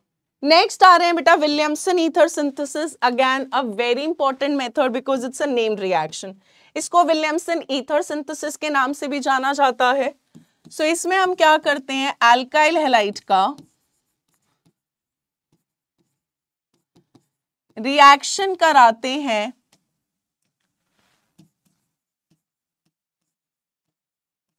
मैं आर डैश ले लेती हूँ। विद एल्कोक्साइड सोडियम एल्कोक्साइड लिया है मैंने यहाँ पर। चलिए। फटाफट से बताएँ बेटा, कहाँ पे क्या एलिमिनेट होगा? देखो एल्काइल हेलाइड में इधर पार्शियल नेगेटिव है, इधर पार्शियल पॉजिटिव है। कौन किस पर जाएगा? जल्दी से सोचें। बेटा, जल्दी से सोचो। ये x minus N A plus के साथ ये इधर आ जाएगा। It's kind of a nucleophilic substitution only ठीक है? और यहाँ पर क्या बन जाएगा बेटा? आर ओ आर डैश है ना? आर प्लस के साथ ये ओ माइनस आर डैश वाला ग्रुप लग जाता है। और साथ में क्या बन जाता है बेटा जी आपका? एन एक्स क्या बन जाता है? एन ए एक्स हमें क्या मिल गया? हमारा ईथर मिल गया। क्या मिल गया? ईथर मिल गया। ठीक है। अब क्योंकि ये विलियमसन ईथर सिंथेसिस बेटा जारी होती है एस एन टू मैकेनिज्म, है ना? क्योंकि एस एन टू मैकेनिज्म लग रहा होता है तो ये मेथड तभी बढ़िया है जब एल्काइल हेलाइड कैसा हो प्राइमरी हो। प्राइमरी एल्काइल हेलाइड होगा तो बेटर रहता है, क्योंकि न्यूक्लियोफिलिक सब्सटीट्यूशन है यार। ये मेरा न्यूक्लियोफाइल है। न्यूक्लियोफाइल को अगर इस हेलाइड को हटाना है है ना, ये लिविंग ग्रुप तो जाएगा। पर जब हमने पढ़ा है बेटा कि अगर एस का मैकेनिज्म होता है तो एल्काइल हेलाइड आपका कैसा होना चाहिए? प्राइमरी तब रिएक्टिविटी ज़्यादा होती है, क्योंकि ट्रांजिशन स्टेट बन रहा होगा। अगर स्टेरिक हिंड्रेंस ज़्यादा होगी तो रिएक्शन होने में सब्सटीट्यूशन होने में प्रॉब्लम होगी। ये बात क्लियर है? जल्दी बोलो भाई। चलिए। अब ये क्वेश्चन बहुत बार पूछा जाता है। बहुत मतलब बहुत ही बार। तो मैं भी तुमसे पूछ ही लेती हूँ ये क्वेश्चन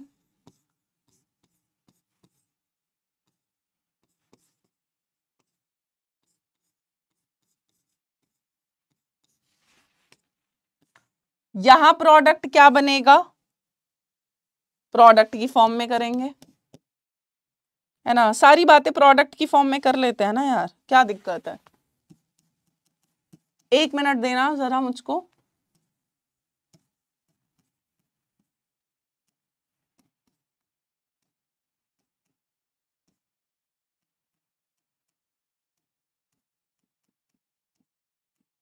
और अब क्या बनेगा? चलिए। फटाफट से बताएँ बेटा, पहले वाले में नो रिएक्शन होगी। वाह वाह वाह जी, वाह। बेटा, यहाँ पार्शियल नेगेटिव यहाँ पार्शियल पॉजिटिव नेगेटिव पॉजिटिव ये वाला पूरा का पूरा न्यूक्लियोफाइल है।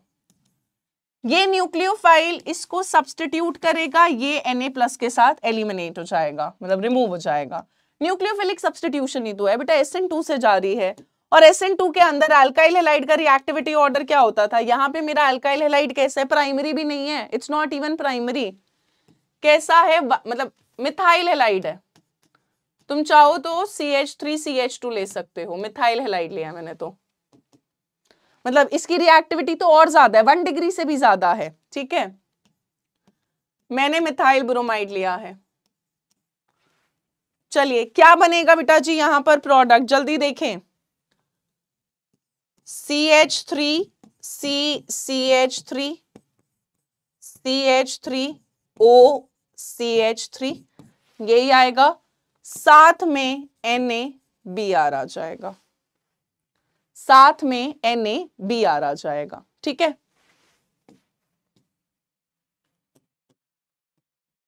ये न्यूक्लियोफाइल।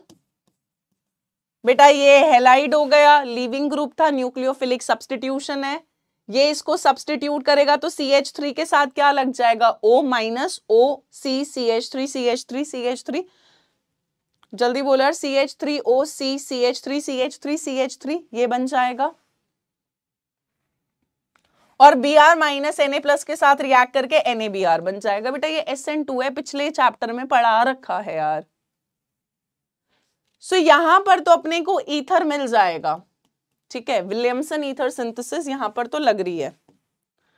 आपको यहाँ पर तो ईथर मिल गया। पर जब मैंने ये कंडीशन ली, यानी यहाँ पर एल्काइल हेलाइड है और आपके पास सोडियम एल्कोक्साइड है, हमने क्या कहा? विलियमसन सिंथेसिस होने के लिए मेरे पास एल्काइल हेलाइड होना चाहिए और सोडियम एल्कोक्साइड होना चाहिए। पर रिएक्शन तभी बढ़िया है जब प्राइमरी एल्काइल हेलाइड हो। अब यहाँ पर अगर आप देखोगे बेटा बी आर जिस कार्बन पे वो तीन से अटैच्ड है। It's a tertiary alkyl halide tertiary alkyl halide है। अब बेटा टर्जरी एल्काइल हेलाइट तो एस जाना ही नहीं चाहता। टर्जरी एल्काइल हेलाइट तो कौन सा मैकेनिज्म प्रेफर करता है? जल्दी बोलो भाई एस एन वन प्रेफर करता था। तो ये तो यही चाहेगा कि यहाँ से बॉन्ड टूटे बी आर माइनस और प्लस इसको सपोर्ट करने के लिए यहाँ से H प्लस अपना बॉन्ड दे देता है इलेक्ट्रॉन दे देता और एल्कीन बन जाता है।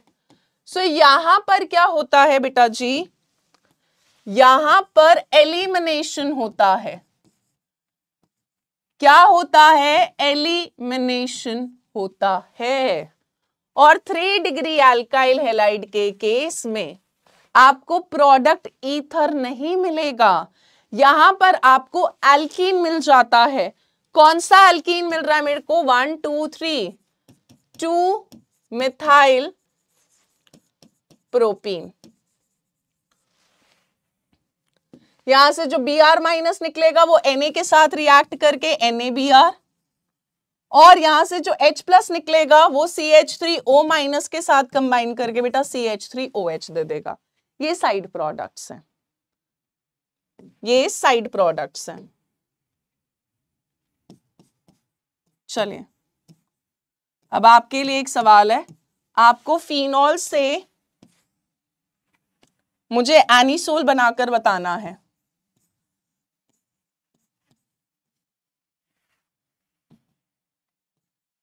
कैसे बना सकते हैं? How will you prepare phenol से एनिसोल बहुत बार बेटा कन्वर्जन में सवाल आता है, जल्दी से बता दो भाई।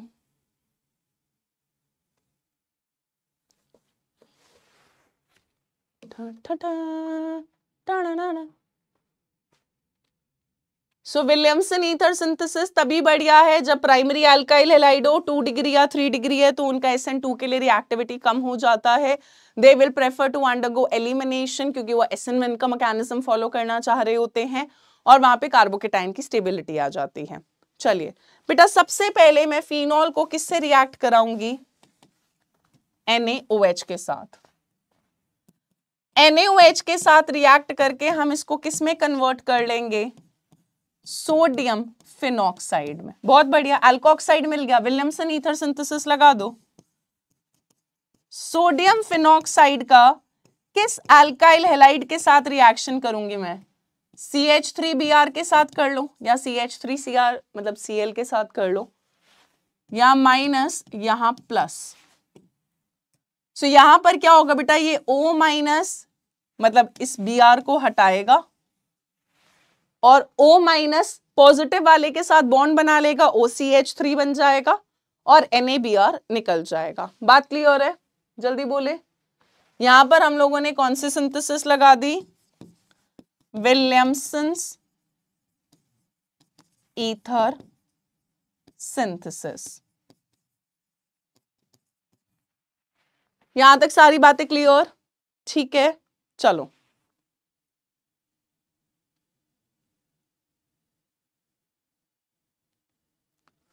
चलिए, यहाँ तक फटाफट से नोट करें। बेटा, ये वाला बहुत इंपॉर्टेंट है। ये इतनी बार पूछा गया सवाल है, इतनी बार पूछा गया सवाल है। एनसीईआरटी के एग्ज़ाम्पल में भी मिलेगा आपको बैक एक्सरसाइज में भी मिलेगा आपको पीवाई क्यूज में भी मिलेगा आपको।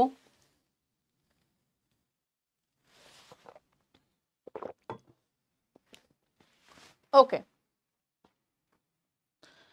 सो नेक्स्ट आ रहे हैं बेटा फ़िज़िकल प्रॉपर्टीज़ पे। ईथर बनाने के मेनली दो ही तरीके थे डिहाइड्रेशन ऑफ़ अल्कोहल्स दूसरा था बेटा आपका Williamson ether synthesis which is a named reaction ज़्यादातर सवाल विलियमसन ईथर सिंथेसिस से मिल जाते हैं। चलिए। सो so, अब आते हैं फ़िज़िकल प्रॉपर्टीज़ पर। हमने बेटा देख लिया है कि ईथर्स में जो बॉन्ड एंगल था bond angle is more than 110 degree. Tetrahedral angle से बॉन्ड एंगल ज़्यादा होता है। ठीक है ईथर्स का बॉइलिंग पॉइंट अल्कोहल से कम होता है। लेस देन अल्कोहल्स क्योंकि बेटा ईथर के अंदर कोई इंटरमोलिक्यूलर एच बॉन्डिंग नहीं हो रही होती। ईथर खुद के साथ एच बॉन्डिंग नहीं बना सकता। तो अगर मेरे पास अल्कोहल है और ईथर और दोनों का मॉलिक्यूलर मास सिमिलर है सो so, यहाँ पर हम बोलते हैं कि जो ईथर होता है उसका बॉइलिंग पॉइंट कम है अल्कोहल का ज़्यादा होता है क्योंकि अल्कोहल में इंटरमोलिकुलर एच बॉन्डिंग था इधर नहीं था ठीक है? टेट्राहेड्रल एंगल से बॉन्ड एंगल ज़्यादा क्यों होता है हमने कर लिया था बल्कि ग्रुप्स में रिपल्शन होने की वजह से। और थर्ड याद रखें बेटा कि ईथर्स जो होते हैं पानी में ठीक ठाक सोल्यूबल होते हैं। They are soluble in water और ये पानी में इसीलिए सोल्यूबल हो जाते हैं क्योंकि ये पानी के साथ एच बॉन्डिंग बना लेते हैं। दे शो इंट खुद के साथ नहीं दिखा सकते।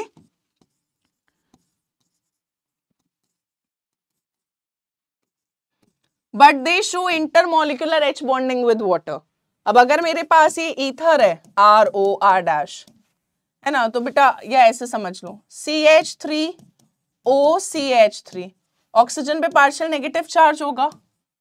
वाटर की हाइड्रोजन पे पार्शियल पॉजिटिव होगा। तो ये पानी के साथ एच बॉन्डिंग दिखा सकता है, पर खुद के साथ नहीं दिखा सकता। ठीक है? यहाँ तक बातें क्लियर है? जल्दी बोले। सो फ़िज़िकल प्रॉपर्टीज़ में इतना ही है। ज़्यादा कुछ नहीं, हम पहले पढ़ चुके हैं। So I am starting the chemical properties chemical properties दो ही हैं। बस अब हम चैप्टर के बिल्कुल करीब है खत्म करने के।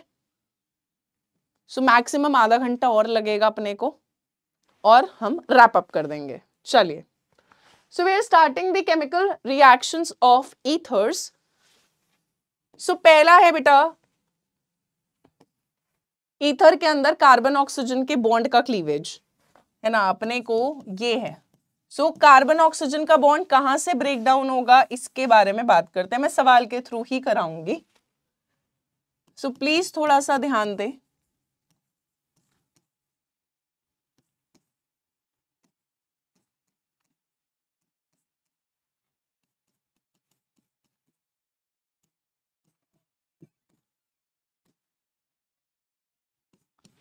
चलिए।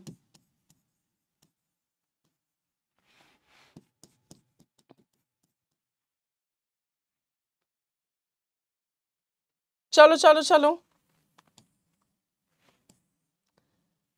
पहले वाले में बेटा मैंने सिमेट्रिकल ईथर लिया है methoxy methane is symmetrical ether यहाँ पर आप कहीं से भी बॉन्ड तोड़ दो, फ़र्क नहीं पड़ेगा। इस पर माइनस आएगा, इस पर प्लस आएगा। है ना ऑक्सीजन पे माइनस होगा कार्बन पे प्लस होगा। यहाँ पर बेटा H पे प्लस होगा, I पर माइनस होगा, दुनिया की रीत के हिसाब से नेगेटिव पॉजिटिव पर जाएगा ऑपोजिट चार्जेस अट्रैक्ट प्लस के साथ आई माइनस लग जाएगा बेटा, क्या बन जाएगा? सी एच थ्री आई साथ में क्या बनेगा? C H three O minus के साथ एच प्लस जुड़ेगा तो बेटा जी आपको क्या मिल जाएगा? C H three O H इतनी बात क्लियर है? इतनी बात क्लियर है? सिमेट्रिकल ईथर में फ़र्क नहीं पड़ता। पर जब तुम्हारे पास अनसिमेट्रिकल ईथर आ जाता है, अब फ़र्क पड़ेगा। सो ये वाला ईथर अनसिमेट्रिकल है। अब मैं कहाँ से बॉन्ड तोड़ू भाई? बताओ यार, कहाँ से बॉन्ड तोड़े? हमें कैसे पता चलेगा कि मैं इस कार्बन ऑक्सीजन का बॉन्ड तोड़ू? अगर इस कार्बन ऑक्सीजन का बॉन्ड तोड़ूँगी तो इधर माइनस इधर प्लस इधर सी एच थ्री आई बन मतलब बी आर बन जाएगा। और उधर C H three C H two O H यानी मिथाइल ब्रोमाइड प्लस इथेनॉल बनना चाहिए। रुक जाओ जरा। या फिर बॉन्ड को यहाँ से तोड़ू, कि यहाँ माइनस यहाँ प्लस मीथेनॉल बनाऊँ और C H three C H two B R बनाऊँ? हमें कैसे पता चलेगा? How would we know unsymmetrical ether में कौन सी कार्बन ऑक्सीजन का बॉन्ड तोड़े? हाँ जी हाँ जी। अनंत कुमार ने ठीक लिखा है जहाँ पर स्मॉलर अल्काइल ग्रुप है बेटा बेसिकली क्या है? यहाँ पर अगेन मैकेनिज्म जो लग रहा होता है वो बेसिकली एस एन टू का है। ठीक है? सो so, यहाँ पर बी आर माइनस है और एच प्लस है। अब यहाँ पर क्या होता है जो बी आर माइनस है वो अटैक करता है लेस हिंडर्ड साइड से। यानी वो उस एल्काइल ग्रुप पर अटैक करना चाहेगा जो लेस हिंडर्ड होती है जिसमें भीड़ कम होती है। सो so, जब हम यहाँ से बॉन्ड तोड़ेंगे तो इधर माइनस आएगा इधर प्लस आएगा। सो बी आर माइनस इस कार्बन पर आकर ज़्यादा खुश होता है लेस हिंडर्ड पर। तो यहाँ पे प्रोडक्ट बनेगा बेटा C H three B R और साथ में क्या बन जाएगा? C H three C H two O H क्या बन जाएगा? C H three C H two O H ठीक है? अगर आप बेटा इसको फर्दर दोबारा रिएक्शन कराओगे एच बी आर के साथ तो एक बार और, अब तो न्यूक्लियोफिलिक सब्सटीट्यूशन है alcohol with H B R है, ये तो तुमने पढ़ रखा है। तो C H three C H two B R हो जाएगा और वाटर बन जाएगा। ठीक है? अगर आप एक्सेस में लेते हो एच आई को या एच को तो जो अल्कोहल होता है, वो भी किसमें फर्दर कन्वर्ट हो जाता है? एल्काइल हेलाइट में। ठीक है?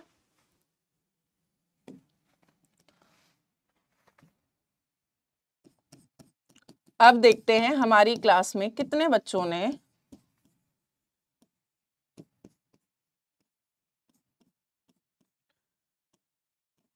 ये चैप्टर अगर जिसने पहले कर रखा होगा बाय एनी चांस मैं दो लाइंस खींच रही हूँ।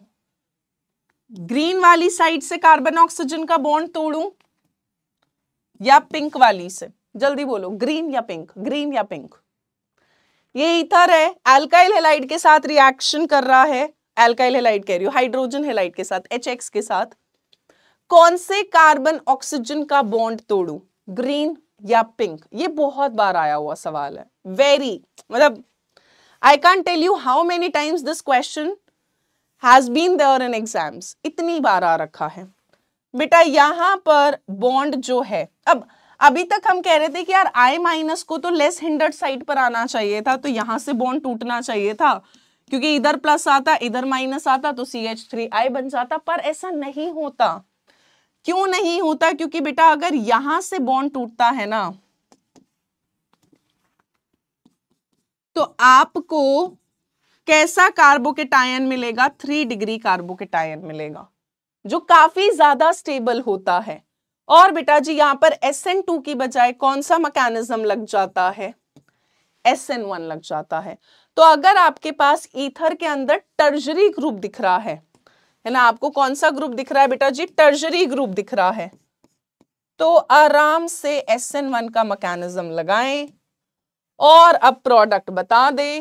क्या बनेगा बेटा? C H three C C H three C H three I और साथ में क्या बन जाएगा? C H three O H इसमें मैं स्टार बना रही हूँ, ये बहुत इंपॉर्टेंट है। इतनी बार पेपर में आ रखा है, ठीक है? कार्बोकेटाइन की स्टेबिलिटी की वजह से। तो यहाँ पर हम कार्बोकेटाइन की स्टेबिलिटी को ज़्यादा प्रायोरिटी देते हैं रादर देन ये सोचने की कि आई माइनस को लेस हिंडर्ड साइड पर आना चाहिए था। क्योंकि यहाँ पर कार्बन ऑक्सीजन के बॉन्ड के ब्रेक डाउन से मुझे थ्री डिग्री कार्बोकेटाइन मिल रहा है। तो एस एन टू की बजाय एस एन वन का मैकेनिज्म लग जाता है। ठीक है? चलिए।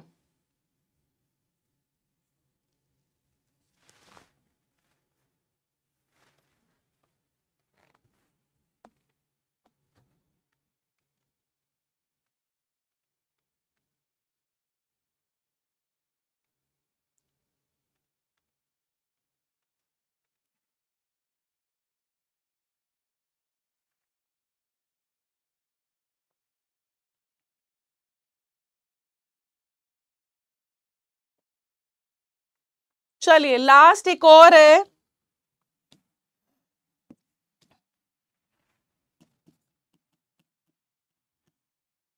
एनीसोल में अब जरा सोच के बताना। एनीसोल में कहाँ से ब्रेक डाउन करूँ? यानी अगर मैंने एनीसोल का रिएक्शन एच या एच आई के साथ कराया तो बेटा जी बॉन्ड कहाँ से ब्रेक होगा? फिर से। ग्रीन या पिंक? क्या बोलते हैं? ग्रीन लाइन से ब्रेक करूँ या पिंक वाली से? इस कार्बन ऑक्सीजन का बॉन्ड तोड़ूं या जो बेंजीन की कार्बन ऑक्सीजन है उसका बॉन्ड तोड़ूं? जल्दी बोलो भाई। ग्रीन या पिंक? है आधी जनता ग्रीन, आधी जनता पिंक कह रही है। बेटा जी, यहाँ पर बॉन्ड जो है वो यहाँ से ब्रेक होता है। यहाँ से ब्रेक होने का रीजन यार बहुत आसान सा है यार, तुम खुद सोचो। ये अपना एनिसोल है। यहाँ पर बेटा डबल बॉन्ड कैरेक्टर आएगा ऑक्सीजन कार्बन में रेजोनेंस हो रहा होगा। तो यहाँ पर तो कार्बन ऑक्सीजन का बॉन्ड बहुत स्ट्रांग होता है, तोड़ना मुश्किल है मेरे लिए। इस वाले कार्बन ऑक्सीजन में कोई रेजोनेंस नहीं है तो ये वाला बॉन्ड आसानी से ब्रेक हो जाता है। चलिए। इधर H प्लस आई माइनस इधर O माइनस एच मतलब कार्बन पे प्लस आएगा। बस प्रोडक्ट बना दो, O माइनस के साथ H प्लस जुड़ेगा तो आपको क्या मिल जाएगा बेटा? फिनॉल और साथ में क्या मिल जाएगा? C H three I clear है? बहुत आसान सा है।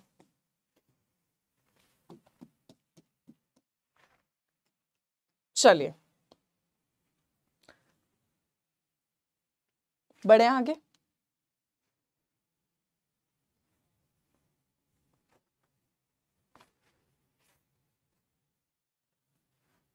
चलिए चलिए चलिए।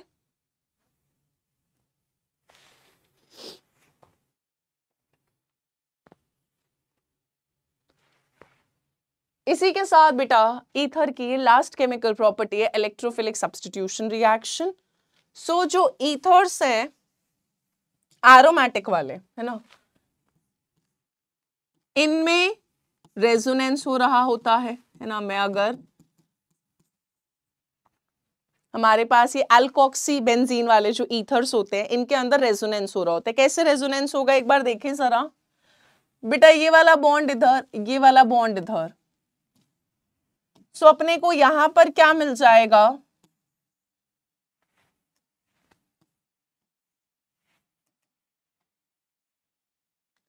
ये बॉन्ड इधर। ये बॉन्ड इधर इधर माइनस आएगा। डबल बॉन्ड ओ आर है ना? और ऑक्सीजन का एक लोन पेयर कम हो गया, उस पर पॉजिटिव चार्ज आएगा। ये कहानी आगे चलती रहेगी। है ना? ये नेगेटिव चार्ज इधर आएगा, ये बॉन्ड इधर आएगा। जल्दी से मुझे बताओ, यहाँ पर बेटा अगर इलेक्ट्रोफाइल आएगा तो कौन सी पोजीशन पर आएगा? जल्दी से सोचकर बताएँ। यहाँ अगर इलेक्ट्रोफाइल को आना है तो वो कौन सी पोजीशन पर अटैक करे?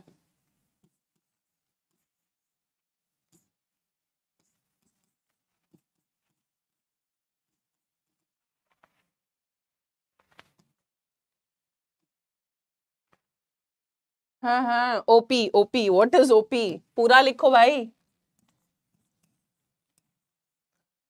यहाँ पर बेटा रेजोनेंस होते टाइम पर तुमको ये नेगेटिव चार्ज वापस आएगा, ये बॉन्ड इधर आ जाएगा। ठीक है तो हम कहते हैं जो हमारे पास ये अल्कोक्सी बेंजीन वाले ईथर है, ठीक है? ये वाले ईथर्स जो हैं बेटा, एक तो ये हाईली एक्टिवेटिंग है। मतलब they activate the activate the benzene ring towards electrophilic substitution reaction. यानी अगर बेंजीन पर एल्कोक्सी ग्रुप लगता है ओ आर ग्रुप लगता है तो वो इलेक्ट्रॉन डेंसिटी रिंग में डोनेट करता है। इलेक्ट्रोफाइल को यहाँ पर भी आकर बेहद खुशी होती है। और बेटा जी, अगर आप यहाँ पर देखेंगे तो इलेक्ट्रोफाइल इलेक्ट्रॉन लविंग है।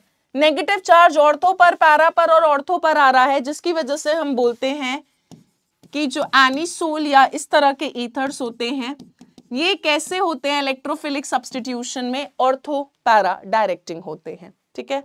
ऑर्थो पैरा डायरेक्टिंग होते हैं। चलिए। सो so, इसमें हम एक फ्लो चार्ट की फॉर्म में सारे रिएक्शन को कवर करेंगे। तो मैं बेटा एनिसोल ले रही हूँ।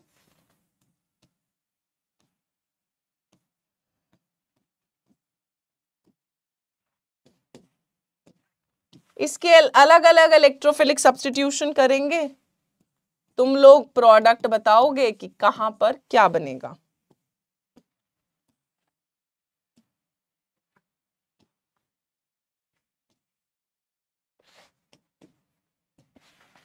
पहला कर लेते हैं nitration concentrated H N O three plus concentrated H two S O four चलिए।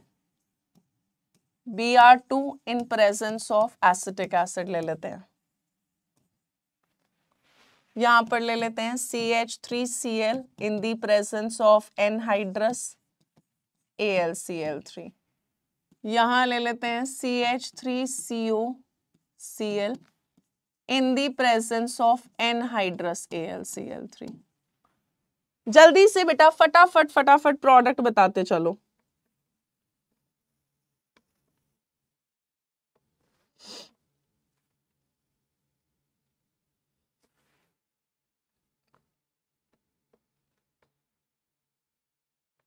चलिए। यहाँ पे बेटा जो NO2 प्लस का इलेक्ट्रोफाइल है, वो एक बार ऑर्थो पर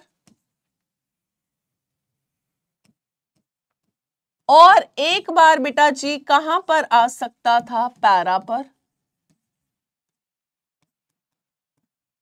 कौन सा वाला मेजर होगा? ऑर्थो या पैरा? जल्दी से बोलें। ऑर्थो पैरा डायरेक्टिंग है। यहाँ पर मेजर प्रोडक्ट बेटा पैरा वाला होता है।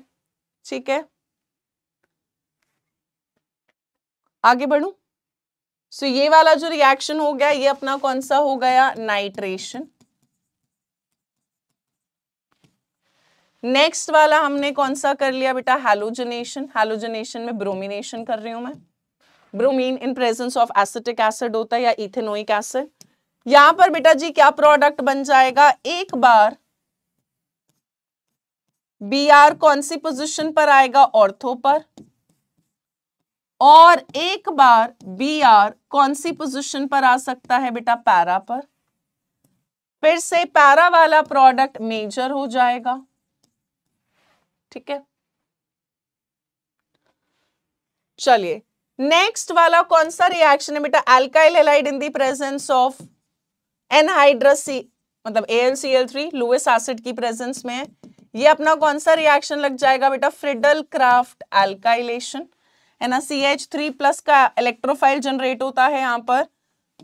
चलिए, फटाफट से बताएँ बेटा, क्या प्रोडक्ट बनेगा? ओ सी एच थ्री के बगल में एक बार सी एच थ्री आ जाएगा एल्काइल ग्रुप और एक बार इसके पैरा पोजिशन पर आ जाएगा। और मेजर पैरा वाला हो जाएगा। हाँ जी हाँ जी हाँ जी। लास्ट वाला और बता दो यार फटाफट से Friedel Crafts acylation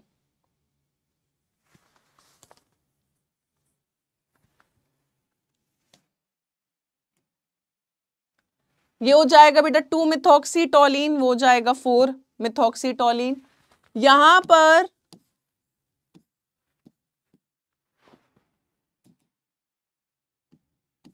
O C H three के बगल में एक बार सी ओ सी एच थ्री और एक बार ओ सी एच थ्री के पैरा पोजिशन पर क्या लग जाएगा बेटा सी ओ सी एच थ्री ये कौन सा रिएक्शन हो गया अपना? फ्रिडल क्राफ्ट एसाइलेशन जल्दी बोले भाई।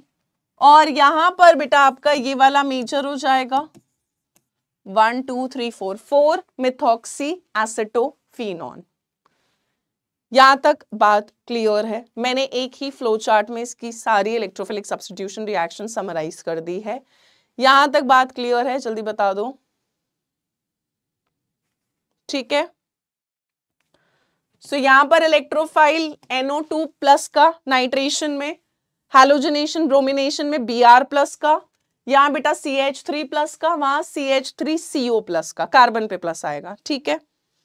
यहाँ तक क्लियर है। चलिए जी। थोड़े से आप क्वेश्चंस प्रैक्टिस करेंगे क्योंकि हमारा थियोरिटिकल पार्ट यानी जो एनसीईआरटी e का स्टार्टिंग से लेकर एंड तक था, वो सारा खत्म हो चुका है।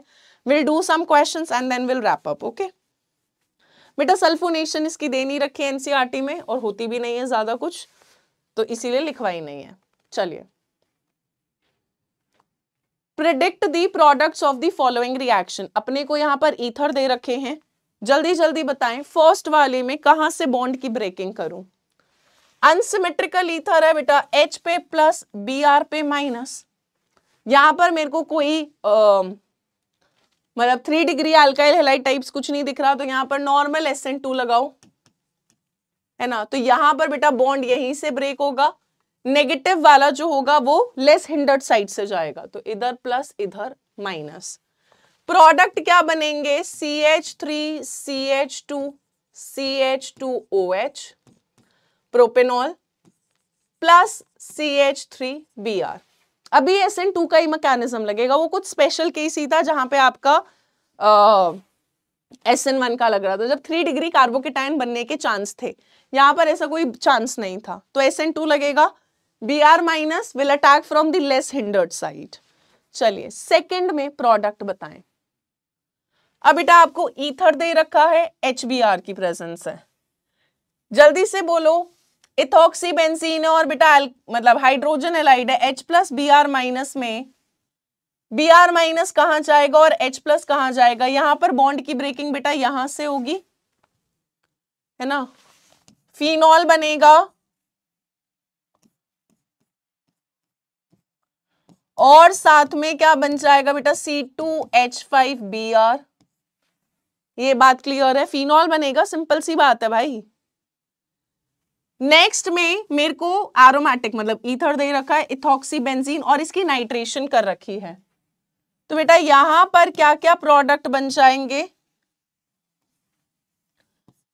एक बार O C two H five के ऑर्थो पोजिशन पर नाइट्रो आ जाएगा और एक बार इस ईथर के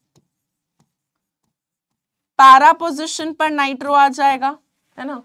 नाइट्रेशन हो रही है। NO2 प्लस का इलेक्ट्रोफाइल जनरेट होगा ऑर्थो पैरा डायरेक्टिंग है, और हमने ये बात पीछे पढ़ ली है कि ये पैरा वाला जो होगा, अपना ये मेजर प्रोडक्ट होगा। बेटा, इस सवाल ने आपके सारे कॉन्सेप्ट चेक करे हैं, सारे। बेटा नेक्स्ट में मेरे पास ये ईथर है और HI दे रखा है। जल्दी बोलो, कौन सा कार्बन ऑक्सीजन का बॉन्ड तोड़ू? ये H प्लस है, ये I माइनस है। बेटा, यहाँ पर यहाँ से तोड़ेंगे, तभी तो अपने को एस एन वन लग कर थ्री डिग्री कार्बोकेटायन मिलेगा। हाँ जी हाँ जी हाँ जी। तो सी एच थ्री का होल थ्राई सी आई इसके साथ लग जाएगा और C two H five O H बन जाएगा। है ना? यहाँ पे आई माइनस इसके साथ जुड़ेगा और H प्लस इसके साथ जुड़ेगा। थ्री डिग्री कार्बोकेटायन की स्टेबिलिटी आ जाती है। बात क्लियर है, जल्दी बोलो। ईथर से ज़्यादातर इसी चीज़ से, या तो विलियमसन ईथर सिंथेसिस से सवाल मिलेगा तुमको, या फिर कार्बन ऑक्सीजन की बॉन्ड क्लीवेज से मिलेगा। ठीक है? इशू इशू बेटा चैप्टर तो खत्म हो चुका है, अब हम क्वेश्चन प्रैक्टिस कर रहे हैं। चैप्टर तो खत्म है। मैं क्वेश्चंस करा रही हूँ, ताकि आपके कॉन्सेप्ट थोड़े और क्लियर हो जाएँ। ठीक है?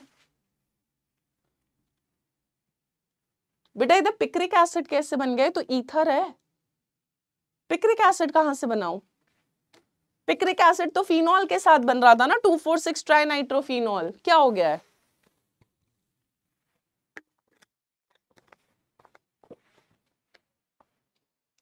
थर्ड वाले में तो इलेक्ट्रोफिलिक सब्सटीट्यूशन रिएक्शन हुई है ना। ये वाली तो है बेटा। OCH3 की जगह C2H5 ले लिया और नाइट्रेशन कर दिया। मैंने CH3 सवाल में हमें CH3 की जगह C2H5 दिया हुआ है, और कुछ भी नहीं है। इलेक्ट्रोफिलिक सब्सटीट्यूशन रिएक्शन है ईथर की नाइट्रेशन कर रखी है। चलिए। ओके चलो, थोड़े से पीवाई क्यूज करेंगे। चलिए, ये इसी साल का मतलब इस साल नहीं लास्ट ईयर का बोर्ड एग्ज़ाम था। हाँ बोर्ड के पेपर का सवाल है। How do you convert the following आपको चार कन्वर्शन दी थी, बोला था कोई सी भी तीन कर दो। तीन नंबर का क्वेश्चन था बट यहाँ पर हम चारों ही करेंगे। चलिए फ़र्स्ट वाला सोचो बेटा, कैसे कन्वर्ट कर सकती हूँ? बहुत आसान है।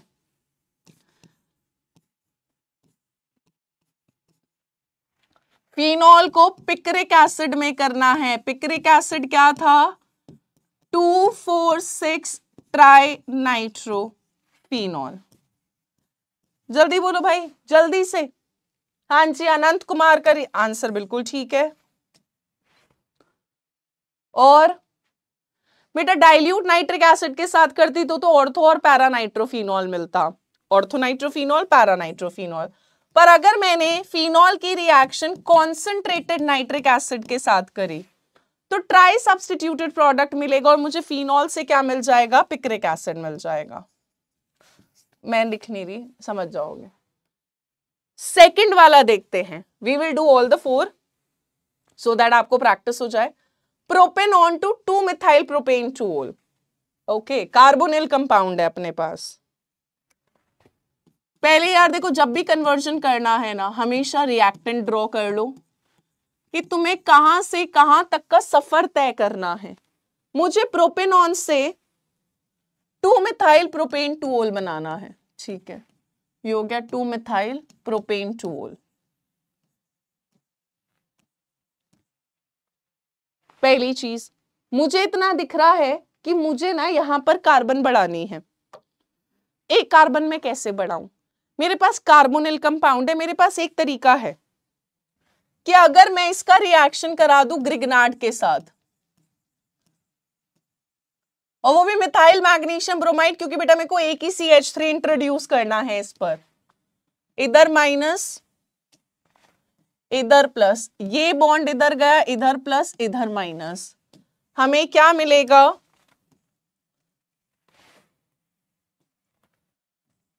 सी एच थ्री सी मैं सी एच थ्री को नीचे लिख रही हूँ। C H three C H three O minus के साथ लग जाएगा एम जी बी आर हम थोड़ा सा इसको चेंज करके लिख लेते हैं। टू मिथाइल प्रोपेन टोल को मैं ऐसे लिख रही हूँ। ओ एच ऊपर लिख देती हूँ ना, आसान रहेगा। चलिए, फिर बेटा इस ग्रिगनार्ड रिएजेंट से जो एडक्ट मिला। हाँ जी फॉलोड बाय क्या कर देंगे? हाइड्रोलिसिस सो अब हम हाइड्रोलिसिस करेंगे तो क्या मिलेगा बेटा? O माइनस और Mg पे प्लस है। वाटर का H प्लस इधर जाएगा तो ओ OH बन जाएगा।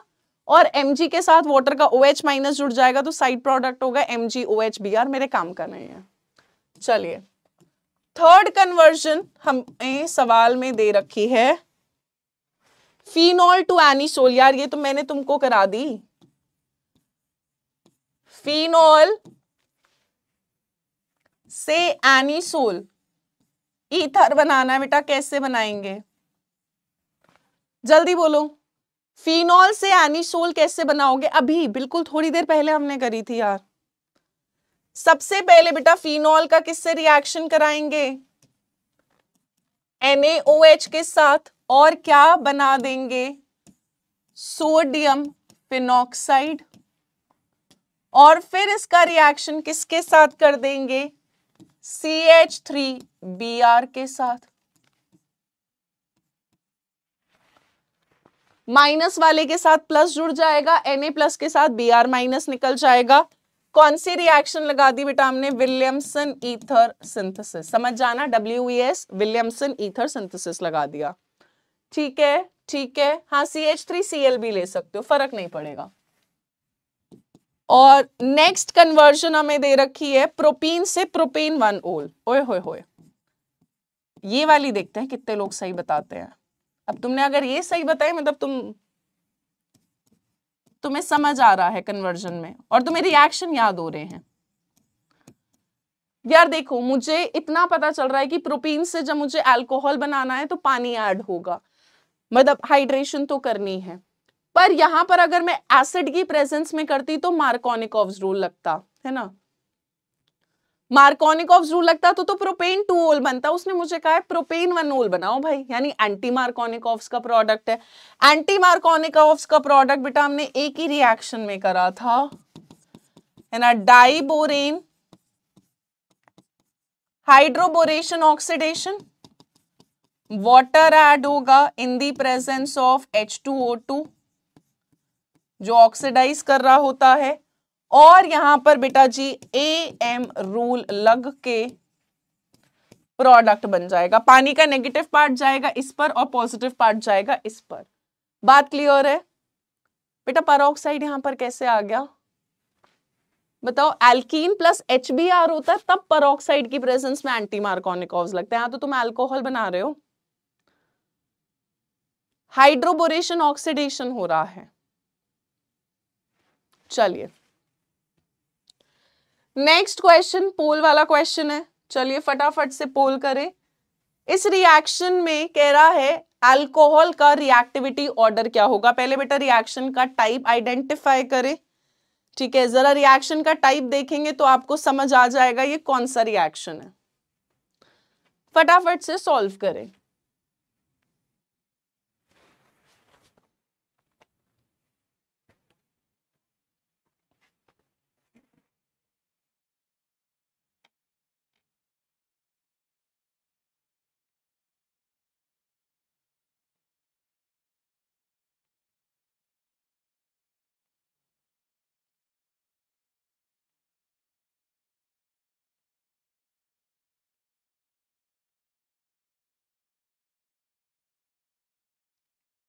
हाँ जी, चलिए। ये है लूकास टेस्ट लूकास टेस्ट में होता है three degree two degree one degree जो है ऑप्शन ए पर मुझे लग रहा है बहुत लोग, अरे यार, फिर से अपना पोल नहीं चल रहा। इसमें कभी कभी प्रॉब्लम आ जाती है। बेटा, ये कौन सा टेस्ट था? Alcohol in the presence of Lucas reagent था। लूकास रिएजेंट में रिएक्टिविटी ऑफ़ एल्कोहल था three degree two degree one degree अब मुझे ऐसा ऑप्शन तो दिख नहीं रहा था। पर ये डिक्रीजिंग में था ना यार।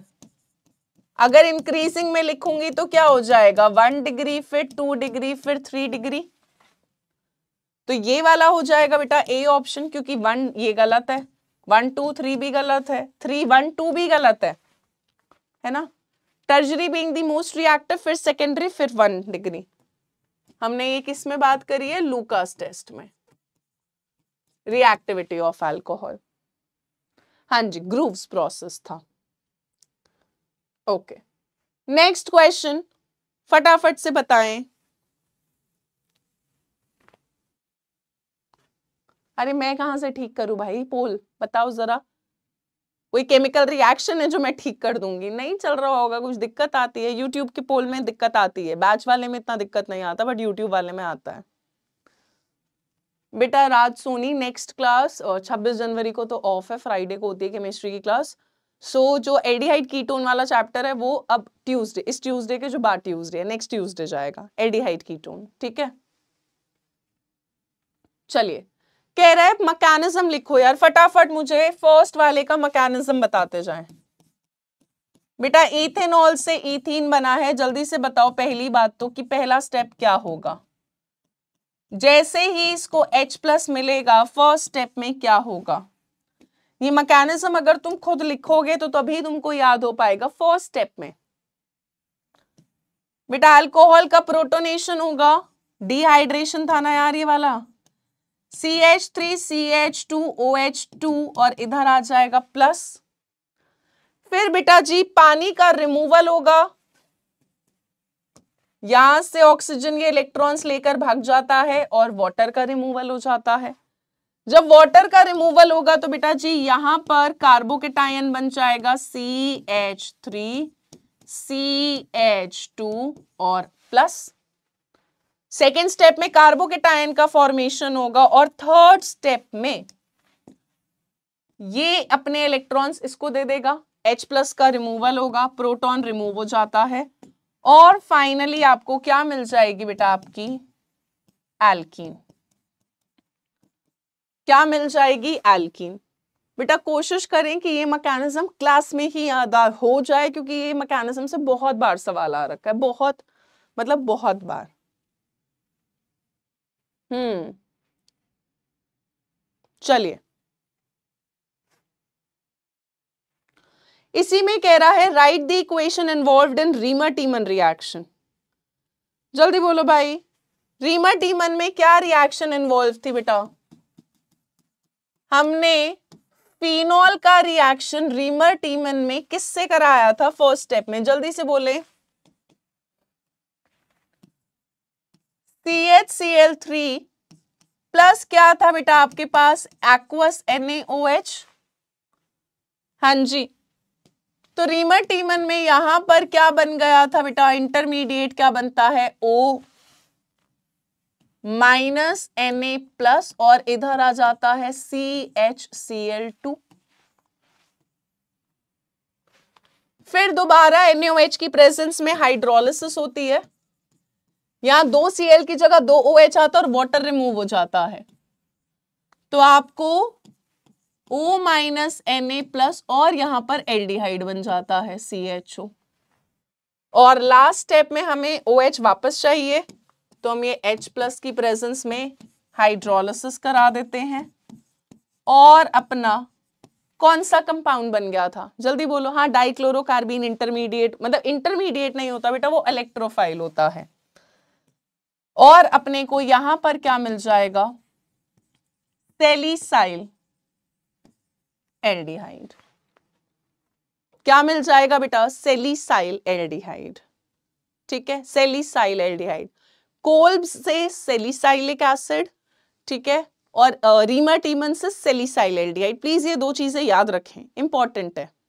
ठीक है? Sumit Agarwal if you want to shine like a sun then you have to burn like a sun वाह सुमित। वाह। क्या मोटिवेशन दिया तुमने? चलिए लास्ट क्वेश्चन बेटा मैं एक्स्ट्रा में करा रही हूँ, इसमें हम थोड़ी सी कन्वर्शन करेंगे, ठीक है? It's not a P Y Q but it's kind of कहीं ना कहीं तो पूछा ही होगा। चलिए, पहला आपको कन्वर्ट करना है एनलिन को फिनॉल में।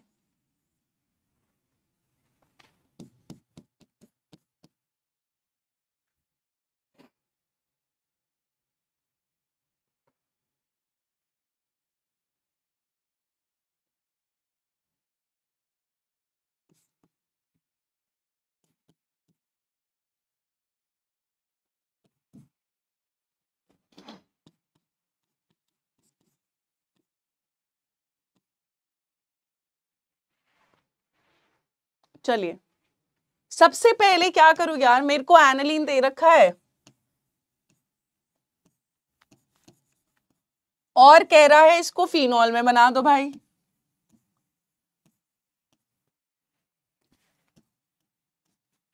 अब बेटा एनालिन से फिनॉल डायरेक्ट तो नहीं बन सकता। हम क्या करेंगे? एनालिन को किसमें कन्वर्ट कर दें? पहले इसका डाइजोनियम बना देते हैं NaNO2 plus H C L zero से पाँच डिग्री सेल्सियस, है ना? ज़ीरो से पाँच डिग्री सेल्सियस में तो क्या बन जाएगा? डाइजोनियम। और फर्दर डाइजोनियम को क्या करोगे बेटा? वार्म वाटर के साथ। सो अपने को क्या मिल जाएगा? फिनॉल मिल जाएगा। ठीक है? चलिए। अच्छा चलो ये लास्ट कन्वर्जन और कर दो, फिर छुट्टी है, टाटा बाय कर लेंगे। हाँ ऑल दो मैं एक दो कन्वर्जन और चाह रही थी, पर कोई बात नहीं। तुम नहीं चाह रहे तो कोई बात नहीं। गेटरमैन रिएक्शन कहाँ से लग गया बेटा इसमें? कौन सा गेटरमैन है? गेटरमैन में तो copper in the presence of H या एच होता था।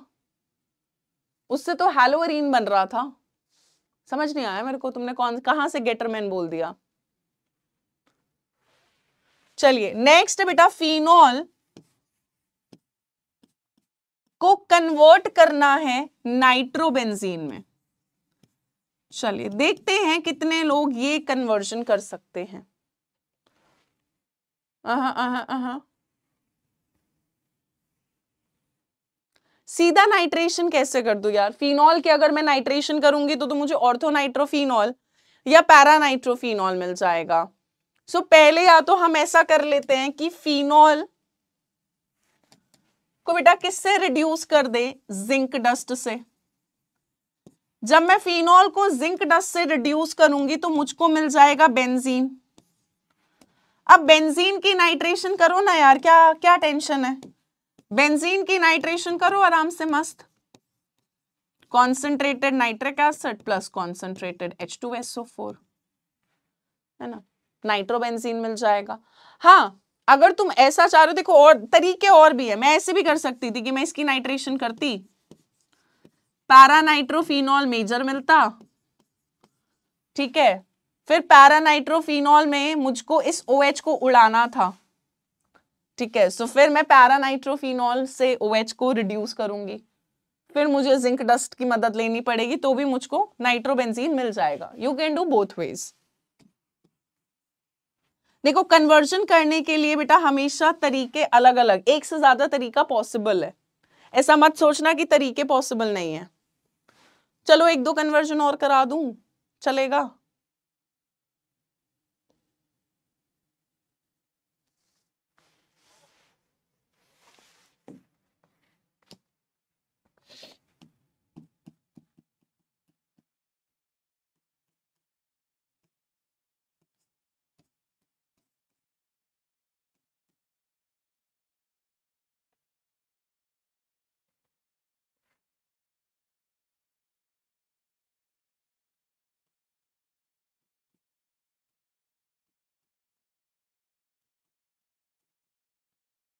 चलिए।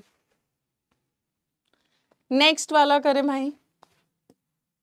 वन ब्रोमोप्रोपेन है। वन ब्रोमोप्रोपेन क्या हुआ बेटा? C H three C H two C H two B R से कह रहा है, प्रोपेन टू ओल बना दो। अच्छा चलो ये लास्ट है, पक्का लास्ट है। तुम लोगों को ऐसे ही पढ़ाना पड़ता है। अच्छा ये लास्ट है, इसमें थोड़ा सा दिमाग लगाना है। ये वाली कर दो, फिर ओके बाय कर देंगे। चलो। हाँ जी भाई, यार देखो, अगर तुम इसकी डायरेक्ट न्यूक्लियो अगर वो मुझे बोलता ना ब्रोमोप्रोपेन से प्रोपेन वनोल बनाओ, मेरे लिए बहुत आसान था। मैं सीधा न्यूक्लियोफिलिक सब्सटीट्यूशन लगाती एक्वस एनओएच या एक्वस केओएच के साथ। पर ये जो मुझे कह रहा है ना, ये कह रहा है कि यार अल्कोहल तुमको सेकंड कार्बन पे लाना है, अब वो कैसे लाऊं? तो उसके लिए मुझे थोड़ा सा दिमाग लगाना पड़ेगा। यहाँ पर बेटा हम अब पहले क्या करेंगे, इसको एल्कीन में कन्वर्ट करेंगे। सो so, हमने क्या करा? अल्कोहलिक के के साथ रिएक्ट कर दिया एलिमिनेशन करा दिया। बी आर अल्फ़ा और बीटा अपने हमने क्या कर दिया बेटा? एल्कीन बना दिया। अब एल्कीन से प्रोपेन टू ओल मेरे लिए बनाना बहुत आसान है। इससे मैं कैसे बना सकती हूँ बेटा? अल्कोहल वो भी मार्कोनिकोव रूल के हिसाब से। तो तो यहाँ पर मुझे एसिड कैटलाइज्ड हाइड्रेशन करना है। और हमने क्या बना दिया? प्रोपेन टू ओल बना लिया। ठीक है भाई? जल्दी बोलो यार। क्लियर है?